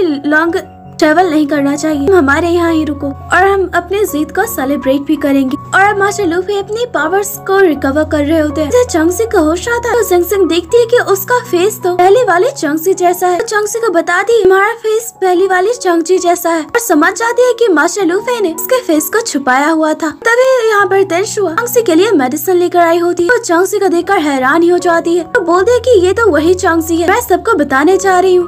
उसे रोकने की भी कोशिश करती है, लेकिन वो चली जाती है। और यहाँ वो सीनियर गॉड का आकर बता देती है कि डेमन चंगसी वापस आ चुकी है। न्यू वाली चंगसी है। वो पहले वाली ही डेमन है। अब सीनियर गॉड यहाँ पर चंगसी को कैद कर लेते हैं। सभी लोग चंगसी का फेस देखकर हैरान हो जाते और चंगसी तो समझ ही नहीं पा रही की उसके साथ ये सब क्या हो रहा है। और इधर चंगसी मास्टर लूफे को बता देती है चंगसी का फेस रिवील हो चुका है। सीनियर गॉड ने उसे कैद भी कर लिया और अब जल्दी नहीं गए तो चंगसी को मार दिया जाएगा। और यहाँ मास्टर को रिकवर होने के लिए मेडिसिन भी देती है। यहाँ प्रिंसेस सीनियर गॉड के कहने पे चंगसी को मारने वाली होती है लेकिन मास्टर लूफे आ जाते हैं। तो सीनियर गॉड से बोलते हैं कि तुम इस डेमन को क्यों बचा रहे हो? तुमने इसका चेहरा हमसे छुपा कर रखा था। तो मास्टर लूफी बोलते हैं, ये कोई डेमन नहीं है। ये मेरी डिसाइबल चांगसी है। तो सीनियर गॉड बोलते हैं, बताओ आखिर तुमने इसका चेहरा क्यों छुपाया था? तो मास्टर लूफी बोलता है कि, मुझे किसी को भी आंसर देने की ज़रूरत नहीं। तो हमें चांसी बोल दी कि, मैंने खुद ही जाँच की चांसी में कोई भी इवल ब्रिथ नहीं है। इसका चेहरा पहले वाली चांसी जैसा है। यही एक वजह मास्टर लूफी ने इसके फेस को छुपाया था, ताकि कोई चांसी को नुकसान न पहुँचाए। और मास्टर लूफी यहाँ सबको बोलते हैं, अगर किसी ने चांगसी को हर्ट किया तो मैं उसे नहीं छोड़ूँगा। और चांसी को लेकर चले जाते हैं। और यहाँ मास्टर चांगसी को बोलते हैं कि मैं तुम्हें सब कुछ एक्सप्लेन करूँगा। और चांसी को सुलाकर चले जाते हैं। और इधर कुलन किंग मास्टर लुफे को बोलते हैं, ठीक है, मान लेते हैं कि वो चांसी नहीं और आज हम लोग अपनी जीत को सेलिब्रेट करने वाले हैं तो तुम हमें ज्वाइन करो। और देखते हैं कि प्रिंस चांसी के पास आता है, लेकिन चांसी अपने मास्टर को बुला रही होती है। और अब प्रिंस चांगसी की जाँच करता है, लेकिन उसे कोई भी इवल ब्रेथ नहीं मिलती है। और चांगसी यहाँ से पूछती है, आखिर कौन थी चांगसी? तो यहाँ प्रिंस उसे सब कुछ बता देता है। चांगसी जो मास्टर लूफे की स्टूडेंट थी। उसके पास इवल ब्रेथ थे। वो हमारे साथ ही इमोर्टल वर्ल्ड में आई थी। वो एक बहुत अच्छी इमोर्टल थी। उसने डेमन से फाइट भी की। और अपने अंकल को बचाने के लिए वो खुद एक डेमन बन गई। इसलिए मास्टर लूफे ने उसे मार दिया। तो ये चांगसी बोलती है कि मैं उनकी तरह नहीं बनूँगी। इसका मतलब वो बुरी थी। तो प्रिंस उससे बोलता है कि तुम उसके बारे में कुछ नहीं जानती। और मैं नहीं चाहता उसके साथ जो भी हुआ वो तुम्हारे साथ हो। इसलिए तुम यहाँ से वापस चली जाओ। लेकिन चंगसी बोलती है कि मुझे नहीं जाना। मैं अपने मास्टर के साथ ही रहूँगी। और अब मास्टर अब मास्टर लूफे चंगसी से मिलने आते हैं। वो अंदर नहीं जाते और यहाँ चंगसी भी आ जाती है। और मास्टर को रोकती है और बोलती है, मुझे आपसे एक सवाल पूछना है। आपके लिए कौन इम्पोर्टेंट है? मैं या फिर आपके पहले डिसाइबल चांगसी लेकिन मास्टर से बोलते हैं कि तुम दोनों ही मेरे लिए एक हो। हाँ चांगसी बोल दिए। कि आपने मुझे सीनियर का नाम दिया? उनका मैजिकल वेपन। आप मुझे एज ए सब्सटीट्यूट लाए हैं यहाँ पर? आप मुझे उनकी जगह पर यहाँ लाए क्योंकि मेरा फेस उनकी तरह है। लेकिन मास्टर से बोलते हैं कि नहीं, ऐसा नहीं है। और मास्टर को हक करती है और बोलती है कि ठीक है, मैं मान लेती हूँ कि मैं एक सब्सटीट्यूट नहीं हूँ। और मास्टर उसे बोलते हैं कि मेरे लिए इस पूरी दुनिया में जो सबसे इम्पोर्टेंट पर्सन है, वो चांगसी है। और तभी यहाँ पर जिंग सिंह आ जाती है। और मास्टर लूफे से बोलते हैं कि चांगसी का ख्याल रखना। और जिंग सिंह और चांगसी यहाँ पर काफ़ी एंजॉय करते हैं। और इधर इमोर्टल वर्ल्ड में सेलिब्रेशन स्टार्ट हो जाता है। चिंग सिंह चांगसी को बोलती है कि तुम भी मेरे साथ चलो। लेकिन चांगसी यहाँ डर रही होती है। सभी लोग उसके बारे में ही बात करेंगे। मास्टर लूफे बोलते हैं कि कोई भी तुम्हें ब्लेम नहीं करेगा तो मेरे साथ चलो। और अब ये सब यहाँ पहुँच जाते हैं। कोलिन किंग कोलिन किंग जानसी को बोलते हैं, मुझे नहीं लगता कि लूफे इस चांगसी को भी वैसे ही ट्रीट करता है जैसे वो पहली वाली चांगसी को ट्रीट करता था। इधर प्रिंस को देखते हैं जिससे की अब बिलीव हो रहा है। ये पहले वाली चांगसी ही है, जिसे कि वो पसंद करता था। और अब यहाँ पे सीनियर गॉड और कोलोन किंग ये बात शुरू करते हैं कि मास्टर लूफे और जाउनसी काफ़ी वक्त से साथ हैं। दोनों अच्छे दोस्त हैं और हमेशा लोगों की हेल्प करते हैं। अगर उन दोनों की शादी हो जाए तो ये दोनों एक परफेक्ट कपल बनेंगे। लेकिन यहाँ पर मास्टर लूफे सीधा से मना कर देते हैं। तो उन्हें मिस चांची से शादी नहीं करनी मिस चांची सिर्फ़ उनकी दोस्त है। सीनियर कॉलर कोलोन किंग मास्टर लूफे को फोर्स करना चाहते हैं। अब मिस चांसी भी बोलती है हम दोनों दोस्त ही बने रहे तो अच्छा रहेगा। अब यहाँ पे जो तिनशान किंग है तो बोलते हैं कि मैंने देखा है कि चंगसी बहुत ही अच्छी है एक अच्छे मॉडल है। तो मास्टर लूफी को बोलते हैं, क्यों ना आप चंगसी की शादी मेरे सन से करवाए? और ये सुनकर तो चंगसी घबरा ही जाती है। तो मास्टर लूफी बोलते हैं कि चंगसी की अभी शादी नहीं करवानी। तो सीनियर कोर बोलते हैं कि ऐसा क्यों? अभी हमें चंगसी बोलती है अभी चंगसी बहुत ही यंग है, इसलिए लूफे उसकी शादी नहीं करवाना चाहता। और इधर देखते हैं कि प्रिंस चाओ आए होते हैं और उसकी नज़र चंगसी पे पड़ती है। चंगसी का फेस देखकर हैरान हो जाता है। यहाँ उसे बताया जाता है कि ये लूफे के डिसाइपल है जिसका फेस मास्टर लूफे ने छुपाया हुआ था, जो कि अब रिवील हो चुका है। प्रिंस समझ आता है कि यह वो पहली वाली चौंसी ही है।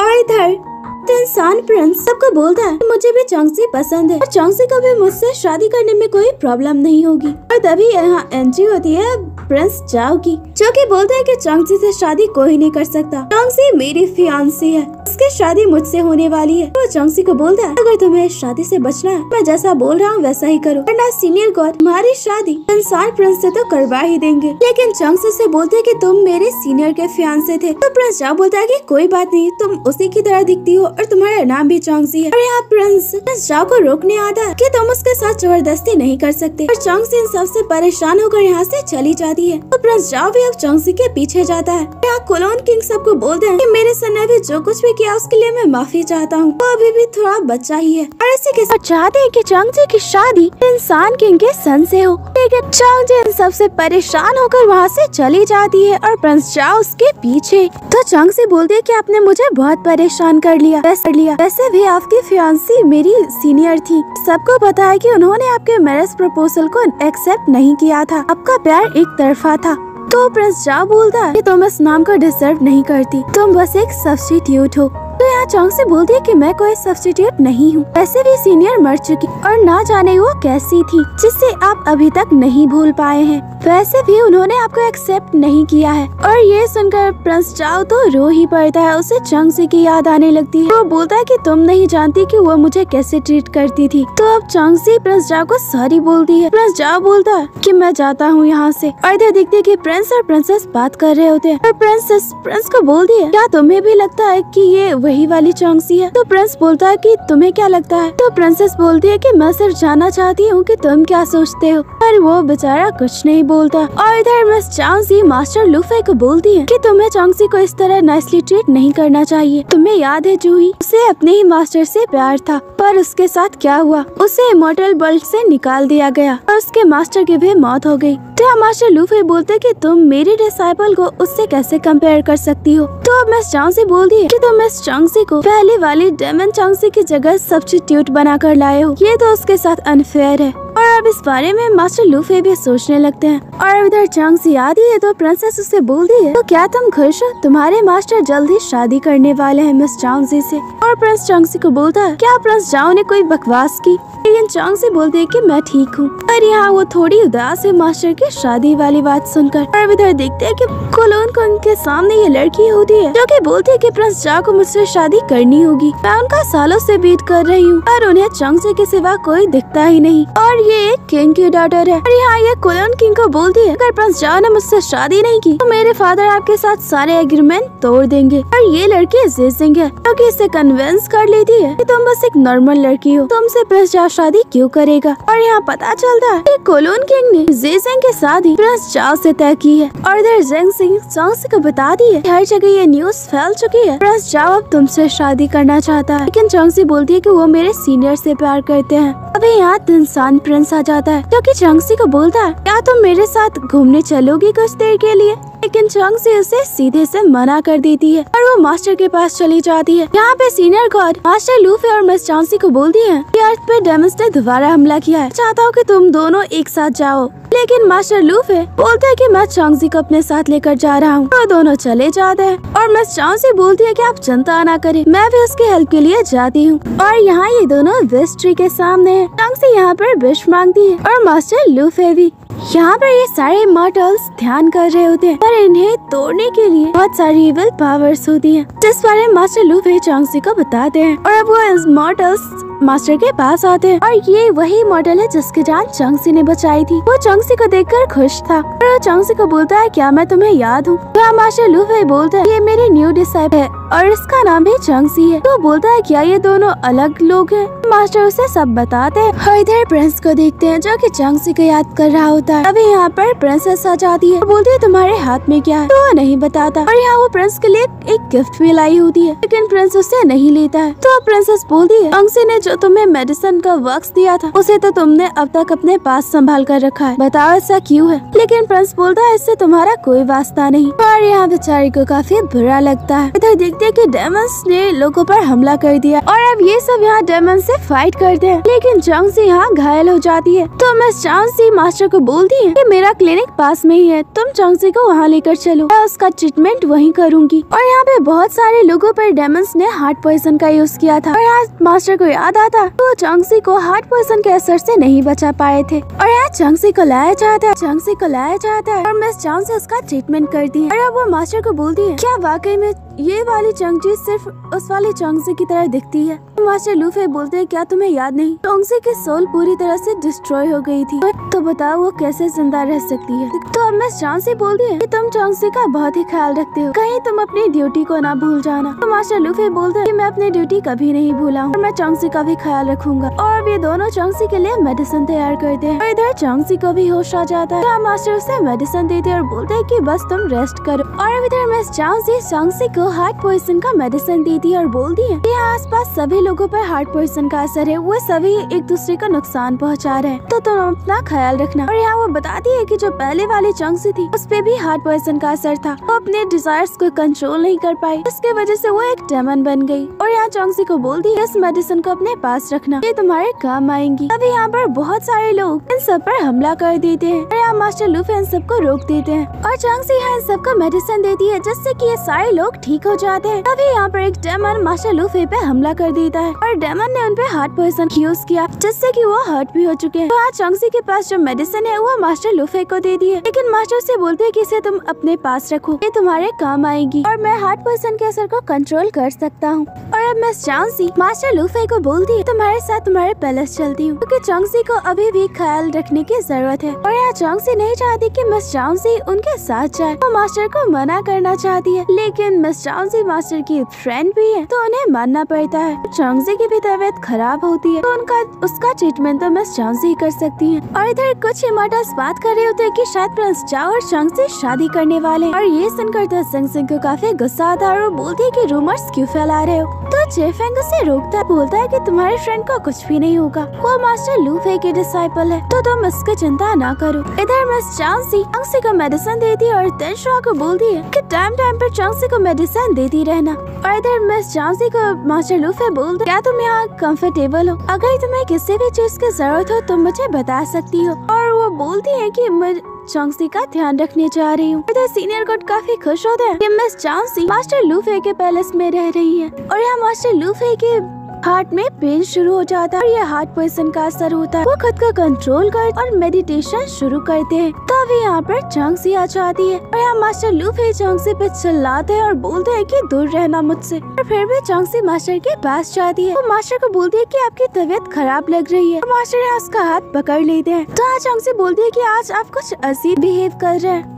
तभी यहाँ पर मिस चांसी आ जाती है। और चांसी को बोलती है कि तुम्हें यहाँ नहीं आना चाहिए था। और चांसी को बोलती है कि कुछ दिनों के लिए तुम अपने मास्टर से नहीं मिल सकती हो। और वो चांसी को बाहर कर देती और ये सब देखकर तो चांसी को बुरा लगता है। और, इधर मिस चांसी को पता चल जाता है की मास्टर लूफे पे हार्ट पॉइजन का असर है। और यहाँ मास्टर से बताते हैं कि मैं कुछ ज़्यादा ही ओवर कॉन्फिडेंट था की मैं हार्ट पॉइजन के असर को कंट्रोल कर सकता हूँ। पर मेरी कंडीशन खराब होती जा रही है। और मैं चाहता हूँ की तुम ये बात किसी को ना बताओ। और मैं चांसी बोलती है की ठीक है मैं तुम्हारा ट्रीटमेंट करूँगी। और इधर तेंशुआ प्रिंसेस दोनों भी प्लानिंग कर दी है। दोनों चंगसी को सबक सिखाएँगी। और तेंशुआ चंगसी को मेडिसिन दे दी इस वजह से चंगसी को काफ़ी यहाँ पेन होता है। और चंगसी को बोलती है कि तुम ये डिजर्व दी हो।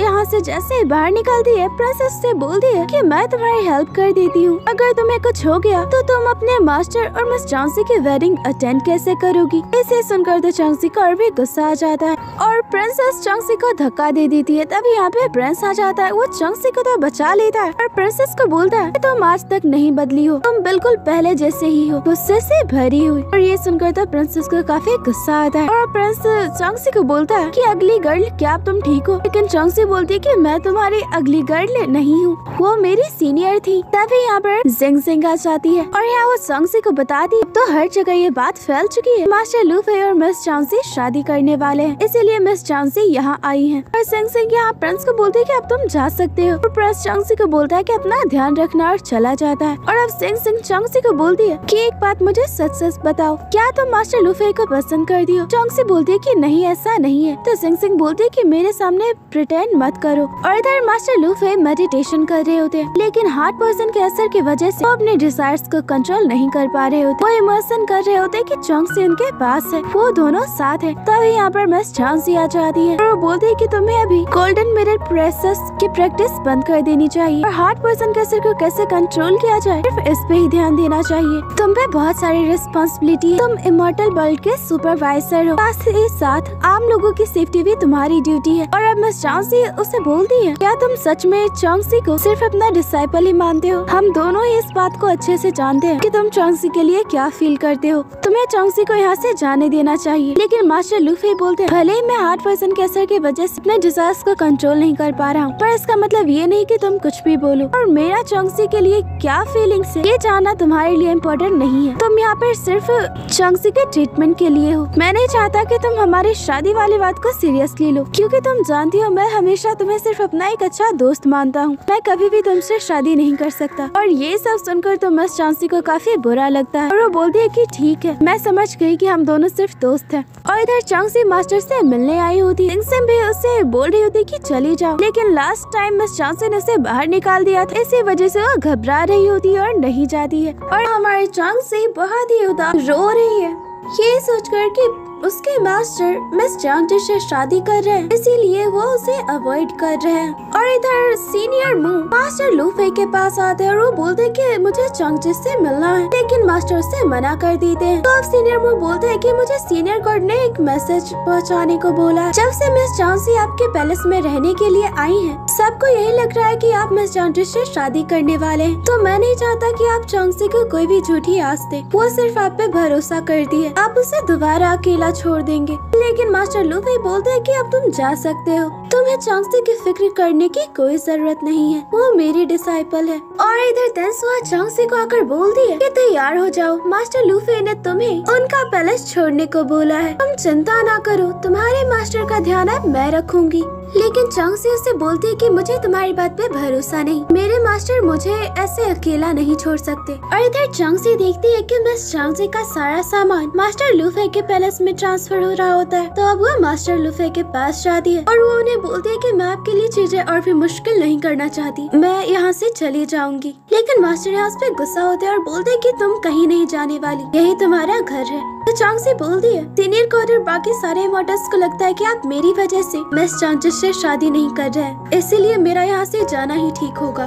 तो मास्टर से बोलते हैं, मैंने तुम्हें प्रॉमिस किया था कि मैं तुम्हें प्रोटेक्ट करूँगा। तो तुम्हें मेरे साथ ही रहना होगा। तो चांसी बोलती है फ्रेंड्स और सीनियर वो दोनों मेरा ख्याल रखेंगे, इसलिए मुझे जाने दे। तो मास्टर से बोलते जब तुमने अपना मन बना ही लिया है तो मैं तुम्हें नहीं रोकूँगा। यहाँ चांगसी की आँखों में आँसू होता है। मास्टर भी नहीं चाहते कि चांगसी उन्हें छोड़कर जाए। चांगसी यहाँ से चली जाती है, वो मिस चांगसी को बोलती है कि मास्टर का ध्यान रखिएगा। और इधर मास्टर लूफे के हाथ में बहुत ही ज़्यादा पेन होने लगता है। मिस चांगसी यहाँ उनकी हेल्प करती है। लेकिन मास्टर लूफे तो यहाँ बस चांगसी को याद कर रहे होते हैं। उन्हें चांगसी के साथ बिताया हर एक मोमेंट याद आ रहा होता है। और- इधर सीनियर मुँह चांगसी को लेकर जाते हैं। चांगसी यहाँ से अपना सारा सामान ले लेती है। और और चांगसी मन लगाकर अपना प्रैक्टिस करती है। वो यहाँ तय करती है कि वो एक दिन मास्टर लूफे के काबिल बन सके।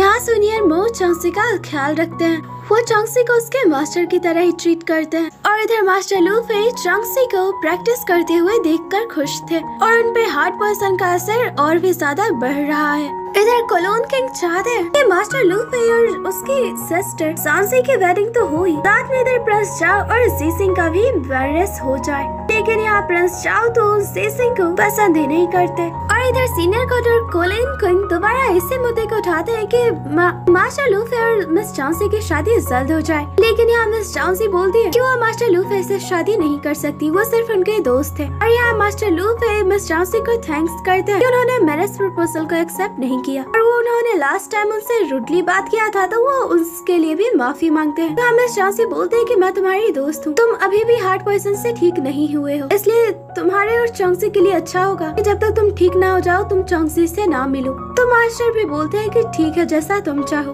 क्योंकि अगर शायद तुम चंगसी से मिले तो अपनी फीलिंग्स को कंट्रोल ना कर पाओ। और इधर मास्टर लू फिर चांगसी को बोलते हैं कि तुमने मिस चांगसी को क्यों मारा? उसके हाथों में खून होता है और चांगसी डर से उठ जाती है। और अब उसे पता चल जाता है, ये तो उसका ड्रीम था। अभी हम मिस चांगसी चांगसी के लिए मेडिसिन लेकर आती है। और चांगसी को बोलती है कि तुम अपना ख्याल रखना। लेकिन चांगसी वो मेडिसिन नहीं लेती और वो तो मिस चांगसी से ठीक से बात भी नहीं करती। क्योंकि कहीं ना कहीं चांगसी उससे नाराज़ भी है। और इधर मास्टर लूफे गोल्डन मिरर प्रोसेस की प्रैक्टिस करते हैं। और इधर चांगसी भागते हुए मास्टर लूफे से मिलने जा रही होती है। और मास्टर लूफे उसे यही दिख जाते हैं। वो उन्हें टाइटली हक करती है। और बोलती है की मुझे माफ़ कर दीजिए, मुझे आपको छोड़कर नहीं जाना चाहिए था। वो मास्टर को बोलती है कि मैं आपको छोड़कर नहीं जाना चाहती। मुझे आपके साथ रहना है। मैंने आपको बहुत मिस किया।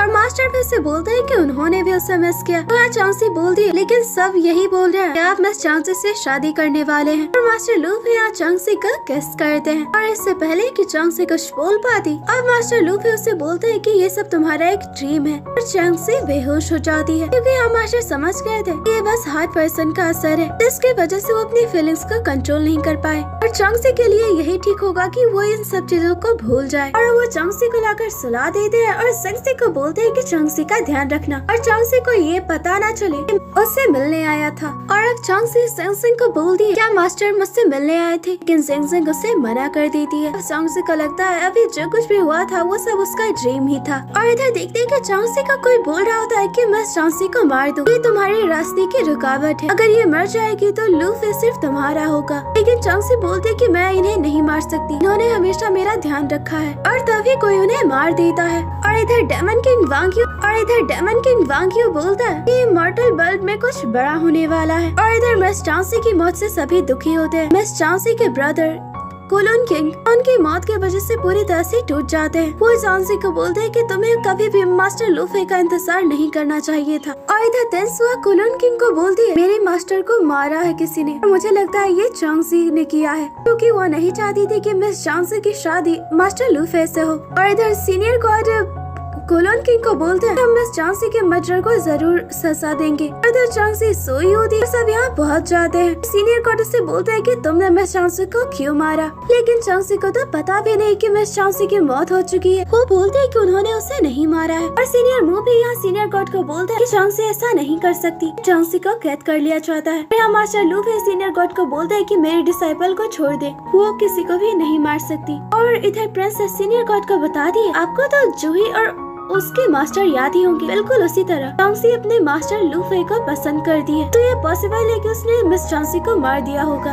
लेकिन सीनियर गौर से बोलते हैं, तुम्हें पता है तुम क्या बोल रही हो? अगर तुम्हारी ये खबर गलत निकली तो तुम सजा के लिए तैयार रहना। और इधर जी सिंह चाव को बताती है कि उनकी आंट की मौत हो चुकी है और, और ये सुनते ही वो चला जाता है। तो तंशुआ आती है जो कि जी सिंह को बोलती है कि मेरे मास्टर को किसी और ने नहीं बल्कि चांगसी ने मारा है। और यहाँ प्रिंस चाव देखते हैं कि उसके फादर चांग चांगसी को मारना चाहते हैं। तो यहाँ प्रिंस चाव बोलते हैं अभी ये प्रूव नहीं हुआ कि चांगसी ने मेरी आंट को मारा है? तो आप चांगसी को कुछ भी नहीं कर सकते। और अब इधर प्रिंस चाव अपनी आंट की मौत से काफ़ी दुखी होता है। और वो मास्टर लूफी को बोलता है कि ये सब ही की वजह से हुआ है। आपकी वजह से मेरी आंट की मौत हुई है। और है। इधर प्रस्टाव सोच रहा था कि आखिर चंग से उसकी आंट को क्यों मारेगी? अभी यहाँ पर एक मिस कल पाथ आता है। इसे फॉलो करते हुए पहुँचता है तो वो देखता है यहाँ चंगसी होती है और वो देखता है कि चंगसी के पास इवल पावर्स है। यानी कि ये उसकी पहले वाली चंगसी है। अभी यहाँ मास्टर लूफे आ जाते हैं और वो उसे बताते हैं कि ये पहली वाली चंगसी ही है। और मास्टर लूफे प्रस्ताव को बोलते हैं कि मुझे तुम्हारी हेल्प चाहिए। हम दोनों इस बात को अच्छे से जानते हैं कि चंगसी ने तुम्हारी आंट को नहीं मारा है। पर हमारी बात का भरोसा कोई नहीं करने वाला। जब तक हम मिस जी के मच्छर को नहीं नहीं ढूंढ लेती। हमें चौंगसी को सबसे बचाना होगा। तो प्रिंस चाओ बोलते हैं, ठीक है, मैं आपकी हेल्प करूँगा। वैसे भी मैं ये आपके लिए नहीं कर रहा। मैं बस ये अपनी चौंगसी के लिए कर रहा हूँ। वो मेरी यंग लेडी है। तो मास्टर लूफी बोलते कि उससे यंग लेडी बोलना बंद करो। तो प्रिंस जाओ बोलता है कि मैं उससे प्यार करता हूँ और आपका इससे कोई मतलब नहीं। कि मैं उससे क्या बोलूँ? और यहाँ पे मास्टर लूफे और प्रिंस चाओ चौंगसी के कमरे की तलाशी लेते हैं। वो यहाँ पर जाँच करते हैं और मास्टर लूफे चौंगसी के पास होते हैं। चौंगसी उन्हें देखकर खुश होती है और वो मास्टर लूफे को बोलती है कि उसने चौंगस मिस चांसी को नहीं मारा है और वो बताती है कि कल रात उसने एक ड्रीम देखा था, जिसमें कोई उसे मिस चौंसी को मारने को बोल रहा था और उसने बोला था, अगर वो मिस चौंसी को मार देती है तो मास्टर सिर्फ़ उसके होंगे। पर चौंसी ने ऐसा नहीं किया था और अब वो मास्टर को बोलती है कि वो चाहती है कि मास्टर उसके हो, पर वो मास्टर को फोर्स नहीं करना चाहती। वो बोलती है कि आपके दिल में मेरे लिए क्या है, पर मास्टर उसे आंसर नहीं करते और उससे हक करते हैं। और इधर प्रिंस प्रिंस चाओ को बोलता है कि मुझे पता है कि चंगसी ने मिस चौंसी को नहीं मारा है प्लीज़ उससे बचा लो लेकिन प्रिंस जाओ बोलता है तो तुम चौंगसी को क्यों नहीं बचा रहे हो? प्रिंस बोलता है, तुम जानते हो कि मेरे पास उतनी पावर्स नहीं है। और अब प्रिंस जाओ अपने फादर को बोलता है कि, मुझे पूरा यकीन है कि चौंगसी ने मेरी आंट को नहीं मारा है, इसलिए हमें मर्डर को ढूंढना चाहिए, ताकि हमारे आंट को इंसाफ मिल सके। और इधर कोलोन किंग सीनियर कोर्ट को बोलते हैं कि चौंगसी को सजा कब मिलेगी? सीनियर कोर्ट बोलते हैं, मैं जल्द ही चौंगसी को सिक्स वर्ल्ड माउंट पे भेज दूँगा ये इमोर्टल वर्ल्ड का केव है जहाँ पर सारे क्रिमिनल्स को बहुत ही बुरी सजा दी जाती है। सीनियर यहाँ प्रिंस जाओ प्रिंस और मास्टर लू फे के पास ये मैसेज पहुँचा देते हैं। तो चौंगसी खतरे में है। यहाँ ये सब चंगसी को बचाना चाहते हैं, लेकिन सीनियर गॉड चंगसी को नीचे फेंक देते हैं। अगर कोई एक बार यहाँ से नीचे गिर जाता है तो उसकी सोल पूरी तरह से डिस्ट्रॉय हो जाती है। यहाँ दुखी होते हैं कि चंगसी को नहीं बचा पाए, लेकिन मास्टर लूफे यहाँ चंगसी को बचा लेते हैं। और यहाँ कोलोन किंग सीनियर गॉड को बोलते हैं मुझे अपने सिस्टर की मौत का बदला चाहिए, और मैं वो चंगसी को मार कर लूँगा। लेकिन मास्टर लूफे बोलते हैं की कोई भी चंगसी को हर्ट नहीं कर सकता। तो यहाँ प्रिंस जाओ बोलते है की अपनी आंट की मौत का बदला मैं लूँगा। और वो चौंगसी पे हमला करता है। यहाँ मास्टर लूफे चौंगसी को बचा लेते हैं। और अब अपने फादर को बोलता है, उनका बदला पूरा हो चुका है, तब वो चौंगसी को हट नहीं कर सकते। जिससे कि कोलोन किंग को काफ़ी गुस्सा आता है। और प्रिंस चाओ मास्टर लूफे को बोलते हैं कि उन्होंने अपना प्रॉमिस पूरा किया और चला जाता है। और यहाँ कोलोन किंग सीनियर गॉड को बोलता है कि अब मैं कभी भी आपकी हेल्प नहीं करूँगा। और सीनियर गॉड को यहाँ काफ़ी गुस्सा आता है मास्टर लूफे पे, और वो यहाँ से जाने लगता है। लेकिन मास्टर लूफे उन्हें रोक लेता है और बोलते हैं आपको ये एक्सप्लेनेशन देना होगा। बिना प्रूव हुए कि चंग ने मिस चांसी को मारा है। आप चौंगसी को इतनी बड़ी सजा कैसे दे सकते हैं? आपकी वजह से चौंगसी अभी मर जाती। तो सीनियर गॉड बोलते हैं कि ठीक है, मैं तुम्हें एक्सप्लेनेशन दूँगा। पर यहाँ नहीं, कल सभी इमोटल्स के सामने। और चौंगसी मास्टर को बोल दिए कि आपको मेरी वजह से सीनियर गॉड के अगेंस्ट नहीं जाना चाहिए था। लेकिन मास्टर से बोलते हैं कि तुम्हें बचाने के लिए मैं कुछ भी कर सकता हूँ। तुम बस खुद को सेफ़ रखो। और अब मास्टर लू सीनियर मो को थैंक्स करते हैं। उन्हें मैसेज भेजने के लिए कि चौंगसी खतरे में है। और अब सीनियर मो बोलते हैं कि कल आप चांगसी का कैसे बचाएँगे? कल शायद सीनियर गार्ड चांगसी की जाँच करेंगे कि उसके पास सिविल पावर्स हैं या नहीं, वो हर हाल में उसे सजा देना चाहेंगी। तो मास्टर लूफे बोलते कि, तुम चिंता ना करो, मैं चौंगसी को हर हाल में बचाऊँगा। और इधर मास्टर लूफे अपने मास्टर के पास आते हैं। वो बोलते हैं कि, मैं नहीं समझ पा रहा हूँ कि मुझे क्या करना चाहिए। तभी यहाँ उनके मास्टर आ जाते हैं, जो कि बोलते हैं कि, तुम्हें अपने दिल की सुननी चाहिए। मास्टर लूफे बोलते हैं कि, मैं चौंगसी को बचाना चाहता हूँ, उसे अपने साथ रखना चाहता हूँ, और साथ ही साथ मैं अपनी पोजिशन को नहीं खो सकता। मेरी ड्यूटी है कि मैं आम लोगों को सेफ़ रखूँ। और मेरा चौंगसी को बचाने का डिसीज़न शायद मुझे मेरी ड्यूटी करने से रोक सकता है। तो अब मास्टर बोलते हैं तुमने काफ़ी समय से गोल्डन मिरर प्रोसेस की प्रैक्टिस की है। तो अब तुम्हें चौंगसी की इवल पावर्स को उसके बॉडी से अलग करना होगा। इस तरह तुम चौंगसी को भी बचा लोगे और तुम अपनी ड्यूटी भी कर पाओगे। और अब सभी लोग इमोर्टल्स हॉल में जमा हो चुके हैं। यहाँ पे दिन शुआ सीनियर कोर्ट को बोलती है सभी को पता है कि मेरे मास्टर और मास्टर लूफे की शादी होने वाली थी और चौंगसी ने उन्हें मार दिया, क्योंकि वो उनकी शादी नहीं होने देना चाहती थी। लेकिन चौंगसी बोलती कि ऐसा नहीं है। तो तेनशा बोलती है जिस दिन मेरी मास्टर मरी थी वो तुम्हारे रूम में गई थी मेडिसिन लेकर, तुमने उन्हें निकाल क्यों दिया? तुमने यहाँ तक कि उनसे अच्छे से बात भी नहीं की। लेकिन चौंगसी यहाँ आंसर नहीं देती है, क्योंकि उसे बताना पड़ेगा कि वो मिस चौंगसी से क्यों नाराज़ थी। और यहाँ चौंगसी बोलती है कि वो मिस चांसी और अपने मास्टर दोनों की रिस्पेक्ट करती है। और उसके दिल में अपने मास्टर के लिए सिर्फ़ रिस्पेक्ट है, और कुछ भी नहीं। ये सुनकर मास्टर को थोड़ा बुरा भी लगता है, और यहाँ चांग से सब बता देती है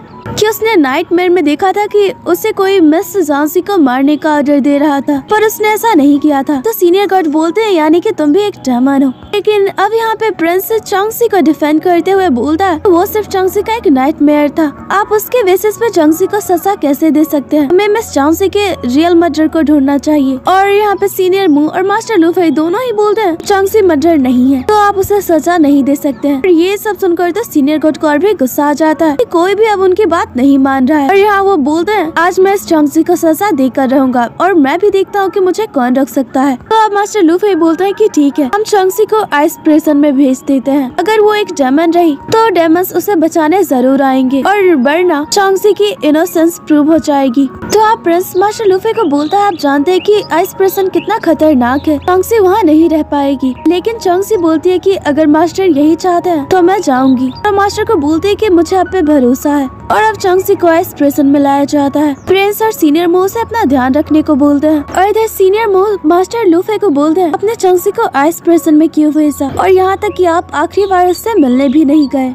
तो मास्टर लूफे बोलते हैं, मैं उसे इस कंडीशन में नहीं देख सकता। और डेमन से चांगसी को बचाने का बस यही एक रास्ता था। वो नाइटमेयर के ज़रिए चांगसी का इस्तेमाल कर रहे हैं। इधर मिस चांगसी का फ्यूनरल होता है। यहाँ मास्टर लूफे चांगसी को बहुत मिस कर रहे होते हैं। और यहाँ प्रिंस प्रिंस जाओ को बोलता है कि मैं हर हाल में चांगसी को इस प्रेसन से बचाना चाहता हूँ। लेकिन प्रिंस जाओ बोलता है मास्टर लूफे ने कुछ सोच कर ही चांगसी को इस प्रेसन में भेजा होगा। क्योंकि मुझे पता है वो भी नहीं चाहते कि चांगसी कभी हर्ट हो। इसलिए हमें चांगसी का इंतज़ार करना होगा। और इधर डेमन बल्ब भी पता चल जाता है चांगसी को इस प्रेसन में भेजा गया है। इधर मास्टर किनशी मास्टर लूफे को बोलते हैं, तुम इतनी इजिली चांगसी को आइस प्रेसन में भेजने के लिए कैसे मान गए? तो मास्टर लूफे बोलते हैं कि चांगसी को बचाने का इससे बढ़िया कोई रास्ता नहीं था। और इधर आइस प्रेसन में सिर्फ़ चंगसी को रखने का ही ऑर्डर दिया गया था। लेकिन जब प्रिंसेस होती है, वो चंगसी को यहाँ काफ़ी हर्ट करती है और बोलती है की तुम इसी को डिजर्व करती हो। और यहाँ चंगसी बोलती है कि मैं ये सब मास्टर को बताऊँगी की तुम किस तरह मुझसे हर्ट कर रही हो। और अब यहाँ पे तिनशान किंग का सन आता है क्योंकि प्रिंसेस को बोलता है की मुझे चंगसी से अकेले में बात करनी है तो प्रिंसेस भी उसे जाने देती है और इधर चंगसी को अलग अलग विजन आ रहे होते हैं कि वो डेमन वर्ल्ड में और उसे कोई यंग मास्टर बोल रहा है। तो ये सब मास्टर लूफे को बताना चाहती है। तभी यहाँ पे तिनशान प्रिंस आ जाते हैं। चांगसी को नीचे उतार देता है। बोलता है की मैं तुम्हारी हेल्प करना चाहता हूँ।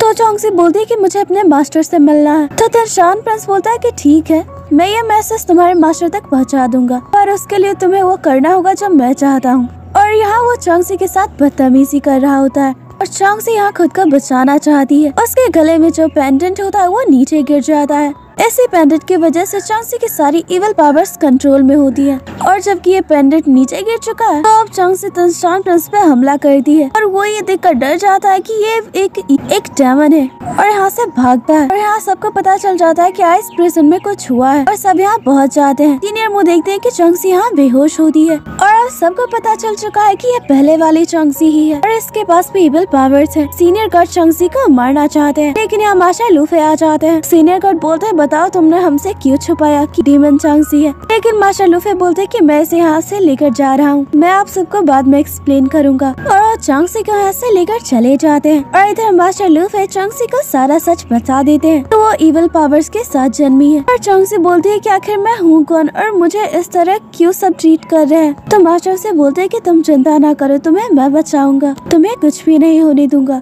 चांगसी बोलते है की मुझे आप पे भरोसा है। आप मुझे कभी भी अकेले नहीं छोड़ेंगे। और इधर सीनियर गॉड मास्टर लूफे को बोलते हैं कि अब बताओ मुझे क्या है। ये पहली वाली चंगसी ही है। मास्टर लूफे बोलते हैं कि लास्ट टाइम चंगसी से मिलने के लिए प्रिंसेस और तिनशान प्रिंस गया था, आप उन्हें बुलाएँ। और दोनों आ जाते हैं। और मास्टर लूफे यहाँ तिनशान प्रिंस को पनिश करते हैं। वो सीनियर गॉड को बोलते हैं की इसने चंगसी के साथ बदतमीजी की। और अब वो उसे मारने वाले होते हैं। लेकिन सीनियर गॉड बोलते हैं इसे सजा तिनशान किंग देंगे। तो तुम इसे छोड़ दो। और सीनियर गॉड यहाँ प्रिंसेस को बोलते मैंने तुम्हें ऑर्डर दिया था किसी को चंगसी के पास न आने दिया जाए। और तुमने मेरे ऑर्डर को फॉलो नहीं किया। ये सब तुम्हारी वजह से हुआ है। और यहाँ वो प्रिंसेस को सजा देते हैं। तीन साल तक उसे आइस प्रिजन में रहना होगा। प्रिंसेस अपने मास्टर को बोलती रह जाती है। उसे सजा ना दी जाए। पर कोई इसके नहीं सुनता। और यहाँ सीनियर कोर्ट मास्टर लूफे को बोलते हैं कि तुम्हें पता है कि चंगसी के पास इविल पावर्स है। और वो कभी भी किसी को नुकसान पहुँचा सकती है। उसका अपनी पावर से कंट्रोल नहीं है। डेमंस कभी भी उसका यूज़ कर सकते हैं। तो मास्टर लूफे बोलते हैं कि मैंने चांगसी को बचाने का एक उपाय ढूंढा है। मैं मिरर गोल्डन मिरर प्रोसेस के ज़रिए चांगसी की बॉडी से उन इवल पावर्स को अलग कर दूँगा। पर अभी मैं पूरी तरह से गोल्डन मिरर प्रोसेस को नहीं सीख पाया हूँ। मुझे और भी प्रैक्टिस के लिए टाइम चाहिए। तब तक हम चांगसी को आइस प्रिजन में सुला देंगे, जिससे कि ये खतरा भी नहीं रहेगा कि चांगसी किसी को हर्ट करेगी। तो सीनियर गॉड भी ये एक्सेप्ट कर लेते हैं। भाषा लूफे चांगसी को बोलते हैं, तुम बस इसे एक ड्रीम समझो। मैं जल्दी तुम्हारे पास आ जाऊँगा। और वो चांगसी को आइस प्रिजन में सुला देते हैं। उसकी सेफ्टी के लिए वो यहाँ शील्ड भी लगा देते हैं, ताकि कोई चांसी को हर्ट न कर पाए। इधर तेंशुआ ने अपनी मास्टर में चांसी की जगह ले ली है। उधर मास्टर लूफे पर हार्ट पॉइजन का असर और भी ज़्यादा बढ़ चुका है। उनके पास मेडिसिन भी होती है, पर वो उसे फेंक देते हैं। क्यों, क्योंकि उन्हें लगता है कि चांसी जिस दर्द से अभी गुजर रही है। उसके सामने उनका ये पेन कुछ भी नहीं। और इधर तेंशुआ आइस प्रिजन में पहुँच जाती है। वो यहाँ सील्ड को भी तोड़ देती है और चांसी को यहाँ जंजीरों से टांग देती है, जिससे की चौंगसी को बहुत ही ज़्यादा पेन हो रहा होता है। तेरशुआ यहाँ मास्टर लूफे का रूप ले लेती है। और चौंगसी की आँखें जैसे ही खोलती वो मास्टर को देखकर खुश थी। वो बोलती कि मुझे यहाँ से बचाए लेकिन मास्टर बोलते कि तुम इसी को डिजर्व करती हो। कोई भी तुम्हें नहीं बचा पाएगा। और देखते हैं कि मास्टर लूफे गोल्डन मिरर प्रोसेस की प्रैक्टिस करते हैं। और इधर प्रिंस और प्रिंस जब बात कर रहे होते तो दोनों तीन साल तक चंगजी से नहीं मिले हैं। यानी कि ये टाइम अब तीन साल आगे आ चुका है। और प्रिंस बोलता है कि हमें चंगजी से मिलने जाना चाहिए। लेकिन प्रिंस जा बोलता है कि जब तक मास्टर लूफे नहीं चाहेंगे, हम नहीं जा सकते। हमें पता है कि चंगसी को वहाँ कितना पेन हो रहा होगा। और इधर जोई अपने हस्बैंड के साथ होती है। और वो बोलती है कि मुझे यहाँ से जाना होगा। और यहाँ डेमन यूसी जोई को बोलता है कि कब तक तुम अपने हस्बैंड से छुपाओगी कि तुम एक डेमन हो? तो जोई बोलती है कि जब तक मेरी जान है। और इधर डेमन किंग के साथ होती है जिंग जिंग और यहाँ हमें पता चलता है कि जिंग जिंग भी एक डेमन है, जो कि इमोर्टल वर्ल्ड में एज स्पाई थी। और डेमन किंग उसे बोलता है कि अब हमें चौंगजी का बचाना है, क्योंकि नील उनकी जो शर्ट है, उसकी मालिक सिर्फ़ वही है। वही है जो इस शर्ट को यूज़ कर सकती है। किसी के पास इतनी पावर्स नहीं कि वो इस शर्ट को यूज़ कर पाए, सिवाय उसके। और इधर प्रिंसेस को देखते हैं, जिसकी सजा पूरी हो चुकी है, और वो आइस प्रिजन से बाहर आ चुकी है। उसे अपनी हालत पे तरस आ रहा होता है। तभी यहाँ इंसान प्रिंस आ जाता है, जो कि प्रिंसेस को बोलता है, क्या हम दोनों के साथ जो हुआ, उसका तुम चंगजी से बदला नहीं लेना चाहती? पर प्रिंसेस बोलती है कि मेरे साथ जो हुआ, उसकी वजह तुम हो। और अब यहाँ वो आती है तो प्रिंस उसका वेट कर रहा होता है। लेकिन प्रिंस भी उसे बोलता है तुमने जो गलती की है, उसके लिए मैं तुम्हें कभी माफ़ नहीं करूँगा। तुम अब मेरे साथ काम करने वाली सिर्फ़ मेरी एक कलीग हो। अब तुम मेरी दोस्त नहीं हो। तुम्हारी वजह से चंगजी के साथ उतना कुछ हुआ था। और ये सुनकर तो प्रिंसेस को और भी ज़्यादा दुख होता है। वो जिसे पसंद करती है, अब वो भी उसे अपना दोस्त तक नहीं मानता। और अब वो सीनियर गॉड के पास पहुँचती है तो वो उसे देखकर खुश थे। पर यहाँ प्रिंसेस को पता चलता है कि उसकी पोजिशन अब उससे छीन ली गई है। और अब उसे दोबारा इमोर्टल बनने के लिए उसे सब कुछ शुरू करना होगा। जैसा कि एक न्यू डिसाइपल के साथ होता है, और ये सुनकर तो उसे और भी बुरा लगता है। और यहाँ वो तनशान प्रिंस के साथ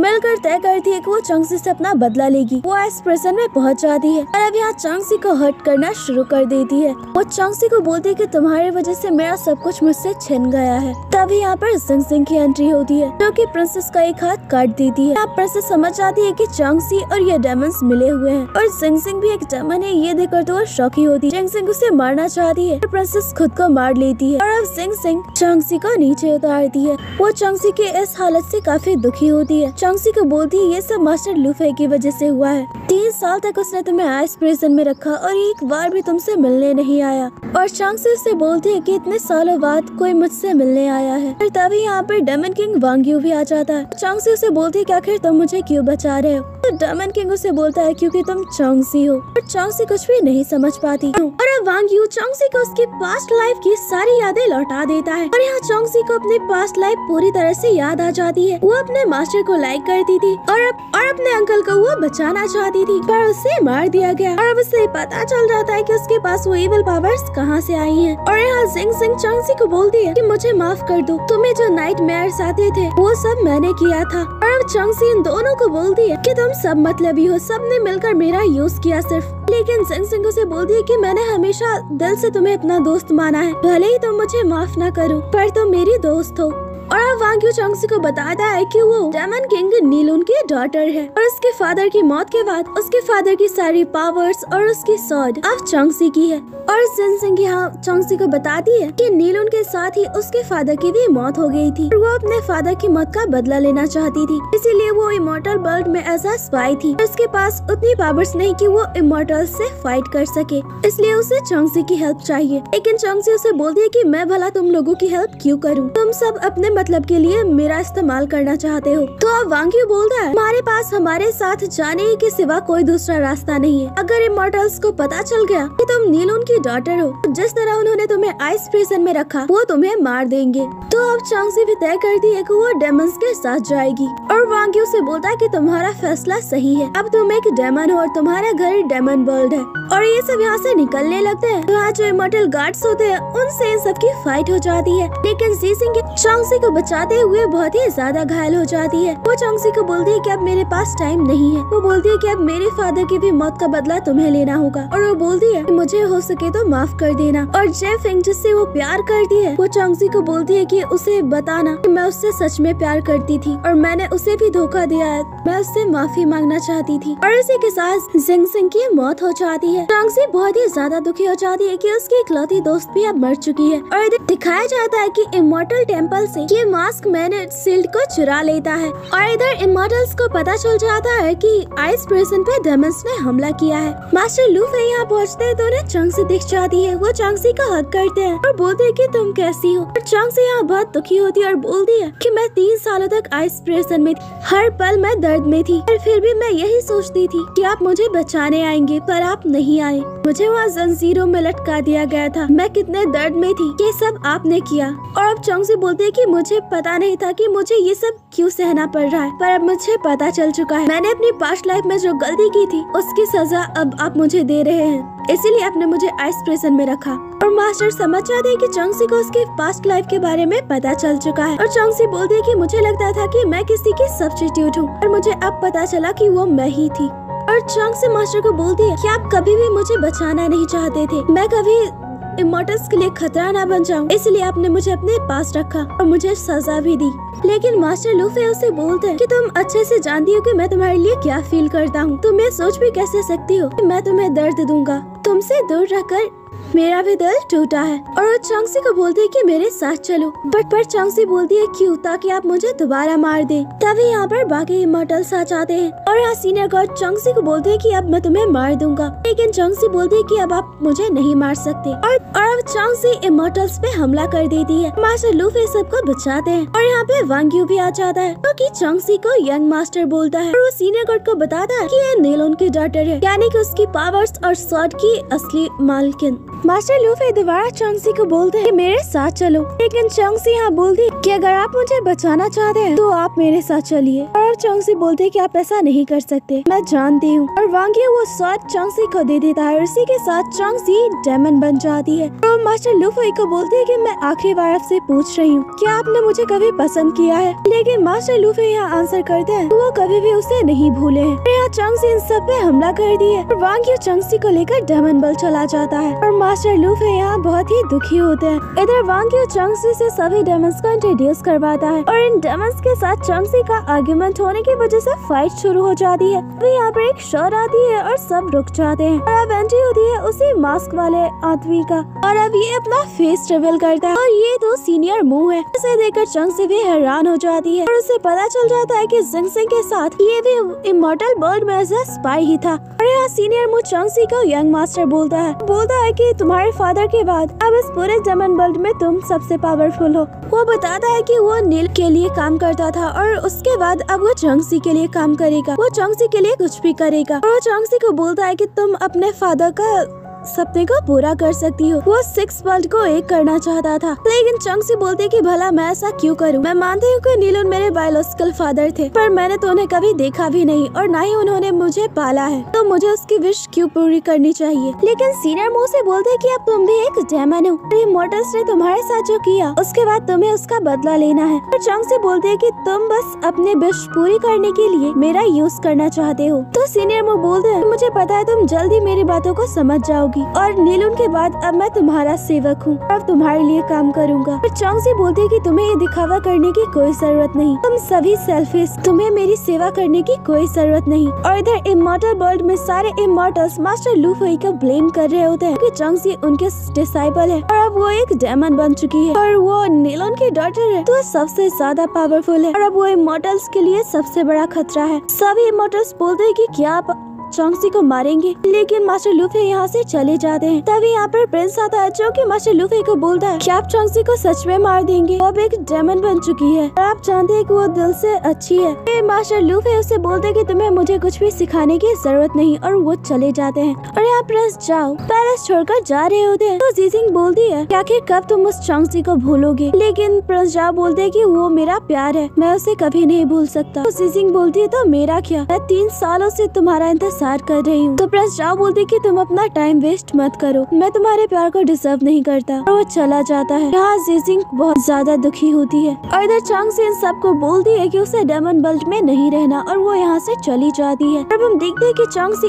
इमोर्टल टेंपल में आ चुकी है। चांग सी यहाँ बहुत ही गुस्से में होती है, क्योंकि बिना किसी गलती के उसे इतने बड़े सजा दी गई। इधर मास्टर लूफे आइस प्रेसन में आते हैं गलती की उसे इतने बड़े सजा दी गई। इधर मास्टर लूफे आइस प्रेसन में आते हैं तो उन्हें पता चल जाता है कि चमचे के साथ इन तीन सालों में क्या क्या हुआ, पर वो नहीं समझ पाते वो तो तीन सालों तक आइस प्रेसर में नहीं आए थे। तो आखिर चौंगसी को ये सजा किसने दी? और यहाँ उन्हें काफ़ी दुख होता है। चौंगसी उतने टाइम तक इतने दर्द में थी। और इधर प्रिंस प्रिंस चा को बता देता है चौंगसी अब एक डीमन बन चुकी है। वो नीलन की डॉटर है और वो डीमन वर्ल्ड में जा चुकी है। तो प्रिंस जा बोलता है की हम उससे बात करेंगे। हम उसके दोस्त है, हम उसका माइंड ज़रूर चेंज करेंगे। और इधर चौंगसी अपने मास्टर के पैलेस में और अपने रूम में आती है। और यहाँ वो तय करती है कि अपने यादों के साथ साथ वो इस जगह को भी बर्बाद कर देगी। वो आग लगा देती है यहाँ पर। और अब वो इमोटल वर्ल्ड के बाकी जगहों को भी बर्बाद करना चाहती है। लेकिन यहाँ प्रिंस आ जाता है और वो चंगसी को रोकता है। बोलता है की तुम ऐसा नहीं कर सकती हो। पर चंगसी उसे बोलती है की तुम मेरे एक अच्छे दोस्त हो। इसलिए मैं तुम्हें नुकसान नहीं पहुंचाना चाहती। और वैसे भी तुम बहुत ही कमज़ोर हो। तुम मुझसे फाइट नहीं कर सकते। तो प्रिंस बोलता है, भले ही मैं कमज़ोर हूँ, पर मैं तुमसे प्रॉमिस करता हूँ कि मैं तुम्हें बचाने के लिए कुछ भी करूँगा। तो चौंग से बोलती है कि, भला तुम मुझे क्यों बचाओगी? और यहाँ वो प्रिंस पे अटैक दी है। और इधर मास्टर लूफी इन सारी चीज़ों को दोबारा ठीक कर और वो भी चंगसी के पास पहुँच जाते हैं वो चंगसी को बोलते हैं कि इन सब चीज़ों को रोक दो। तुम किसी का नुकसान नहीं पहुँचा सकती हो। तुम्हें अपनी पावर्स को कंट्रोल करना चाहिए। और वो चंगसी को बोलते हैं कि मेरे साथ वापस चलो। लेकिन चंगसी बोलती कि मैं आपके पास दोबारा नहीं आऊँगी। और अब तो मैं एक डेमन बन चुकी हूँ। तो क्या अब आप मुझे दोबारा मारेंगे?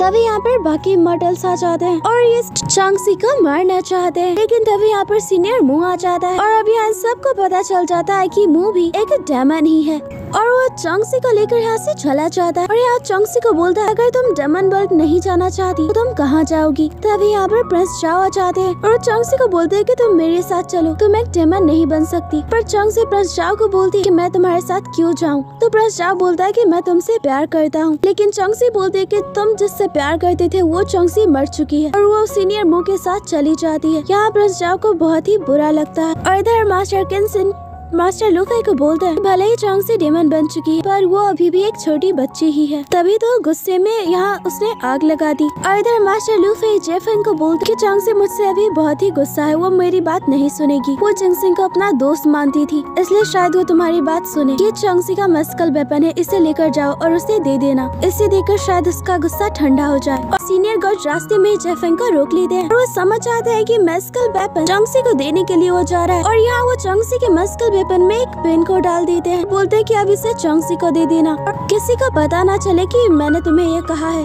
और इधर चौंगसी डेमन बल्ब में वापस आ चुकी है। और वो बोलते हैं कि मैं अब यही रहूँगी, पर मुझे रहने के लिए एक शांत जगह चाहिए। और डेमन किंग उसे एक पैलेस में लाता है और बोलता है कि ये तुम्हारी मदर सूसी का है। और यहाँ वो उसे बताता है कि तुम्हारी मदर एक इमोर्टल थी। और उन्होंने जमन किंग नीलन से शादी की। इसलिए अब ये पैलेस तुम्हारा है। और इधर प्रिंस चाओ बहुत ही ज़्यादा दुखी होता है। और इधर जो ही चौंगसी को बोलती है कि तुमसे कोई मिलने आया है। चौंगसी देखती है ये तो जेफेंग है। जेफेंग चौंगसी को बोलता है, क्या सिंग सिंग ने मरने से पहले मेरे लिए कुछ कहा था? तो चांगसी से बता देती है कि उसने तुमसे माफ़ी मांगी और वो सच्चे दिल से तुमसे प्यार करती थी। और अब जेफेंग चौंगसी को उसका मेस्कल वेपन देता है और बोलता है की ये तुम्हारे मास्टर ने दिया है। जैसे चंगसी मस्कल वेपन को लेती है, उसके सारी पावर्स इस वेपन में जाने लगती है और उसे काफ़ी दर्द होने लगता है। और ये सब इसलिए होता है क्योंकि सीनियर गॉड ने मस्कल वेपन में गोल्डन पिन डाला था, जिससे किसी की भी पावर को खत्म किया जा सकता है और अब जेफिंग चंगसी को मारना चाहता है। तो सीनियर गॉड ने इसीलिए उसे यहाँ भेजा है। पर यहाँ पर सीनियर मुँह आ जाता है। जेफिंग को मारने वाला होता है, लेकिन चंगसी उसे रोकती है। वो उसे ऑर्डर देती है की तुम इसे नहीं मारोगी। फिर भी मुँह उसे मार देता है और बोलता है की तुम्हें बचाने के लिए मेरे पास बस यही एक रास्ता था। लेकिन चंगची उसे बोलती है की तुम तो कहते हो की तुम मेरा फॉलो करोगे।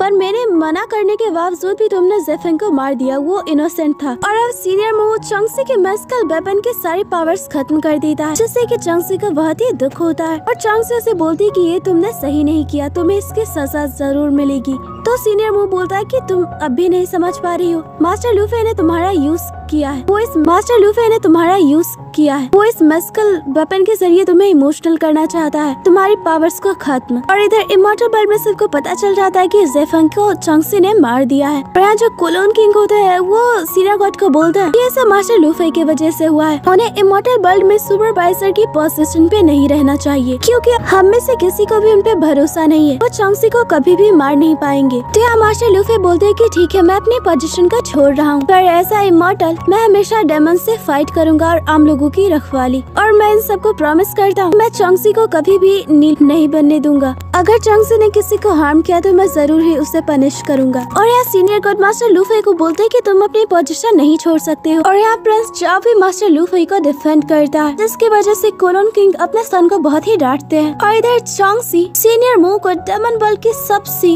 बड़ी पनिशमेंट दे दी है। वो यहाँ बहुत ही ज़्यादा इंसर्ट हो चुका है। तो डेमन किंग वांग्यू बोलता है कि जब से तुम पैदा हुई हो, तब से तुम्हें बचाने वाला मास्टर लूफे नहीं, बल्कि सीनियर मुँह है। उसने हर बार तुम्हें बचाया है। इस पूरी दुनिया में जिसे सबसे ज़्यादा तुम्हारी फ़िक्र है वो सिर्फ़ मुँह ही है। तुम उसके बारे में नहीं जानती हो। और ये सब सुनकर चौंगसी अब मास्टर मुँह को छोड़ देती है और बोलती कि मैं इसलिए कर रही हूँ क्योंकि किसी ने मुझे बताया कि तुम्हें मेरी बहुत फ़िक्र है। और अब यहाँ चौंगसी मुँह को बोलती कि मैं कभी भी तुम पे भरोसा नहीं कर सकती। तुम अब एक डेमन हो। अब तक तुम मेरे सीनियर मुँह थे, मैं तुम पे भरोसा करती थी। और तुम मुझे हमेशा नाइसली ट्रीट भी करते थे। तो यहाँ मुँह बोलता है की ठीक है, तुम जैसा चाहती हो मैं वैसा बन जाऊँगा तुम्हारे लिए। मैं तुम्हारे लिए सीनियर मुँह ही बनूँगा। और यहाँ वो चौंगसी का ख्याल रखता है। और यहाँ वो चौंगसी को बताता है कि वो नीलन की ब्लड रिलेटिव है तो वही सिर्फ़ सिल्ड को तोड़ सकती है और वही सिक्स वर्ल्ड को एक कर सकती है। चौंसी बोलती है कि सिक्स वर्ल्ड को एक करना ही क्यों है? तो अब यहाँ सीनियर मुँह से दिखाता है लेमन वर्ल्ड में जो बच्चे हैं, वो सभी एक दूसरे को ही नुकसान पहुँचा रहे हैं। उनके पास सोचने समझने की शक्ति नहीं है और अब वो उसे अर्थ पे लेकर जाता है और वहाँ की कंडीशन भी दिखाता है, जहाँ लोग उसे समझ कर उससे डर रहे होते हैं। और यहाँ एक छोटा सा बच्चा चौंगसी से हेल्प माँगता है क्योंकि उसके पेरेंट्स बीमार है। और यहाँ एक आदमी चौंगसी को देखकर बोलता है की तुम एक डेमन हो। तुम्हें यहाँ नहीं होना चाहिए। इमोटल्स तुम्हें मार देंगे। तो चौंगसी बोलते है की तुम अपनी जान की फ़िक्र करो। तभी यहाँ मास्टर लूफे आ जाते हैं, जो की चौंगसी को बोलते हैं की तुम किसी भी इनोसेंट को हार्म नहीं कर सकती। और सीनियर मो यहाँ चौंगसी को लेकर चले जाते हैं। मास्टर लूफे इस छोटे से बच्चे को मास्टर केंसन के पास लेकर आते हैं और बोलते हैं, आज से आप इसके मास्टर हैं और चले जाते हैं। और ये छोटा सा बच्चा काफ़ी क्यूट है। और अब यहाँ चौंगसी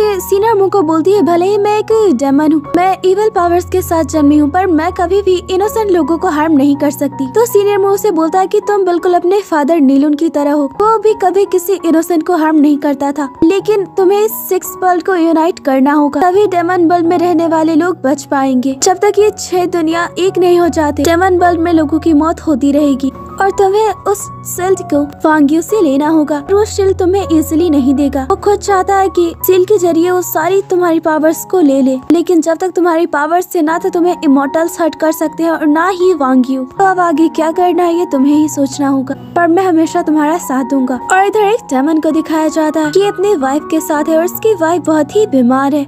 ये अपनी वाइफ को ज़िंदा रखने के लिए आम लोगों उम्र को चुरा लेता है और अपनी वाइफ को देता है। और इसे ऐसा करने से इसकी वाइफ भी रोकती है। और ये बोलता है कि मैं तुम्हारे साथ रहना चाहता हूँ। इसके लिए मैं कुछ भी कर सकता हूँ। और इधर, डेमन किंग वांग यू, चौंगसी को बोलता है कि माना कि शिल्ड को सिर्फ़ तुम ही तोड़ सकती हो। डेमन वर्ल्ड में जितने भी डेमन है, वो सब मेरे ऑर्डर को फॉलो करते हैं, क्यूँकी मैं यहाँ का डेमन किंग हूँ। और अगर तुम चाहती कि ये शिल्ड तुम्हारे पास हो, और यहाँ के सारे डेमन तुम्हारा साथ दे, तुम्हें हम सबके लिए कुछ करना होगा, क्योंकि भले ही तुम एक डेमन बन चुकी हो और तुमने अभी तक डेमंस के लिए कुछ भी नहीं किया है। अगर चाहती हो कि डेमन बल के सारे डेमंस तुम्हारे साथ दे तुम्हारे ऑर्डर को फॉलो करे तो, तो तुम्हें उन्हें विश्वास दिलाना होगा कि तुम सच में एक दमन बन चुकी हो। और इस, मैं तुम मैं तुम्हें ये शील्ड दे दूँगा पर इसके लिए मेरी एक शर्त है। मैं तुम्हें दो ऑप्शन देता हूँ।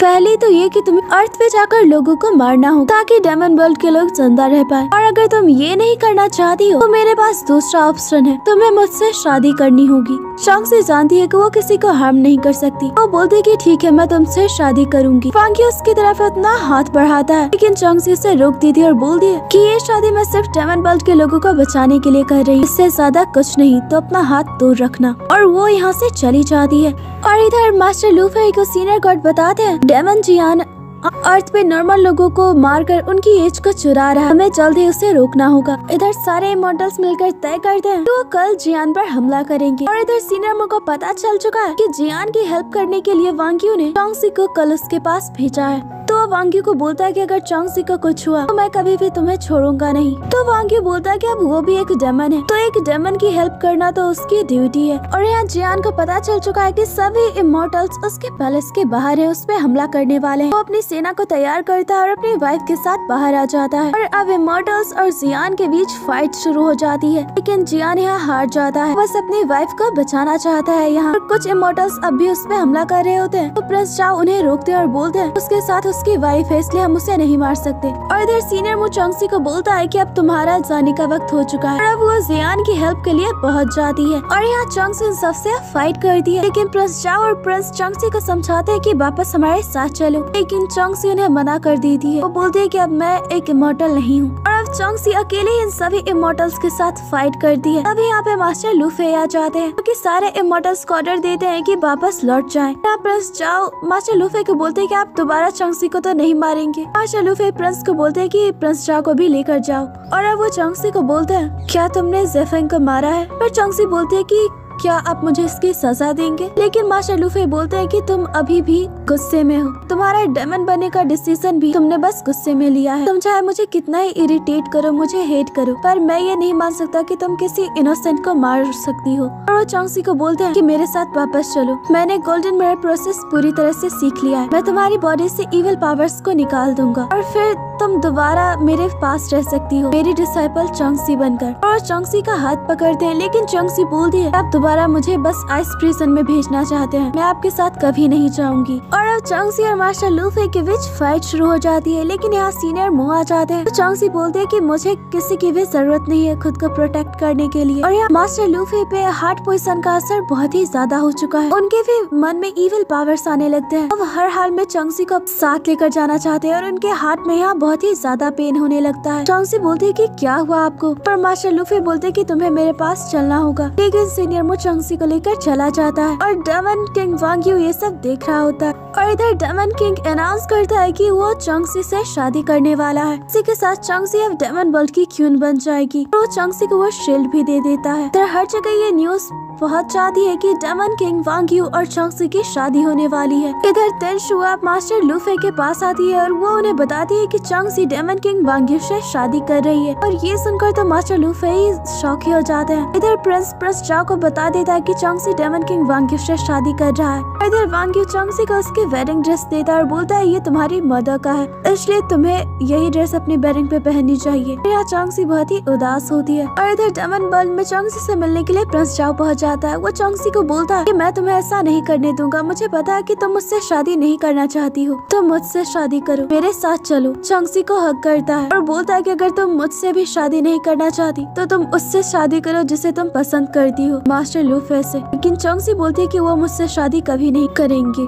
और प्रेस को बोलते है कि तुम्हें यहाँ से चले जाना चाहिए। अभी यहाँ पर सीनियर मुँह आ जाता है। वो प्रेस पे तलवार से हमला कर देता है। जिससे कि प्रेस बहुत ही ज़्यादा घायल हो जाते हैं। प्रेस को मारने वाला होता है, लेकिन चंगसी उसे रोक देती है। और प्रेस चा को बोलती है कि तुम यहाँ सिर्फ़ वापस चले जाओ, यही तुम्हारे लिए अच्छा होगा। प्रिंस को यहाँ बहुत ही ज़्यादा दुख होता है। चौंगसी यहाँ से चली जाती है। और उसे प्रिंस के लिए बहुत ही बुरा लगता है, क्योंकि वो हमेशा उसे अपना दोस्त मानती है। और उसकी वजह से आज वो इतना इंजर्ड हो चुका है। और इसी के साथ चाओ को वैसे ही छोड़कर चली जाती है। उसे बहुत ही दुख होता है। और इधर देखते है की प्रिंस का ट्रीटमेंट चल रहा होता है। अब उनकी जान बचाने का कोई भी तरीका नहीं है। वो पूरी तरह से घायल हो चुका है। और उसकी सारी पावर सब खत्म हो चुकी है। और यहाँ कोलोन किंग तय करते हैं कि वो किसी भी तरह अपने सन को बचाएँगे और वो अपनी सारी पावर्स अपने सन को देते हैं और उसे ठीक कर देते हैं। लेकिन यहाँ पर वो अब बहुत ही वीक हो चुके हैं। और प्रिंस जाओ को होश आता है तो वो अपने फादर को बोलता है कि आपको ऐसा नहीं करना चाहिए था। मेरी वजह से आप अपनी जान को खतरे में डाल रहे हैं। लेकिन कोलोन किंग बोलते हैं, तुम्हारी मॉम तुम्हारी आंट सब मुझे छोड़कर चले गए और अब मेरी फैमिली सिर्फ़ तुम हो। तो तुम्हें मैं कैसे कुछ होने दे सकता हूँ? और कोलोन किंग यहाँ पे प्रिंस चाओ को कोलोन का नया किंग अनाउंस करते हैं। और प्रिंस चाओ भी अपने फादर को प्रॉमिस करता है कि इस बार वो अपने जिम्मेदारियों को अच्छे से निभाएगा, अपने पर्सनल मैटर्स को अपनी ड्यूटी से दूर रखेगा, वो चंग से खुद को कभी हार्म नहीं करेगा। इधर मास्टर लूफे मेडिटेशन कर रहे होते हैं, वो जाग नहीं रहे होते हैं। तो प्रिंस मास्टर लूफे को जगाने के लिए हर कोशिश करता है। और यहाँ उसके मास्टर केंशी बोलते हैं कि चौंगसी अब एक डेमन है। अगर वो डेमन किंग वांगी से शादी कर भी रही है तो इसमें कोई प्रॉब्लम नहीं है। लेकिन प्रिंस बोलता है चौंगसी, ये शादी सिर्फ़ इसलिए कर रही है ताकि डेमन वर्ल्ड में उसे एक स्टेबल पोजीशन मिल सके। सभी डेमन्स उसके ऑर्डर को फॉलो करे। और मुझे पता है कि मास्टर लूफे के सिवा कोई भी चौंगसी को ये शादी करने से नहीं रोक सकता। इधर चौंगसी बैटिंग के लिए तैयार हो चुकी है। वो सीनियर मो को बोल दिया कि अब मेरा कोई रिलेटिव नहीं है, इसलिए मैं तुम्हें अपना रिलेटिव मानती हूँ और ये शादी करने जा रही हूँ। इधर लूफे भी मेडिटेशन से जग गए होते हैं तो यहाँ पर प्रिंस आके बताता है कि आज चौंगसी डमन किंग वांग्यू से शादी कर रही है। यहाँ इन दोनों की शादी के सारे रिचुअल्स कंप्लीट हो चुके हैं। वांग्यू चौंगसी को न्यू डमन क्यून अनाउंस करता है? और वो चौंगसी को बोलता है, तुम सबके सामने मुझे मना नहीं कर सकती और उसे किस करने वाला होता है? तभी यहाँ पर शॉट आती है, वो भी मास्टर लूफे की। और यहाँ वो सब कुछ रोक देते हैं। तो वांग्यू बोलता है कि मुझे तुम्हारा इंतज़ार था। और मास्टर लूफे यहाँ चौंगसी को बोलते हैं कि मेरे साथ चलो। लेकिन चौंगसी बोलती है कि मेरा तुमसे अब कोई रिश्ता नहीं। और वांगी बोलता है कि अब चौंगसी मेरी वाइफ है तो ये तुम्हारे साथ नहीं जा सकती। मास्टर लूफे वांगी को बोलते है की इससे तुम्हारा कोई रिश्ता नहीं। और वो चौंगसी के वहाँ से लेकर चले जाते हैं। और अब चौंगसी बोलते हैं कि आपने मुझे यहाँ क्यों लाया है? आपको कोई हक नहीं। तो मास्टर लूफे बोलते हैं, अगर तुम वांगी से शादी करना चाहती हो तो मैं तो मैं तुम्हें नहीं रोकूँगा। पर मुझे बताओ कि क्या तुम इस शादी से खुश हो? तो चौंगसी बोलती है, अगर मैं उससे शादी नहीं करूँगी तो क्या आप मुझसे शादी करेंगे? और यहाँ मास्टर लूफे चौंगसी का किस करते हैं। और वो चौंगसी को बोलते हैं, क्या तुम मुझसे शादी करोगी? और इससे पहले कि चौंगसी यस बोल दी वो उसे दोबारा किस करते हैं। क्या ये दोनों एक दूसरे के लव को एक्सेप्ट कर लेते हैं। ये दोनों यहाँ साथ में टाइम स्पेंड करते हैं। और वो भी समझ जाता है कि चौंगसी ने अपने लव को एक्सेप्ट कर लिया है। और इधर जूही डायमंड किंग को बोलती है, अब शायद चौंगसी वापस नहीं आएगी। और इधर मास्टर लूफे और चौंगसी काफ़ी खुश होते हैं। चौंगसी मास्टर को बोलती है क्या अब हम दोनों कपल है। तो मास्टर लूफे बोलते हैं कि, तुम्हें क्या लगता है? तो चौंगसी बोलती है, क्या मैं अभी भी आपको मास्टर ही बोलूँ? तो मास्टर बोलते है, तुम जो भी चाहो मुझे बुला सकती हो। और अब चौंगसी मास्टर लूफे को बोलती है की, अगर आप मुझसे शादी करेंगे तो आपको वर्ल्ड छोड़ना होगा। क्योंकि मैं अभी भी एक डेमन हूँ और मुझे पता है कि आप इमोटल वर्ल्ड को कभी नहीं छोड़ेंगे। आपकी ड्यूटी आपके लिए सबसे पहले है। लेकिन मास्टर लूफी बोलते हैं कि जब तक तुम मेरे साथ हो, मैं किसी भी प्रॉब्लम को सॉल्व कर सकता हूँ। मुझे इमोर्टल वर्ल्ड अभी जाना होगा, पर तुम मेरा इंतज़ार करना। इस बार जब मैं वापस आऊँगा तो हम दोनों हमेशा के लिए साथ होंगे।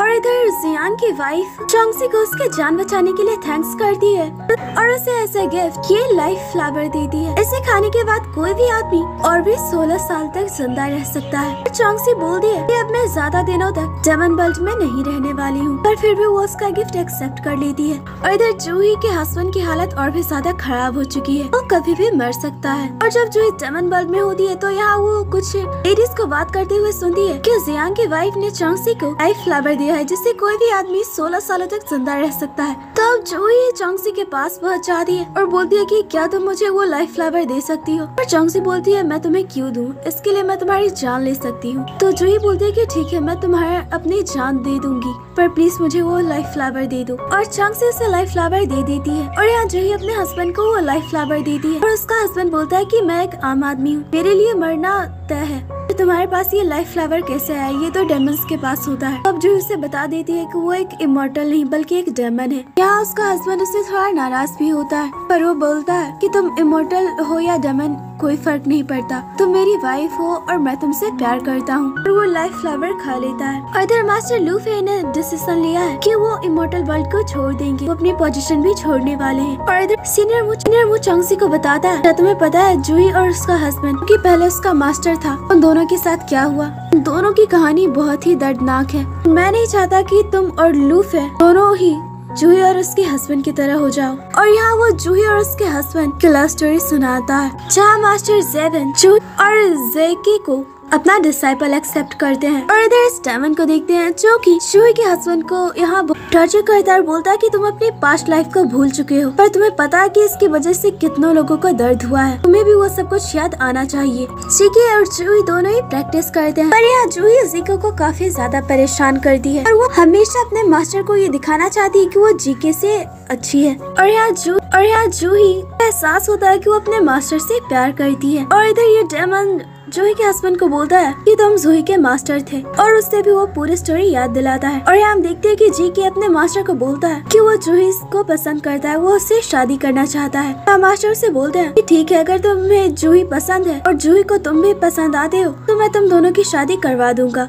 वैसे भी तुम दोनों अच्छे दोस्त हो, और यहाँ जूही को भी पता चल चुका है। वो मास्टर को बोलती है कि उसे जी के साथ शादी नहीं करनी, और यहाँ वो मास्टर को अपनी फीलिंग्स बताती है कि वो उन्हें पसंद करती है। इधर जीके को पता चलता है जूही ने उससे शादी करने से मना कर दिया है। वो बेचारा बहुत ही दुखी होता है। यहाँ उसे पता चल जाता है की जूही मास्टर को लाइक करती है। मास्टर तनशान किंग को बोलते हैं की जूही जीके से शादी नहीं करना चाहती। पर यहाँ जीके तनशान किंग को बताता है कि मास्टर और जूही एक दूसरे से प्यार करते हैं और ये सुनकर तो तनशान किंग को काफ़ी गुस्सा आता है। ये दोनों मास्टर और डिसाइपल है और एक दूसरे से प्यार नहीं कर सकते। और यहाँ तनशान किंग मास्टर जेवन को बोलते हैं कि डेमंस कभी भी हम पे हमला कर सकते हैं। और तुम्हारी रिस्पॉन्सिबिलिटी है कि तुम इमोटल बल को बचाओ, लेकिन तुम तो अपने ही पर्सनल मैटर्स में उलझे हुए हो। तुम्हें क्या लगता है, अगर सबको पता चलेगा कि तुम अपने डिसाइपल से प्यार करते हो तो तुम्हारी क्या इमेज रह जाएगी? तुम्हारे रिलेशनशिप से तुम अपनी ड्यूटी भी ठीक से नहीं कर पाओगे। मास्टर जेफिन तय करते हैं कि वो जूही को छोड़ देंगे। वो तनशान किंग को बोलते हैं कि उनका और जूही का कोई रिलेशन नहीं है। और यहाँ वो जूही को इमोटल बॉल्स निकालने का फैसला सुना देते हैं। जूही को यहाँ बहुत ही दुख होता है। उसके मास्टर ने उसे एक्सेप्ट नहीं किया। और यहाँ जीकी को और भी ज़्यादा दुख होता है।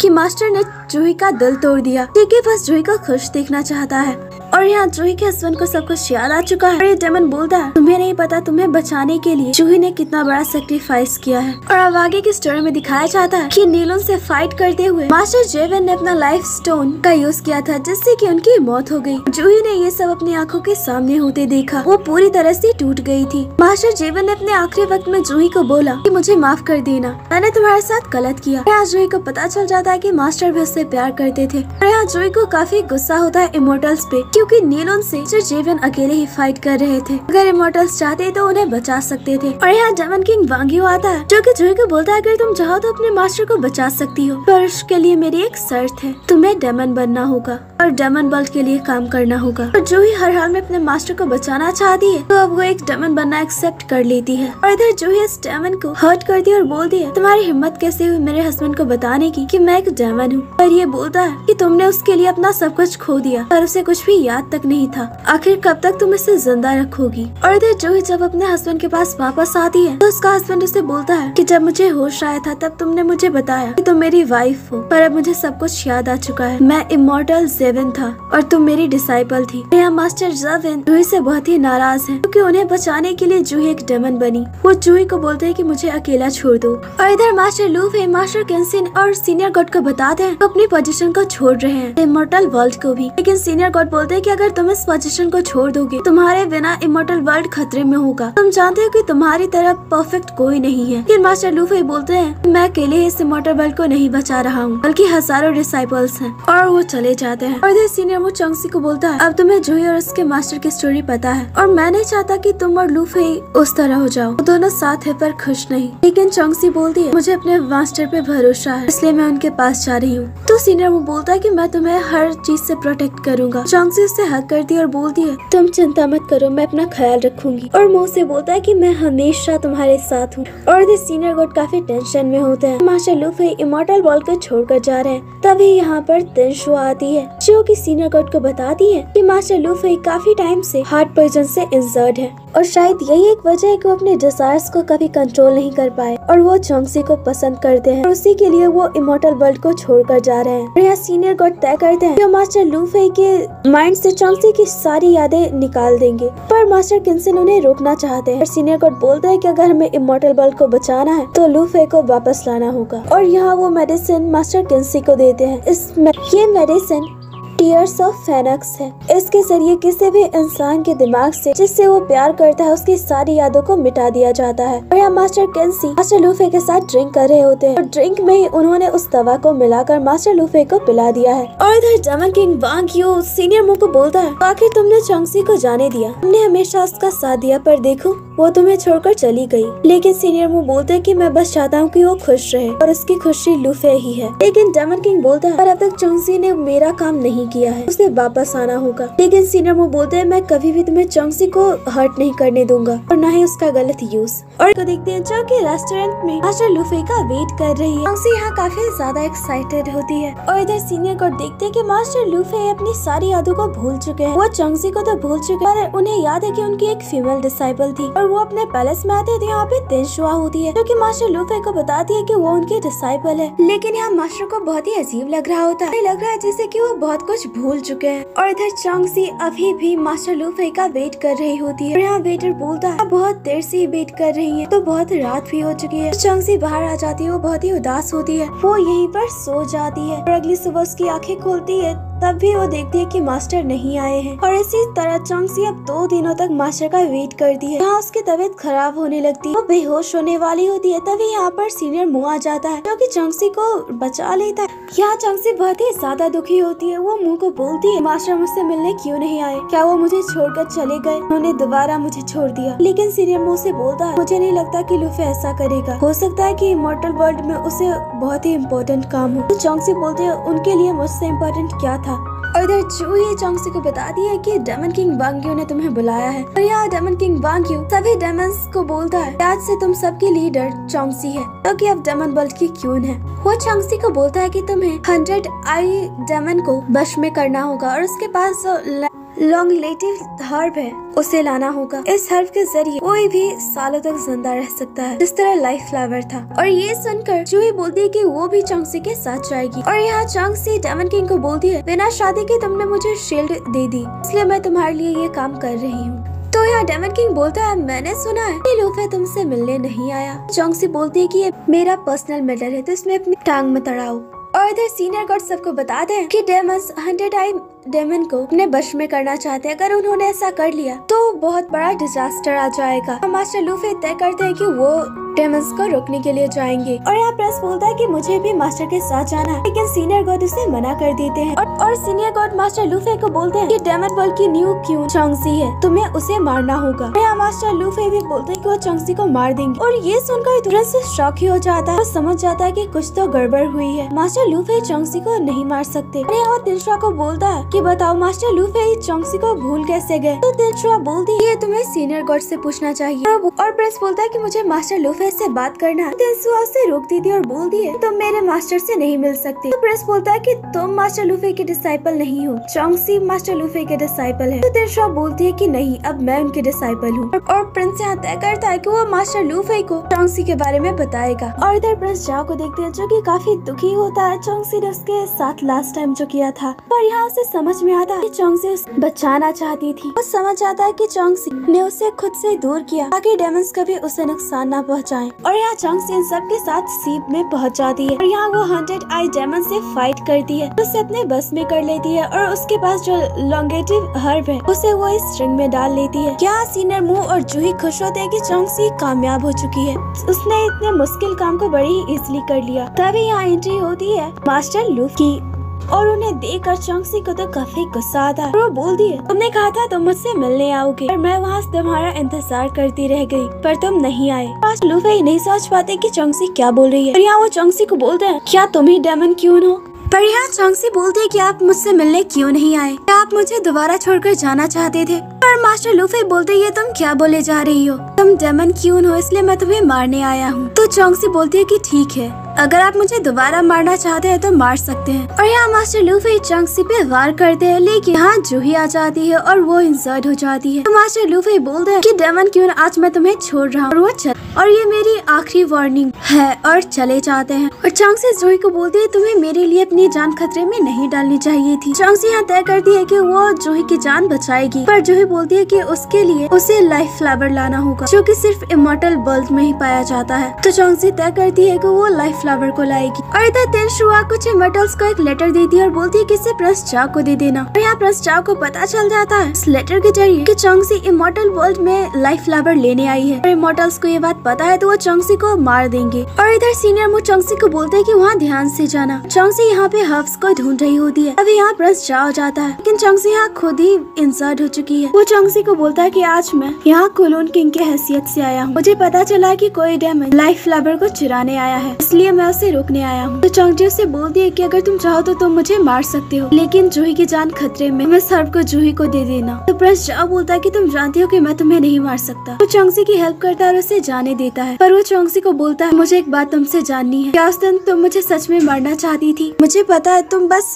ऐसा कर रही थी ताकि मैं तुमसे दूर हो जाऊँ। पर चौंगसी बोल दी और मैंने उस दिन सच में तुम्हें मारा था। मैंने ही मुँह को ऑर्डर दिया था। और अच्छा होगा की तुम मुझसे दूर ही रहो। और वो चली जाती है। लेकिन यहाँ प्रिंस जाओ और भी दुखी हो जाता है। और वो चौंगसी हर्ब लेके जूही के पास आती है। लेकिन जूही वो मेडिसिन नहीं लेती है और बोलती है, तुम प्लीज़ ये मेडिसिन मेरे हस्बैंड को दे देना। इसकी हेल्प से वो कुछ और साल ज़िंदा रह पाएगा। और जूही बोलती है चौंगसी को कि अपना ख्याल रखना। यहाँ जूही बहुत ही ज़्यादा इंसान है। कभी भी उसकी मौत हो सकती है। अब यहाँ चौंगसी वांगियों के पास आती है और बोलती है, मुझे पता है कि तुम जूही को बचा सकती हो। तुम जूही को बचाओ। तो डेमन किंग बोलता है कि मैं ट्राई कर सकता हूँ, पर उसके लिए तुम्हें मुझसे रिक्वेस्ट करनी होगी। और यहाँ चौंगसी उससे रिक्वेस्ट करती है जूही की जान बचाने के लिए। वांगी बोलता है, आखिर तुम मुझसे क्यों बचाना चाहती हो? वैसे भी वो सिर्फ़ अपने हस्बैंड के लिए ये सब कर रही है। चौंगसी बोलते है की उसने मेरी जान बचाने के लिए अपनी जान खतरे में डाली। मैं चाहती हूँ की वो ज़िंदा रहे। और यहाँ वांगी जूही को ठीक करने की कोशिश करता है और चौंगसी को बोलता है की मैंने जो करना था, मैंने वो कर दिया। और अब इस पे डिपेंड करता है की ये ज़िंदा रहना चाहती है या नहीं। यहाँ जूही अपने हस्बैंड के साथ बिताए हर पल को याद करती है। और यहाँ तेंशुआ मास्टर लू फई को चौंगसी के खिलाफ बहुत भी भड़काती है। और यहाँ वो मास्टर के करीब जाने की कोशिश भी करती है। मास्टर ये समझ जाते हैं और वो तेंशुआ से दूर हो जाते हैं। और इधर चौंगसी को जूही के लिए बहुत बुरा लगता है। वो मुँह को बोलती है कि हर कोई मेरे लिए जान खतरे में डाल रहा है। और सभी लोग मुझे छोड़कर चले जाते हैं। पहले अंकल फिर जिंग जिंग फिर मास्टर और अब जूही। तो यहाँ सीनियर मुँह बोलते हैं कि मैं हमेशा तुम्हारे साथ रहूँगा। मैं तुम्हें कभी भी छोड़कर नहीं जाऊँगा। और चौंगसी यहाँ सीनियर मुँह को बोलती है मैं कभी नहीं चाहती थी कि मैं नीलून की डॉटर रहूँ। मुझे ना तो ये स्वर्ग चाहिए और ना ही कोई इवल पावर्स मैं बस अर्थ पे एक नॉर्मल लाइफ जीना चाहती हूँ। तभी यहाँ पर वांग्यो आ जाता है और बोलता है कि तुम इतनी बेवकूफ़ कैसे हो सकती हो? क्या तुम जानती हो कि तुम्हारे पेरेंट्स ने तुम्हारे लिए क्या किया है? और यहाँ वो उसके फादर और मदर को दिखाते हैं। और वांग्यो चौंगसी को बोलता है हमारे फादर डमन बल को बचाना चाहते थे, इसीलिए वो सिक्स बट को यूनाइट करना चाहते हैं। और उनके बाद ये तुम्हारा सपना होना चाहिए। और यहाँ वो चौंगसी को फोर्स करता है। सॉर्ड की सारी पावर्स को अपने अंदर डालने के लिए। मुँह वांगी को बोलता है कि तुम चौंगसी को फोर्स नहीं कर सकते। वो चौंगसी को रोकता है। और यहाँ मुँह काफ़ी हर्ट हो जाता है। बहुत ही ज़्यादा इंजर्ड हो चुका है। तो चौंगसी बोलते है की तुम्हें ऐसा नहीं करना चाहिए था। और मुँह चौंगसी को बोलता है, मैं कभी नहीं चाहूँगा की तुम सॉर्ड की पावर ऐसी पसेस हो जाओ, जैसे की तुम्हारे अंकल थे। और अब इधर इमोर्टल बल्ब में दिखाया जाता है कि प्रिंस मास्टर लूफे से मिलने आया होता है, लेकिन तेंशुआ उसे रोकती। और यहाँ वो प्रिंस को बता देती है इमोर्टल गॉड ने मास्टर कंसे ने मास्टर लूफे को टीयर्स ऑफ़ फेनॉक्स मेडिसिन दी है, जिससे कि वो चंक्सी को भूल गए हैं। अगर तुम उन्हें कुछ भी याद दिलाने की कोशिश करोगे, फिर भी उन्हें कुछ भी याद नहीं आएगा। उन्हें बस इतना याद है कि उनकी कोई फीमेल डिसाइपल थी। और और अब वो डिसाइपल मैं हूँ। और अब प्रिंस इधर प्रिंस जाओ को बता देता है मास्टर लूफ चौंगसी को पूरी तरह से भूल चुके हैं। और सीनियर गॉड उन्हें फोर्स कर रहे है कि वो चौंगसी को मार दे। मैं चौंगसी को मास्टर लूफे से बचाना होगा। और उधर डेमन वर्ल्ड में देखते हैं, जहाँ की जूही की मौत हो चुकी है। और यहाँ ये डेमन चौंगसी को बोलते हैं कि अच्छा ही हुआ कि ये जूही मर गई जिससे सुनकर चौंगसी को बहुत ही ज़्यादा गुस्सा आता है और वो बोलती है कि अब तुम्हें भी मरना होगा और वो उसे मारने लगती है। तभी यहाँ वांगियो आ जाता है और वो अपने पार्टनर को बोलता है की चौंगसी को गुस्सा मत दिलाओ। और चौंगसी वांगी को बोलते है, तुमने तो कहा था की तुम जूही को बचा लोगे। तो वांगी बोलता है, मैंने कहा था की मैं ट्राई करूँगा। और ये खुद ही ज़िंदा नहीं रहना चाहती थी। और डेमन किंग वांग्यू को बोलता है, क्या जोही ने लास्ट टाइम क्या बोला था? तो वांग्यू बोलता है, तुम बेकार की उम्मीद किए हुए हो। तुम्हें जानकर बुरा लगेगा। तुमने उससे उतना प्यार किया, उसके लिए एक डेमन बन गए हो। शायद उसे ये बात पता थी फिर भी उसने तुमसे कुछ भी नहीं बोला।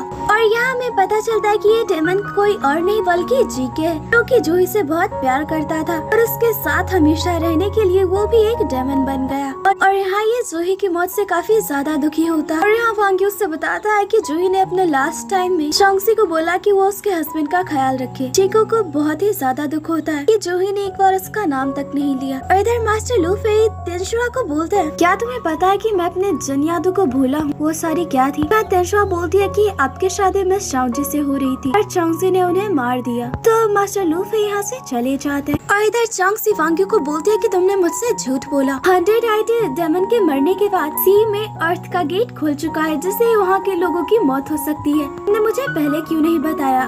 और कैसे वो गेट बंद होगा? लेकिन वांग्यू बोलता है कि मैंने वो गेट बंद करने के लिए तुमसे नहीं खुलवाया। मैं तो चाहता हूँ कि लोग मरे। और यहाँ पे मुँह भी आ जाता है तो चांगसी उसे बोलते है कि तुमने भी मुझसे झूठ बोला है। तो मुँह बोलता है कि उस गेट को ठीक करने के लिए कभी भी कोई मोटर आ सकता है। तो तुम्हें वहाँ जाने की ज़रूरत नहीं। लेकिन चंगसी बोलती है की मैंने उसे खराब किया है तो मैं ही उसे सुधारूँगी। और वो चली जाती है। और इधर चंगसी गेट को ठीक कर रही होती है, तभी यहाँ मास्टर लूफे आ जाते हैं। उन्हें लगता है कि चंगसी गेट को ब्रोक कर रही है। तो वो चंगसी को बोलते है की आज मैं तुम्हें ज़िंदा नहीं छोड़ूँगा। तो चंगसी बोलती है, ठीक है, अगर मुझे मरना ही है तो मैं इस पूरी दुनिया को लेकर मरूँगी। मास्टर लूफे चंगसी पे वार करने वाले होते हैं, लेकिन यहाँ पर प्रिंस आ जाता है वो मास्टर लूफी को रोक देता है और उन्हें मस्कल स्टोन देता है गेट को बंद करने के लिए। और वो चौंगसी को बोलता है कि, प्लीज़ तुम यहाँ से चली जाओ। पर चौंगसी उसे बोल दिया कि, अगर तुम मुझे जाने दोगे तो तुम भी एक गिल्टी बन जाओगे। लेकिन प्रिंस बोलता है कि, कोई फ़र्क नहीं पड़ता। और इधर सीनियर कोर्ट मास्टर लूफी के कॉन्ग्रेट्स करते हैं, सी गेट को क्लोज करने के लिए। पर यहाँ वो और तिरशा बोलते है की, आपको डेमन क्यून चौंगसी को मार देना चाहिए था। यहाँ मास्टर लूफी बोलते हैं कि मैंने देखा है कि डेमन क्यून चौंगसी दूसरों को हार्म नहीं करना चाहती। यहाँ तक कि वो तो गेट को रिपेयर करना चाहती थी। वो पूछते हैं कि आखिर चौंगसी का जन्म कैसे हुआ? क्योंकि मुझे नहीं लगता कि वो डेमन बल्ट की ही है। लेकिन यहाँ तिनशा बोलती है कि वो डेमन बल्ट की ही है। वो नील उनकी डॉटर है। आपको उसे मार देना चाहिए था। लेकिन यहाँ प्रिंस तिनसवा को रोकता और बोलता है की तुम मास्टर लूफई को चौंगसी को मारने के लिए कैसे बोल सकती हो? वैसे भी तुम मिस जाउसी की डिसाइपल हो ना कि मास्टर लूफे की? और यहाँ वो मास्टर लूफे को बोलता है कि चौंगसी कोई डेमन नहीं है, बल्कि वो पहले इमोटल वर्ल्ड में ही थी, और उसके सामने कुछ सिचुएशन आई जिसकी वजह से उसे डेमन बनना पड़ा, और वो बुरी नहीं है। यहाँ सीनियर गुड प्रिंस को जाने का ऑर्डर दे दी, और इधर मास्टर लूफे तेंशुआ को बोलते हैं, क्या तुम चौंगसी को पहले ऐसी जानती हो? मुझे उसके बारे में जानना है। तो तेंशुआ बताती है की मैं और चौंगसी दोनों ही अर्थ पर थे, और आपने हम दोनों को अपना डिसाइबल बनाया। चौंगसी बहुत ही एरोगेंट थी। हमेशा मुझसे मुझसे लड़ाई करती थी। और जब आप मिस चांसी से शादी करने वाले थे चांसी ने उन्हें मार दिया, क्योंकि वो आपको पसंद करने लगी थी। और इसी वजह से आपने उसे इमोटल वर्ल्ड से निकाल दिया। वो डेमंस के साथ मिल गई। उसके पास इवल पावर्स भी थी। आपने बहुत ट्राई किया उसकी इवल पावर्स को ठीक करने का। और चांसी जान वो नीले उनके सर्ट की सारी पावर्स को पाना चाहती थी, इसलिए वो डेमंस के साथ मिल गई। और यहाँ पे सीनियर को हटाते हैं, जो की मास्टर लूफे को बोलते है की तेंशुआ सही बोल रही है। पर यहाँ मास्टर लूफी बोलते हैं कि अगर वो मेरी डिसाइपल थी और उसके पास इविल पावर्स थी तो ये मेरी ज़िम्मेदारी थी कि मैं उसे ठीक करता और उसे कभी भी डेमस के साथ मिलने नहीं देता। इसका मतलब ऐसे मास्टर मैंने ही उसे अच्छे से ट्रीट नहीं किया और अब मुझे उसे बचाना चाहिए।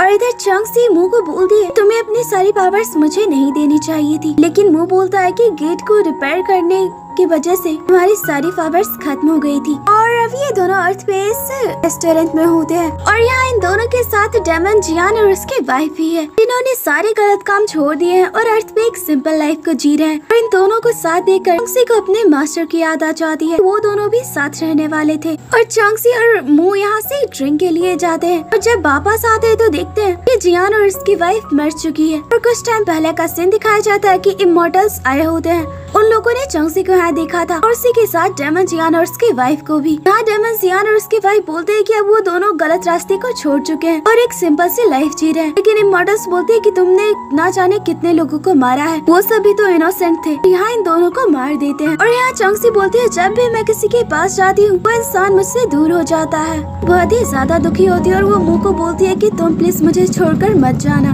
और यहाँ मुँह तय करता है की वो मास्टर लूफई को चौंगसी के पास दोबारा लाएगा। क्योंकि चौंगसी की खुशी सिर्फ़ मास्टर लूफे ही है। और यहाँ मूस प्रिंस से मिलता है और प्रिंस से पता चल जाता है कि मास्टर लूफे को सीनियर गॉड ने टीयर्स ऑफ़ फेनेक्स मेडिसिन दी है, जिससे कोई भी आदमी अपने प्यार को भूल जाता है। और मो यहाँ प्रिंस को बोलता है कि इसका कोई एंटीडोट नहीं है। पर मुझे चौंगसी को बचाने के लिए लूफे को सब कुछ याद दिलाना होगा। और यहाँ मास्टर लूफे के पास चौंगसी आती है। उसके पास उसका मेस्कल वेपन भी होता है। और यहाँ मास्टर लूफे को वो सारी बातें बता दी है किस तरह वो इमोटल वर्ल्ड में आई, उनकी डिसाइपल बनी। और इवल पावर्स होने की वजह से उसे मार दिया गया। वो भी उसी के मास्टर के हाथों द्वारा, जिससे वो प्यार करती थी। और उसका जम दोबारा हुआ। दोबारा मास्टर लूफे ने उसे अपना डिसाइपल बनाया। दोबारा उसकी इवल पावर्स की वजह से उसे मारने की कोशिश की। और वो बहुत ही गुस्से में होती है और इन दोनों के बीच फाइट भी होती है। मास्टर लूफी बोलते हैं, तुम ये जो कुछ भी बोल रही हो, मुझे कुछ भी याद नहीं। मुझे बेवकूफ़ बना रही हो। फिर हम मास्टर लूफी बोलते हैं कि, मैंने जिस चौंकसी को देखा, वो लोगों को बचाना चाहती थी, पर तुम चौंगसी नहीं हो। वो चौंगसी भी शॉर्ट से वार करते हैं। और यहाँ चौंगसी बोलती है कि, आप मुझे क्यों भूल गए? आपने फिर से वही किया, जो आपने पहले किया था। पर हम देखते हैं, ये चौंगसी ने ये तो मास्टर मुँह है। और यहाँ मास्टर मुँह बोलते हैं कि, तुम आज भी चौंगसी से प्यार करते हो। मास्टर लूफी जैसे उन्होंने चंगसी को मारा उनके हाथ में पेन शुरू हो जाता है और यहाँ उन्हें चंगसी से जुड़ी कुछ याद कुछ मूवमेंट्स याद आते हैं। और सीनियर मुँह से बोलते हैं तुम चंगसी के मास्टर हो। और चंगसी तुम्हारी सबसे अच्छी डिसाइपल मैं उसे तुम्हारे पास छोड़कर जा रहा हूँ। यहाँ मुँह की आँखों में आँसू होते हैं। उसकी मौत हो जाती है। और उसकी सोल एक फ्लावर बनकर चंगसी के पास आती है। और वो चंगसी को बोलता है कि वो उससे आखिरी बार मिलने आया है। और चंगसी को बताता है कि शायद मैंने ही तुम्हें डेमन बनने पे मजबूर किया। और मैं कभी नहीं चाहता था कि तुम हमेशा दुखी रहो। मैं तुम्हारी खुशी तुम्हारे पास लाने गया था। और यहाँ वांग्यू आता है जो कि चंगसी को बताता है कि सीनियर मुँह अब मर चुका है। और उसे और किसी ने नहीं, बल्कि तुम्हारे मास्टर लूफे ने मारा है। और यहाँ चंगसी बोल दी है कि अब मैं मास्टर को नहीं छोड़ूँगी। जिस तरह मुँह की जान गई है, मैं उन्हें भी मार दूँगी। और इधर मास्टर लूफे सीनियर गॉड के पास आते हैं और वो उन्हें बोलते हैं, बताइए आप लोगों ने मेरे साथ क्या किया है? मैं जब भी चौंगसी के बारे में सोचता हूँ, मेरे हाथ में एक अलग सा ही पेन होता है। डेमन मुँह ने मुझे बताया की मैं हार्ट पॉइजन ऐसी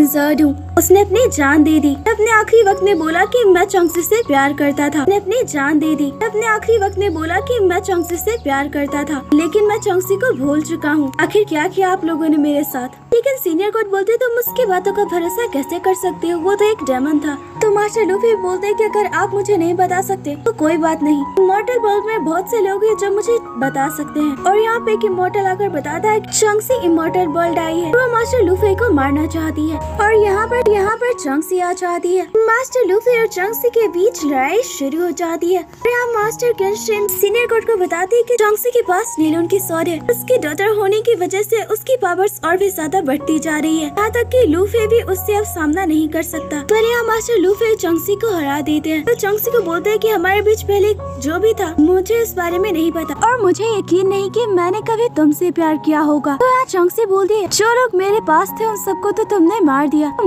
मुझे क्यों नहीं मार रहे हो? वैसे भी मैं तो नीलून की डॉटर हूँ। और यहाँ मास्टर लूफी उसे मारने वाले होते हैं। अभी यहाँ पर प्रिंस और प्रिंस जाओ जाते हैं, जो कि चंगसी को यहाँ से बचा कर ले जाते हैं। चंगसी यहाँ इन दोनों को थैंक्स करती है, लेकिन बोलती है की तुम्हें मुझे नहीं बचाना चाहिए था। मेरी वजह से अब तुम्हें भी वो लोग अपना दुश्मन मानेंगे। इन दोनों को बोलती है कि मैं वापस टमन बल जा रही हूँ। ये दोनों बोलते हैं कि हम भी तुम्हारे साथ जाएँगे। लेकिन वो इन दोनों को मना कर देती है। बोलती है कि आगे से तुम दोनों कभी भी मेरी हेल्प मत करना। और चली जाती है। और यहाँ पता चलता है कि प्रिंस को सीनियर गॉड ने इमोटल बल से निकाल दिया है चौंगसी की हेल्प करने की वजह से। इधर कुलुनकी को पता चल जाता है कि प्रिंस जाओ ने चौंगसी को बचाने के लिए इमोटल वर्ल्ड के अगेंस्ट गए हैं। लेकिन फिर भी वो प्रिंस जाओ को कुछ नहीं बोलते और बोलते हैं कि तुम कुलुन के नए किंग हो और तुमने कुछ सोच कर ये डिसीज़न लिया होगा। और इधर मास्टर लूफी को दोबारा बोलते है कि मुझे सच जाना है। लेकिन तेजुआ यहाँ रोने की एक्टिंग करने लगती है और बोलती है, मैंने जो आपको बताया वही सच था। और मास्टर को उस पर बिलीव नहीं होता। तो तेजुआ बोलती है की आपने हमेशा टोंगसी को मुझ ऊपर रखा है। क्यों लेकिन मास्टर यहाँ से चले जाते हैं। और मास्टर लू को यहाँ चंगसी से जुड़े और भी बहुत सारी मोमेंट्स याद आने लगते हैं। तो वो सीनियर गॉड के पास जाते हैं और बोलते हैं कि मुझे अपनी मेमोरी वापस चाहिए। फिर आप लोगों ने मेरे साथ क्या किया? वो बहुत ही गुस्से में होते हैं। सीनियर गॉड तो नहीं बताना चाहते, फिर भी मास्टर किंसन यहाँ उन्हें बता देते हैं की मैंने और सीनियर गॉड ने मिलकर तुम्हें टीयर्स ऑफ़ फेनक्स मेडिसिन दिया है, जिससे की तुम्हारी कुछ यादें मिट चुकी है। मास्टर लूफे बोलते हैं की मुझे इसका एंटीडोट चाहिए, लेकिन सीनियर गॉड बोलते हैं की इसका कोई इलाज नहीं है। और इधर इधर डेमन किंग वांग यू अपने पार्टनर को बोलता है। चौंगसी कभी भी सॉर्ड की सारे पावर्स को अपने अंदर नहीं लेगी। तो अब हमें किसी और को ढूंढना होगा। इधर देखते कि जा को पता चलता है कि डेमन किंग चौंगसी को फोर्स कर रहा है कि वो सॉर्ड की सारी पावर्स को अपने अंदर ले ले।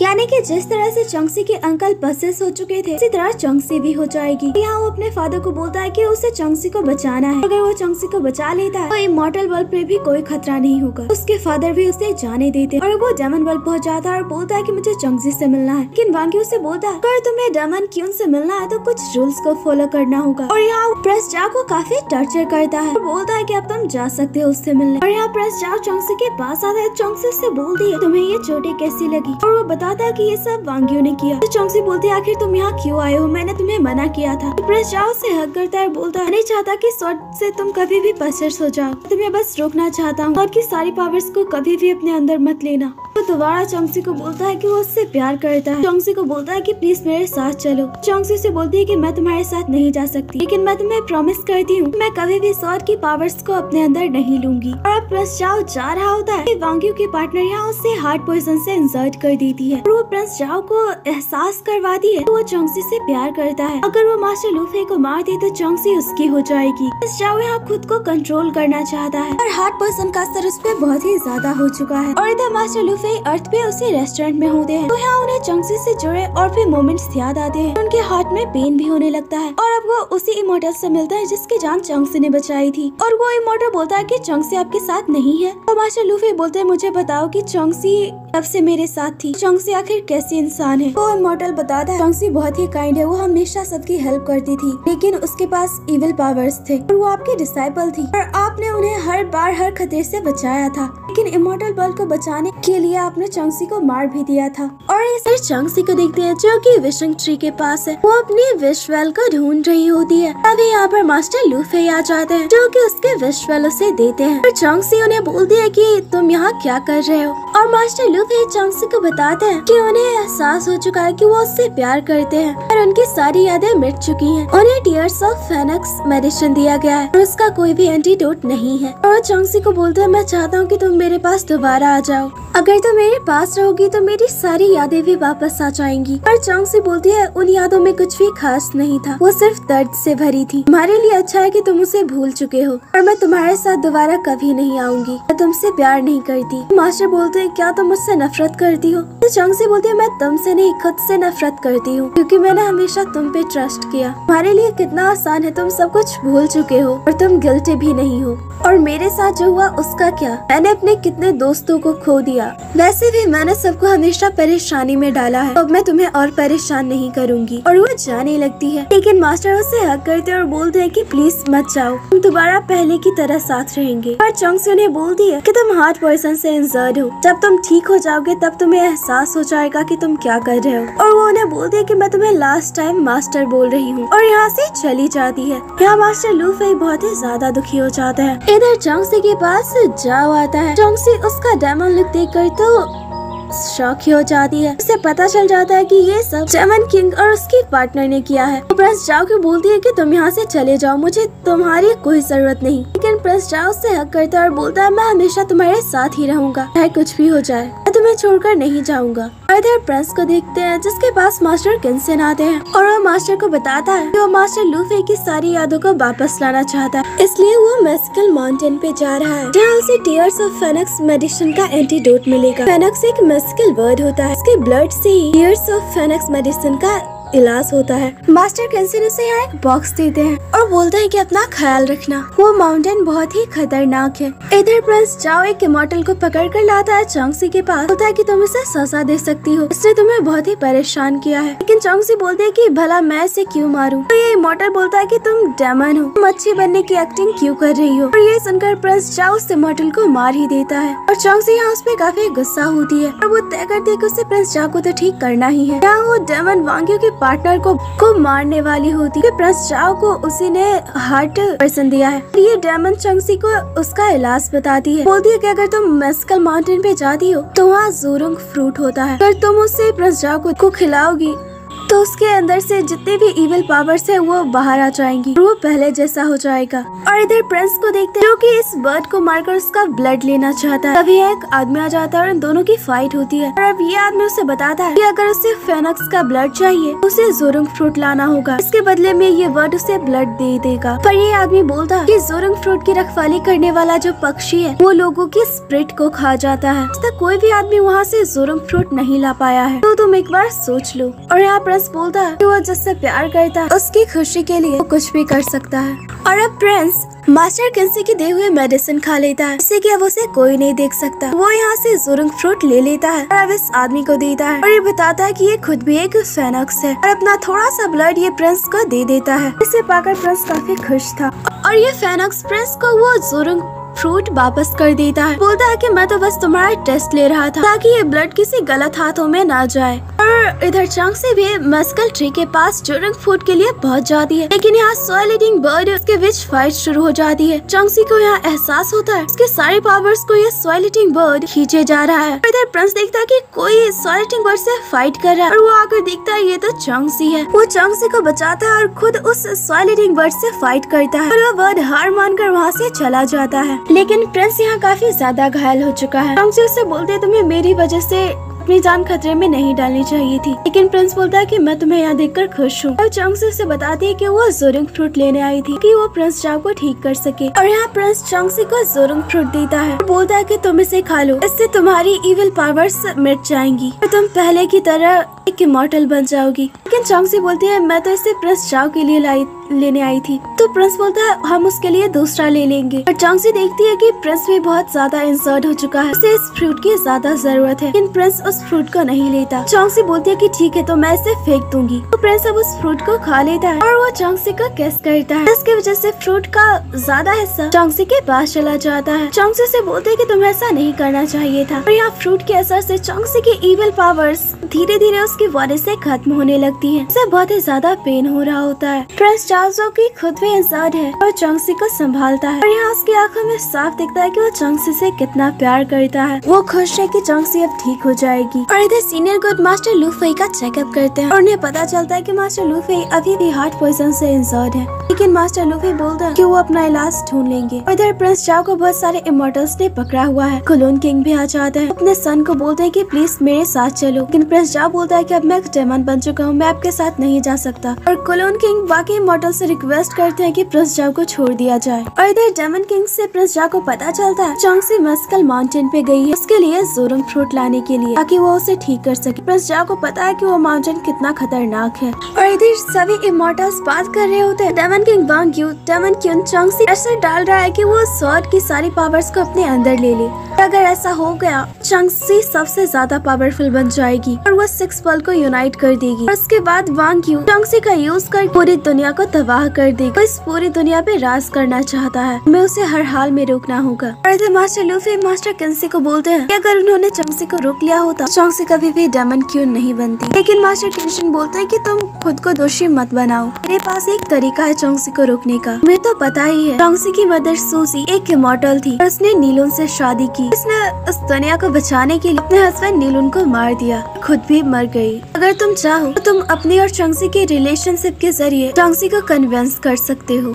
कि वो सॉर्ड के पावर्स को अपने अंदर ना ले। और अगर वो ना माने तो उसे मार दो। और मास्टर लूफी बोलते, तुम मुझे इतना घटिया सुझाव कैसे दे सकते हो? तुम्हें क्या लगता है कि मैं चौंगसी को मारूँगा? मैं खुद उसके साथ मर जाऊँगा पर किसी को उसे हर्ट नहीं करने दूँगा। इधर प्रिंस देखता है कि चौंगसी की इविल स्पिरिट्स तो कम हो रही है, लेकिन उसकी पूरी बॉडी बहुत ही ज़्यादा कमज़ोर हो चुकी है। अपनी पावर्स चौंगसी को देता है ताकि वो रिकवर हो सके। और अब वो नेक्स्ट मॉर्निंग चौंगसी को बोलता है की मेरे साथ चलो, लेकिन यहाँ चौंगसी दोबारा बेहोश हो जाती और वो चेक करता है कि चौंगसी की सारी इविल स्प्रिट खत्म हो चुकी है। वो उठा कर ले जाता है, जो नीलन के शॉर है, उसे वो खाई में फेंक देता है। अभी यहाँ पे प्रिंस जाओ आ जाता है। प्रिंस को बोलता है कि चौंगसी को मुझे सौंप दो। और प्रिंस बोलता है कि, ऐसा नहीं हो सकता। तुम एक डेमन हो। चौंगसी अब बिल्कुल ठीक हो चुकी है। अब ये एक डेमन नहीं है। और इधर मास्टर लूफे को प्रिंस का मैसेज मिलता है। चौंगसी उसके पास है। वो मेस्कल माउंटेन पे है। इधर प्रिंस जाओ। प्रिंस को हर्ट करता है और चौंगसी को उससे ले लेता है। अभी यहाँ मास्टर लूफे भी आ जाते हैं। चौंगसी को अपने पास लेते हैं। प्रिंस जाओ बोलता है, क्या या तुम उसे दोबारा मारोगी? मैं तुम्हें चौंगसी को मारने नहीं दूँगा। लेकिन प्रिंस प्रिंस जा को समझाता है। चौंगसी को मास्टर के पास ही रहने दो। और प्रिंस को बोलता है कि प्लीज़ तुम यहाँ से चले जाओ। और अब प्रिंस मास्टर लूफे को बोलता है चौंगसी की सारी इवल स्प्रिट खत्म हो चुकी है। वो बिल्कुल ठीक है। वो एक डेमन नहीं है, बल्कि एक ऑर्डिनरी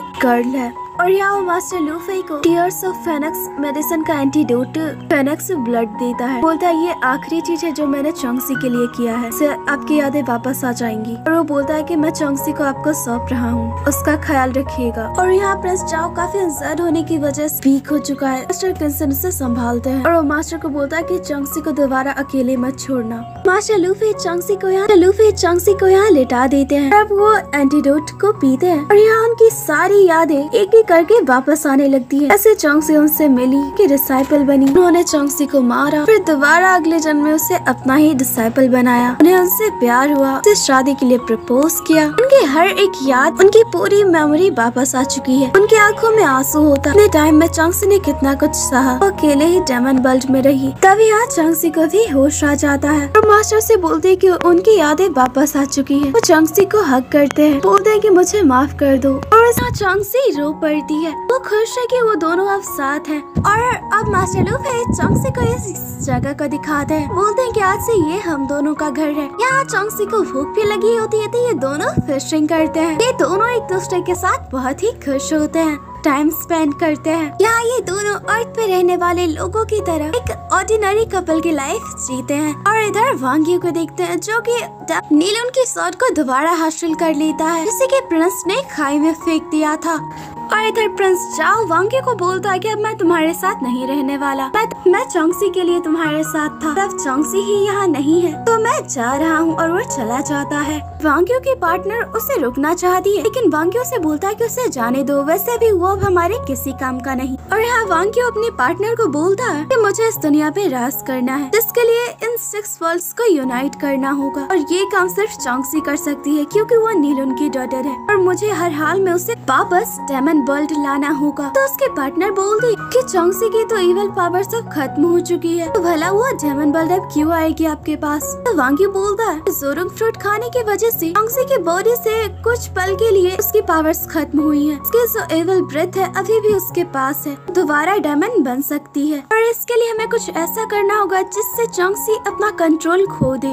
और इधर मास्टर लूफे चौंगसी को उसका मैजिकल वेपन दे देते हैं। इसे पाकर चौंगसी भी खुश होती है। और यहाँ चौंगसी सोच होती है कि उसने अपने मस्कल वेपन का कभी भी सही यूज़ नहीं कर पाई। यहाँ चौंगसी का खुद पर से कंट्रोल खोने लगता है। उसके इवल पावर्स दोबारा रिस्टोर होने लगती है। यहाँ मास्टर लूफे आ जाते हैं, वो उसे रोकना चाहते हैं। पर चौंगसी उन्हें बोलती है कि मेरे पास मत आना। दोबारा चौंगसी खुद पर काबू पाती है। मास्टर उससे हक करते हैं और बोलते हैं, मैं तुम्हें दोबारा कभी भी डेमन नहीं बनने दूँगा। वो यहाँ चौंगसी को सलाह देते हैं। मास्टर लूफे इमोटल वर्ल्ड में होते हैं। मास्टर कंसन से पूछते हैं कि प्रिंस अब कैसा है? मास्टर बताते हैं बहुत ही ज़्यादा इंसर्ड है। रवि भी ज़िंदा है। अब उसे मुझसे ज़्यादा तुम पे भरोसा है। और मास्टर किंसन बोलते कि चौंगसी अब कैसी है? तो मास्टर लूफे बताते हैं जोरिंग फ्रूट के असर से चौंगसी के इवल पावर्स तो उसके कंट्रोल में है। लेकिन उसे जड़ से खत्म करने के लिए मुझे गोल्डन मिरर प्रोसेस को पूरा करना होगा। और यहाँ मास्टर किंसन मास्टर लूफे को हार्ट पॉइजन का एंटीडोट देते हैं। और अब मास्टर लूफे वापस आते तो चौंगसी उन्हें हक कर दिए बोल दिए कि मैं डर गई थी, मुझे लगा आप दोबारा मुझे छोड़कर चले गए। लेकिन मास्टर लूफे बोलते मैंने तुम्हारे लिए नोट छोड़ा था तुम्हें वो नोट नहीं मिला? मैं तुम्हारे लिए एक गिफ्ट भी लाया हूँ। उनके लिए पेस्ट्रीज लाए होते हैं। इन्हें देखकर चौंगसी काफ़ी खुश थी। और मास्टर को गेस कर दिया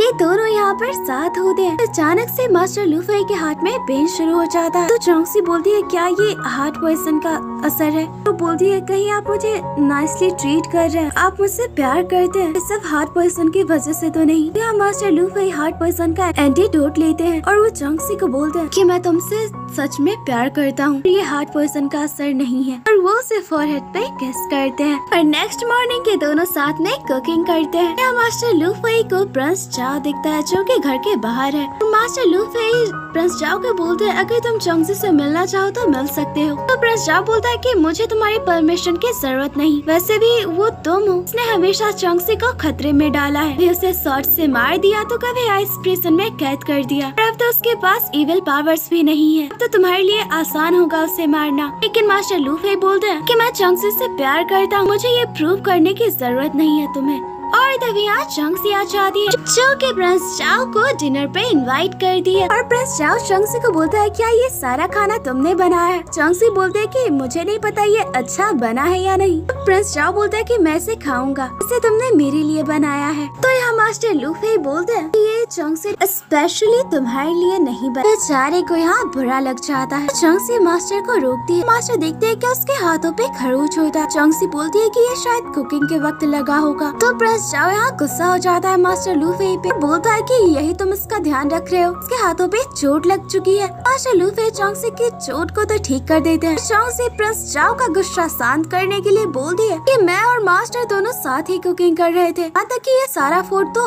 उन्होंने ही बनाया है। तो बस उनकी हेल्प कर रही थी। और प्रिंस चाओ बोलता है कि अब मुझे ये खाना नहीं खाना। और चला जाता है। और इधर चौंगसी मास्टर को बोल दिया कि आप प्रिंस चाओ से जेलस हो रहे थे। तो मास्टर बोलते भला मैं क्यों जेलस होऊँगा मुझे पता है कि तुम मुझसे प्यार करती हो। और प्रिंस जाओ सिर्फ़ तुम्हारा एक अच्छा दोस्त है। और अब चंग से बोल दिया कि मुझे प्रिंस जाओ के लिए बहुत बुरा लग रहा है। वो मेरे वजह से एक डेमन बन गया। चाहती हूँ कि मेरा दोस्त मेरे पास वापस आ जाए। तो पहले की तरह हो जाए। तो मास्टर बोलते है कि ठीक है, मैं उसका इलाज ढूंढ रहा हूँ। पर अगर वो वापस आ गया, तुम्हें याद है ना, वो तुमसे शादी करना चाहता है। कहीं तुम दोबारा रोगी तो नहीं?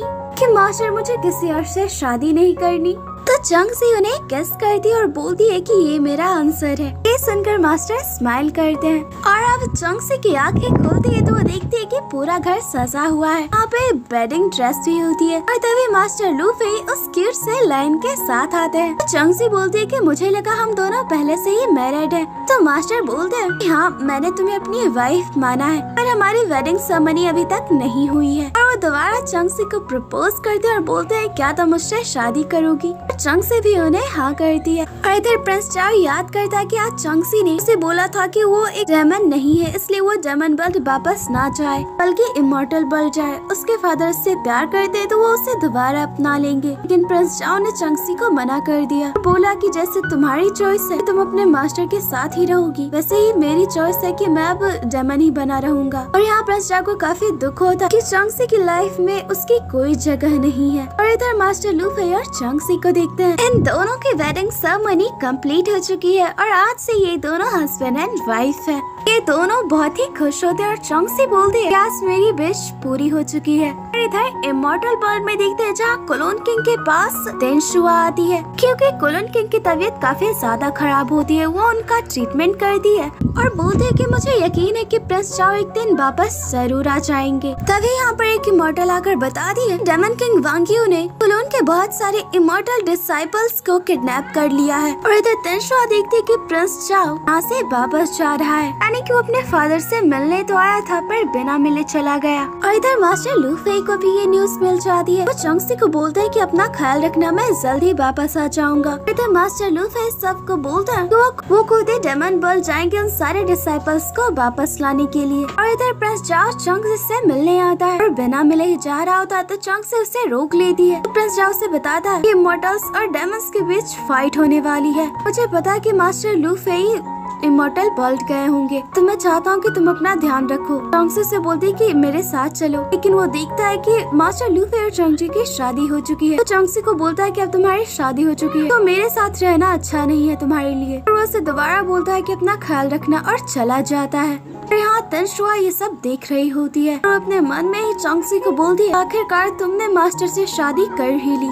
तुम इन सबको डिजर्व नहीं करती हो। मैं तुमसे ये सारी चीज़ें छीन लूँगी। तभी यहाँ चौंगसी का अपने आप से कंट्रोल खो जाता है। उसकी पावर्स बाहर आने लगती है। तंशुआ समझ जाती है कि चौंगसी अभी पूरी तरह से ठीक नहीं हुई है। उसकी इवल पावर्स अभी भी उसके पास है। उसकी पावर्स कंट्रोल में नहीं होती है। और इधर तंशु जीजी को बोलती है, अगर तुम प्रिंस जाओ को वापस लाना चाहती हो उसका मेरे पास एक तरीका है। लेकिन जीजी बोलती है प्रिंस जाओ तो चौंगसी को छोड़कर आने के लिए कभी नहीं तैयार होगा। तिनशा बोलते हैं कि तुम्हें चौंगसी को मारना होगा। वरना प्रिंस जाओ हमेशा के लिए डेमन वर्ल्ड में ही रह जाएँगे। तो सीसी बोलती है, भला मैं चौंगसी को कैसे मार पाऊँगी? वो तो नील उनकी डॉटर है। उसके पास इविल पावर्स है। तिनशा बोलती है कि उसे मारने का एक तरीका है। सोल वाइंडिंग थ्रेड ये एक लौता हथियार है जिससे तुम चौंगसी को मार सकती हो। सोल वाइंडिंग थ्रेड से चौंगसी की सोल पूरी तरह से खत्म हो जाएगी और उसकी मौत हो जाएगी। उसकी मौत के बाद प्रिंस जाओ तुम्हारे पास पास वापस चला आएगा और तिनसा उसे बताती है कि soul binding thread immortal temple में है। तुम्हें वहाँ से उसे चुराना होगा, क्योंकि सीनियर गॉड और बाकी इमोर्टल्स तुम्हें इसकी परमिशन नहीं देंगे। तो चीजी बोलती है, लेकिन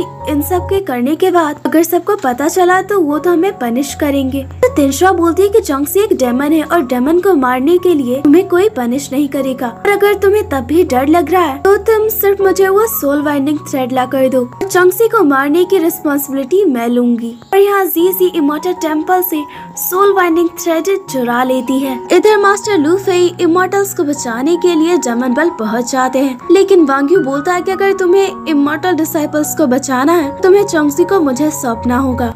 और इधर जी जी चौंगसी के पास पहुँच जाती है। वो चौंगसी का हाथ पकड़ती है और बोलती है, प्रिंस चाओ को मुझे वापस लौटा दो। लेकिन चौंगसी बोलती है, ये उसका खुद का फैसला है कि वो डेमन वर्ल्ड में रहेगा। मैं इसमें तुम्हारी कोई हेल्प नहीं कर सकती हूँ। यहाँ जी जी सोल बाइंडिंग थ्रेड का यूज़ करती है। और चौंगसी को भी पता चल जाता है की जी जी ने उसे धोखा दिया है। अभी यहाँ पर तिनशु आ जाती है और चौंगसी समझ जाती है की ये सब इन दोनों ने मिलकर किया है। और यहाँ चौंगसी की बॉडी पूरी तरह से कैद हो जाती है। तिनसा उसे बोलती है कि तुम यही डिजर्व करती हो और अब तुम्हें कोई नहीं बचा सकता।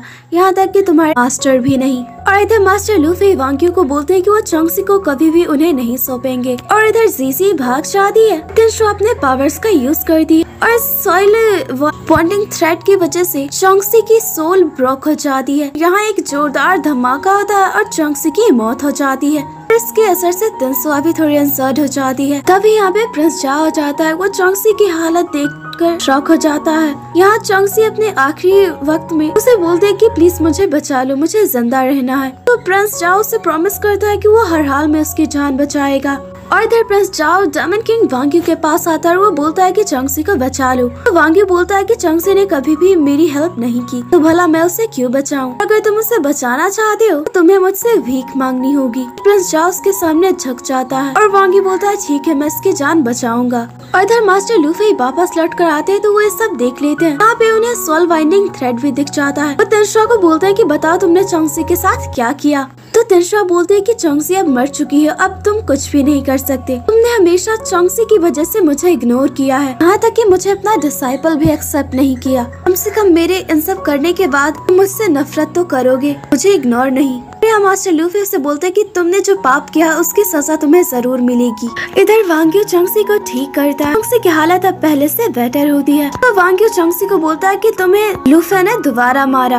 ये तीसरी बार है जब उसने तुम्हें मारा है। लेकिन चंगसी बोलती है कि मास्टर ने मुझसे नहीं मारा, बल्कि तंशुआ और जीजी ने। वांग्यू बोलता है कि अभी भी तुम्हें मेरी बात पे भरोसा नहीं हो रहा है। उन दोनों के ज़रिए लूफे ने ये सब करवाया है। और फिर भी चंगसी बोलती है कि मैं तुम्हारी बात पे यकीन नहीं कर सकती। तब वांग्यू बोलता है कि सोल बाइंडिंग थ्रेड की वजह से तुम्हारी सोल ब्रोक हो चुकी है और तुम्हें सिर्फ़ मैं ही बचा सकता हूँ। और तुम्हें प्रॉमिस करना होगा कि इस बार तुम मेरा कहना मानोगी। मैं जो चाहूँगा तुम वो करोगी। चौंगसी उसे प्रॉमिस करती है। और अब वांगी बोलता है कि तुम्हें अपनी जान बचाने के लिए सॉट की पावर्स को खुद के अंदर लेना होगा। ये एक आखिरी ज़रिया है तुम्हारी जान बचाने का। यहाँ चौंगसी याद करती कि उसके अंकल ने प्रिंस जाओ ने, उसके मास्टर ने, सबने उसे मना किया था। सॉट के पावर्स को कभी भी नहीं अपनाएगी। लेकिन अब जान बचाने के लिए वो खुद को सेक्रीफाइस करने को तैयार हो जाती। वो यहाँ सॉट की पावर्स को अपना लेती है और सॉट की पावर्स ने चंगसी को पूरी तरह से पसेस कर लिया है। और इसी के साथ चौंगसी अब कैस्टियल डेमन बन चुकी है, जो कि सबसे ज़्यादा पावरफुल होता है। चौंगसी की पावर्स अब पहले से बहुत ज़्यादा बढ़ चुकी है और इधर सीनियर गॉड और तंशान किंग को पता चल जाता है। चौंगसी ने सॉट को अपना लिया है और अब वो अपने फादर नीलू से भी ज़्यादा पावरफुल बन चुकी है। तो यहाँ पर जीजी आ जाती है। सीनियर गॉड को बोलते है की मुझे माफ़ कर दीजिए, मैंने सोल वाइंडिंग थ्रेड का यूज़ किया चौंगसी पे, पर ये मैं जानबूझकर नहीं करना चाहती थी। मैं बस प्रिंस जाओ को वापस लाना चाहती थी। और इस सब में मेरी हेल्प की तंशुआ ने सीनियर गॉड उसे बोलते कि तुमने कोई गलत काम नहीं किया है। वो बिल, वो एक डेमन थी और उसे मारकर तुमने तो अच्छा किया। अभी यहाँ पर मास्टर लूफे आ जाते हैं। वो सीनियर गॉड को बोलते हैं कि आप इसकी गलती को छुपा नहीं सकते? इसने सोल बाइंडिंग थ्रेड को चुराया और चंग सकते। इसने सोल बाइंडिंग थ्रेड को चुराया और चंगसी को मारा है। इसे सजा मैं खुद दूँगा। तो सीनियर गॉड बोलते आखिर इसकी गलती क्या है? मास्टर लूफे बोलता, चौंगसी ने अपने सारे इवेल पावर्स को छोड़ दिया था। अर्थ पे एक नॉर्मल लाइफ जी रही थी। उसके पास कोई पावर्स नहीं थी। ना ही वो किसी को नुकसान पहुँचा रही थी। इमोटल वर्ल्ड के रूल के अकॉर्डिंग ये गलत है। ना किसी गलती के किसी को मारना। तो सीनियर गॉड बोलते हैं कि तुम सीसी को नुकसान नहीं पहुँचा सकते। मैं तुम्हें उसे पनिश नहीं करने दूँगा। तो मास्टर लूफे बोलता है कि देखता हूँ मुझे कौन रोकता है। तो वो बोलता है कि तेंसुआ को मैंने इमोटल प्रिजन में डाल दिया है, क्योंकि इन दोनों ने मिलकर चौंगसी को मारा है। और सीनियर गॉड इसे रोकना चाहते हैं। मास्टर लूफे उन पे भी हमला करते हैं। और वो बोलते हैं की मैं आप लोगों को नुकसान नहीं पहुँचा सकता। और यहाँ मास्टर लूफे बोलते हैं कि चौंगसी मेरी वाइफ है, मैं उससे प्यार करता हूँ। अगर वो मर गई तो मैं ज़िंदा नहीं रहूँगा। मैं भी मर जाऊँगा। और अब आप लोगों को तय करना है, अगर आपको डेमन से फाइट करने के लिए मेरी ज़रूरत है तो कोई चौंगसी को नुकसान नहीं पहुंचाएगा। वो यहाँ से गुस्से में चले जाते हैं। और इधर प्रिंस जाओ, काफ़ी गुस्से में होता है, वो जीसी पे हाथ उठाने वाला होता है। लेकिन तभी उसके फादर कोलोन किंग आ जाते हैं। क्योंकि तो प्रिंस जाओ को रोक लेते और बोलते हैं कि मैं तुम्हें जीसी को नुकसान नहीं पहुँचाने दूँगा। और अगर अब तुम इमोटल बट नहीं आ सकते हो तो आज से तुम मेरे बेटे नहीं हो। अगर कभी भी डेमंस और इमोटल्स के बीच फाइट होती है मुझसे उम्मीद मत करना की मैं तुम्हारे पिता होने की वजह से तुम्हें छोड़ दूँगा। और वो चले जाते हैं। प्रिंस को काफ़ी दुख होता और इधर तेंसुआ को उसके किए की सजा मिली है। इमोटल प्रिजन में कैद कर दिया गया है। वो चिल्लाती है, मुझे आज़ाद करो। पर उसकी आवाज़ किसी तक नहीं पहुँचती। और यहाँ अब चौंगसी ने फैसला किया, वो इमोटल वर्ल्ड को डिस्ट्रॉय कर देगी, क्योंकि उसकी पूरी लाइफ को इमोटल्स ने ही बर्बाद किया है। तो वांग्यू से बोलता है कि ये फैसला अच्छा है। वैसे भी अब तुम एक कैस्टियल डेमन बन चुकी हो। यहाँ वांग्यू एक ऑर्डिनरी आदमी को हर्ट करता है। चौंग से उससे बोल दिया कि डेमंस की लड़ाई इमोटल्स के साथ है। तो मुझे तुमसे एक प्रॉमिस चाहिए कि अर्थ पे रहने वाले इनोसेंट पीपल को तुम कभी हर्ट नहीं करोगे। तो वांगे बोलता है कि आज भी तुम काइंड हार्टेड हो। चलो, मैं तुम्हारा ये डिसीज़न मान लेता हूँ। तुम्हें याद तो है ना, मैंने तुम्हारी जान बचाई है। तुम्हें मेरे लिए सेक्स वर्ल्ड को यूनाइट करना होगा। अपने फादर के सपने को पूरा करना होगा। तुम्हारे फादर चाहते थे जिस तरह इमोटल्स को सम्मान दिया जाता है, उसी तरह डेमंस को भी सम्मान दिया जाए। इसलिए वो सेक्स वर्ल्ड को यूनाइट करना चाहते थे। और अभी यहाँ चंगसी बांगे को बोलते हुए बताओ मेरे फादर ने तो सेक्स वर्ल्ड को यूनाइट करने की कोशिश की थी। उनकी मौत कैसे हुई? आखिर उन्हें किसने मारा? तो वांगे बताता है कि तुम्हारे फादर को तुम्हारी मदर सूसी ने मारा। चौंगसी बोलती, ऐसा कैसे हो सकता है? मैंने तो सुना था कि वो दोनों एक दूसरे से बहुत प्यार करते थे। वांगे बोलता है कि ये बात तो सच है लेकिन तुम्हारी मदर एक इमोटल थी। तुम्हारे फादर से बहुत प्यार करती थी। और इमोटल वर्ल्ड को बचाने के लिए तुम्हारे फादर को मारना पड़ा। और अब इधर दिखाया जाता है चौंगसी के पेरेंट्स को। सूसी और नील उनके, और उनके साथ चौंगसी भी है। सब साथ में काफ़ी खुश थे और यहाँ पर बांग्यू भी होता है। और यहाँ चौंगसी के पेरेंट्स उसे बोलते हैं कि उसे हर हाल में अपनी पावर्स को कंट्रोल करना होगा खुद पर काबू पाना होगा। तभी वो एक ग्रेट डेमन बन पाएगी। और तभी चौंगसी की आँखें खुलती है और वो समझ जाती है उसका ड्रीम था। और वो ये नहीं समझ पाती इतने टाइम बाद अचानक से उसके पेरेंट्स उसके ड्रीम में कैसे आए। तभी यहाँ पे एक बर्ड आता है जिसे की चौंगसी इग्नोर करती करती है। और इधर पता चलता है की मास्टर लूफ है उन बर्ड्स को चौंगसी के पास उसे बुलाने के लिए भेज रहे होते हैं। चौंगसी को मैसेज दे रहे होते हैं। और, और मास्टर के सामने होती है। उसे देखकर मास्टर काफ़ी खुश होते हैं। और चौंगसी बोलती है की हमारा मिलना शायद किस्मत में ही नहीं है। यही हमारा फेट है। मैं दोबारा एक डेमन बन गई। तुम एक इमोर्टल हो। मास्टर लूफी बोलता है कि उन्हें सॉइल वांटिंग थ्रेड के बारे में कुछ भी नहीं पता था। जीसी ने जो किया, उन्होंने उन दोनों को उसकी सजा दे दी है। और यहाँ चौंग से बोल दिया कि मैं जल्द ही इमोटल बल्ब पे हमला करने वाली हूँ सभी डेमंस के साथ। और उस वक्त मैं सिर्फ़ जर्मन क्यून चौंग सी रहूँगी। और इसीलिए यहीं पे मैं, हम दोनों का रिश्ता खत्म कर रही हूँ। लेकिन मास्टर लूफे उसे हक करते हैं। बोलते हैं कि कल क्या होने वाला हम नहीं जानते। इसलिए मैं चाहता हूँ कि आज तुम सिर्फ़ मेरी वाइफ बनकर मेरे साथ रहो। और ये दोनों यहाँ टाइम स्पेंड करते हैं। और यहाँ चांग से मास्टर को बोलती है, इस दुनिया में मेरी कोई प्लेस नहीं है। इसलिए मैं इस दुनिया को डिस्ट्रॉय करूँगी और एक नई दुनिया बनाऊँगी, जिसमें डेमंस और इमोर्टल्स सब एक होंगे। चांग से मास्टर को बोलती है, मैं लास्ट टाइम आपको मास्टर बोलना चाहती हूँ। मास्टर उसे फोरहेड पे किस करते और बोलते मैं हमेशा तुमसे प्यार करूँगा।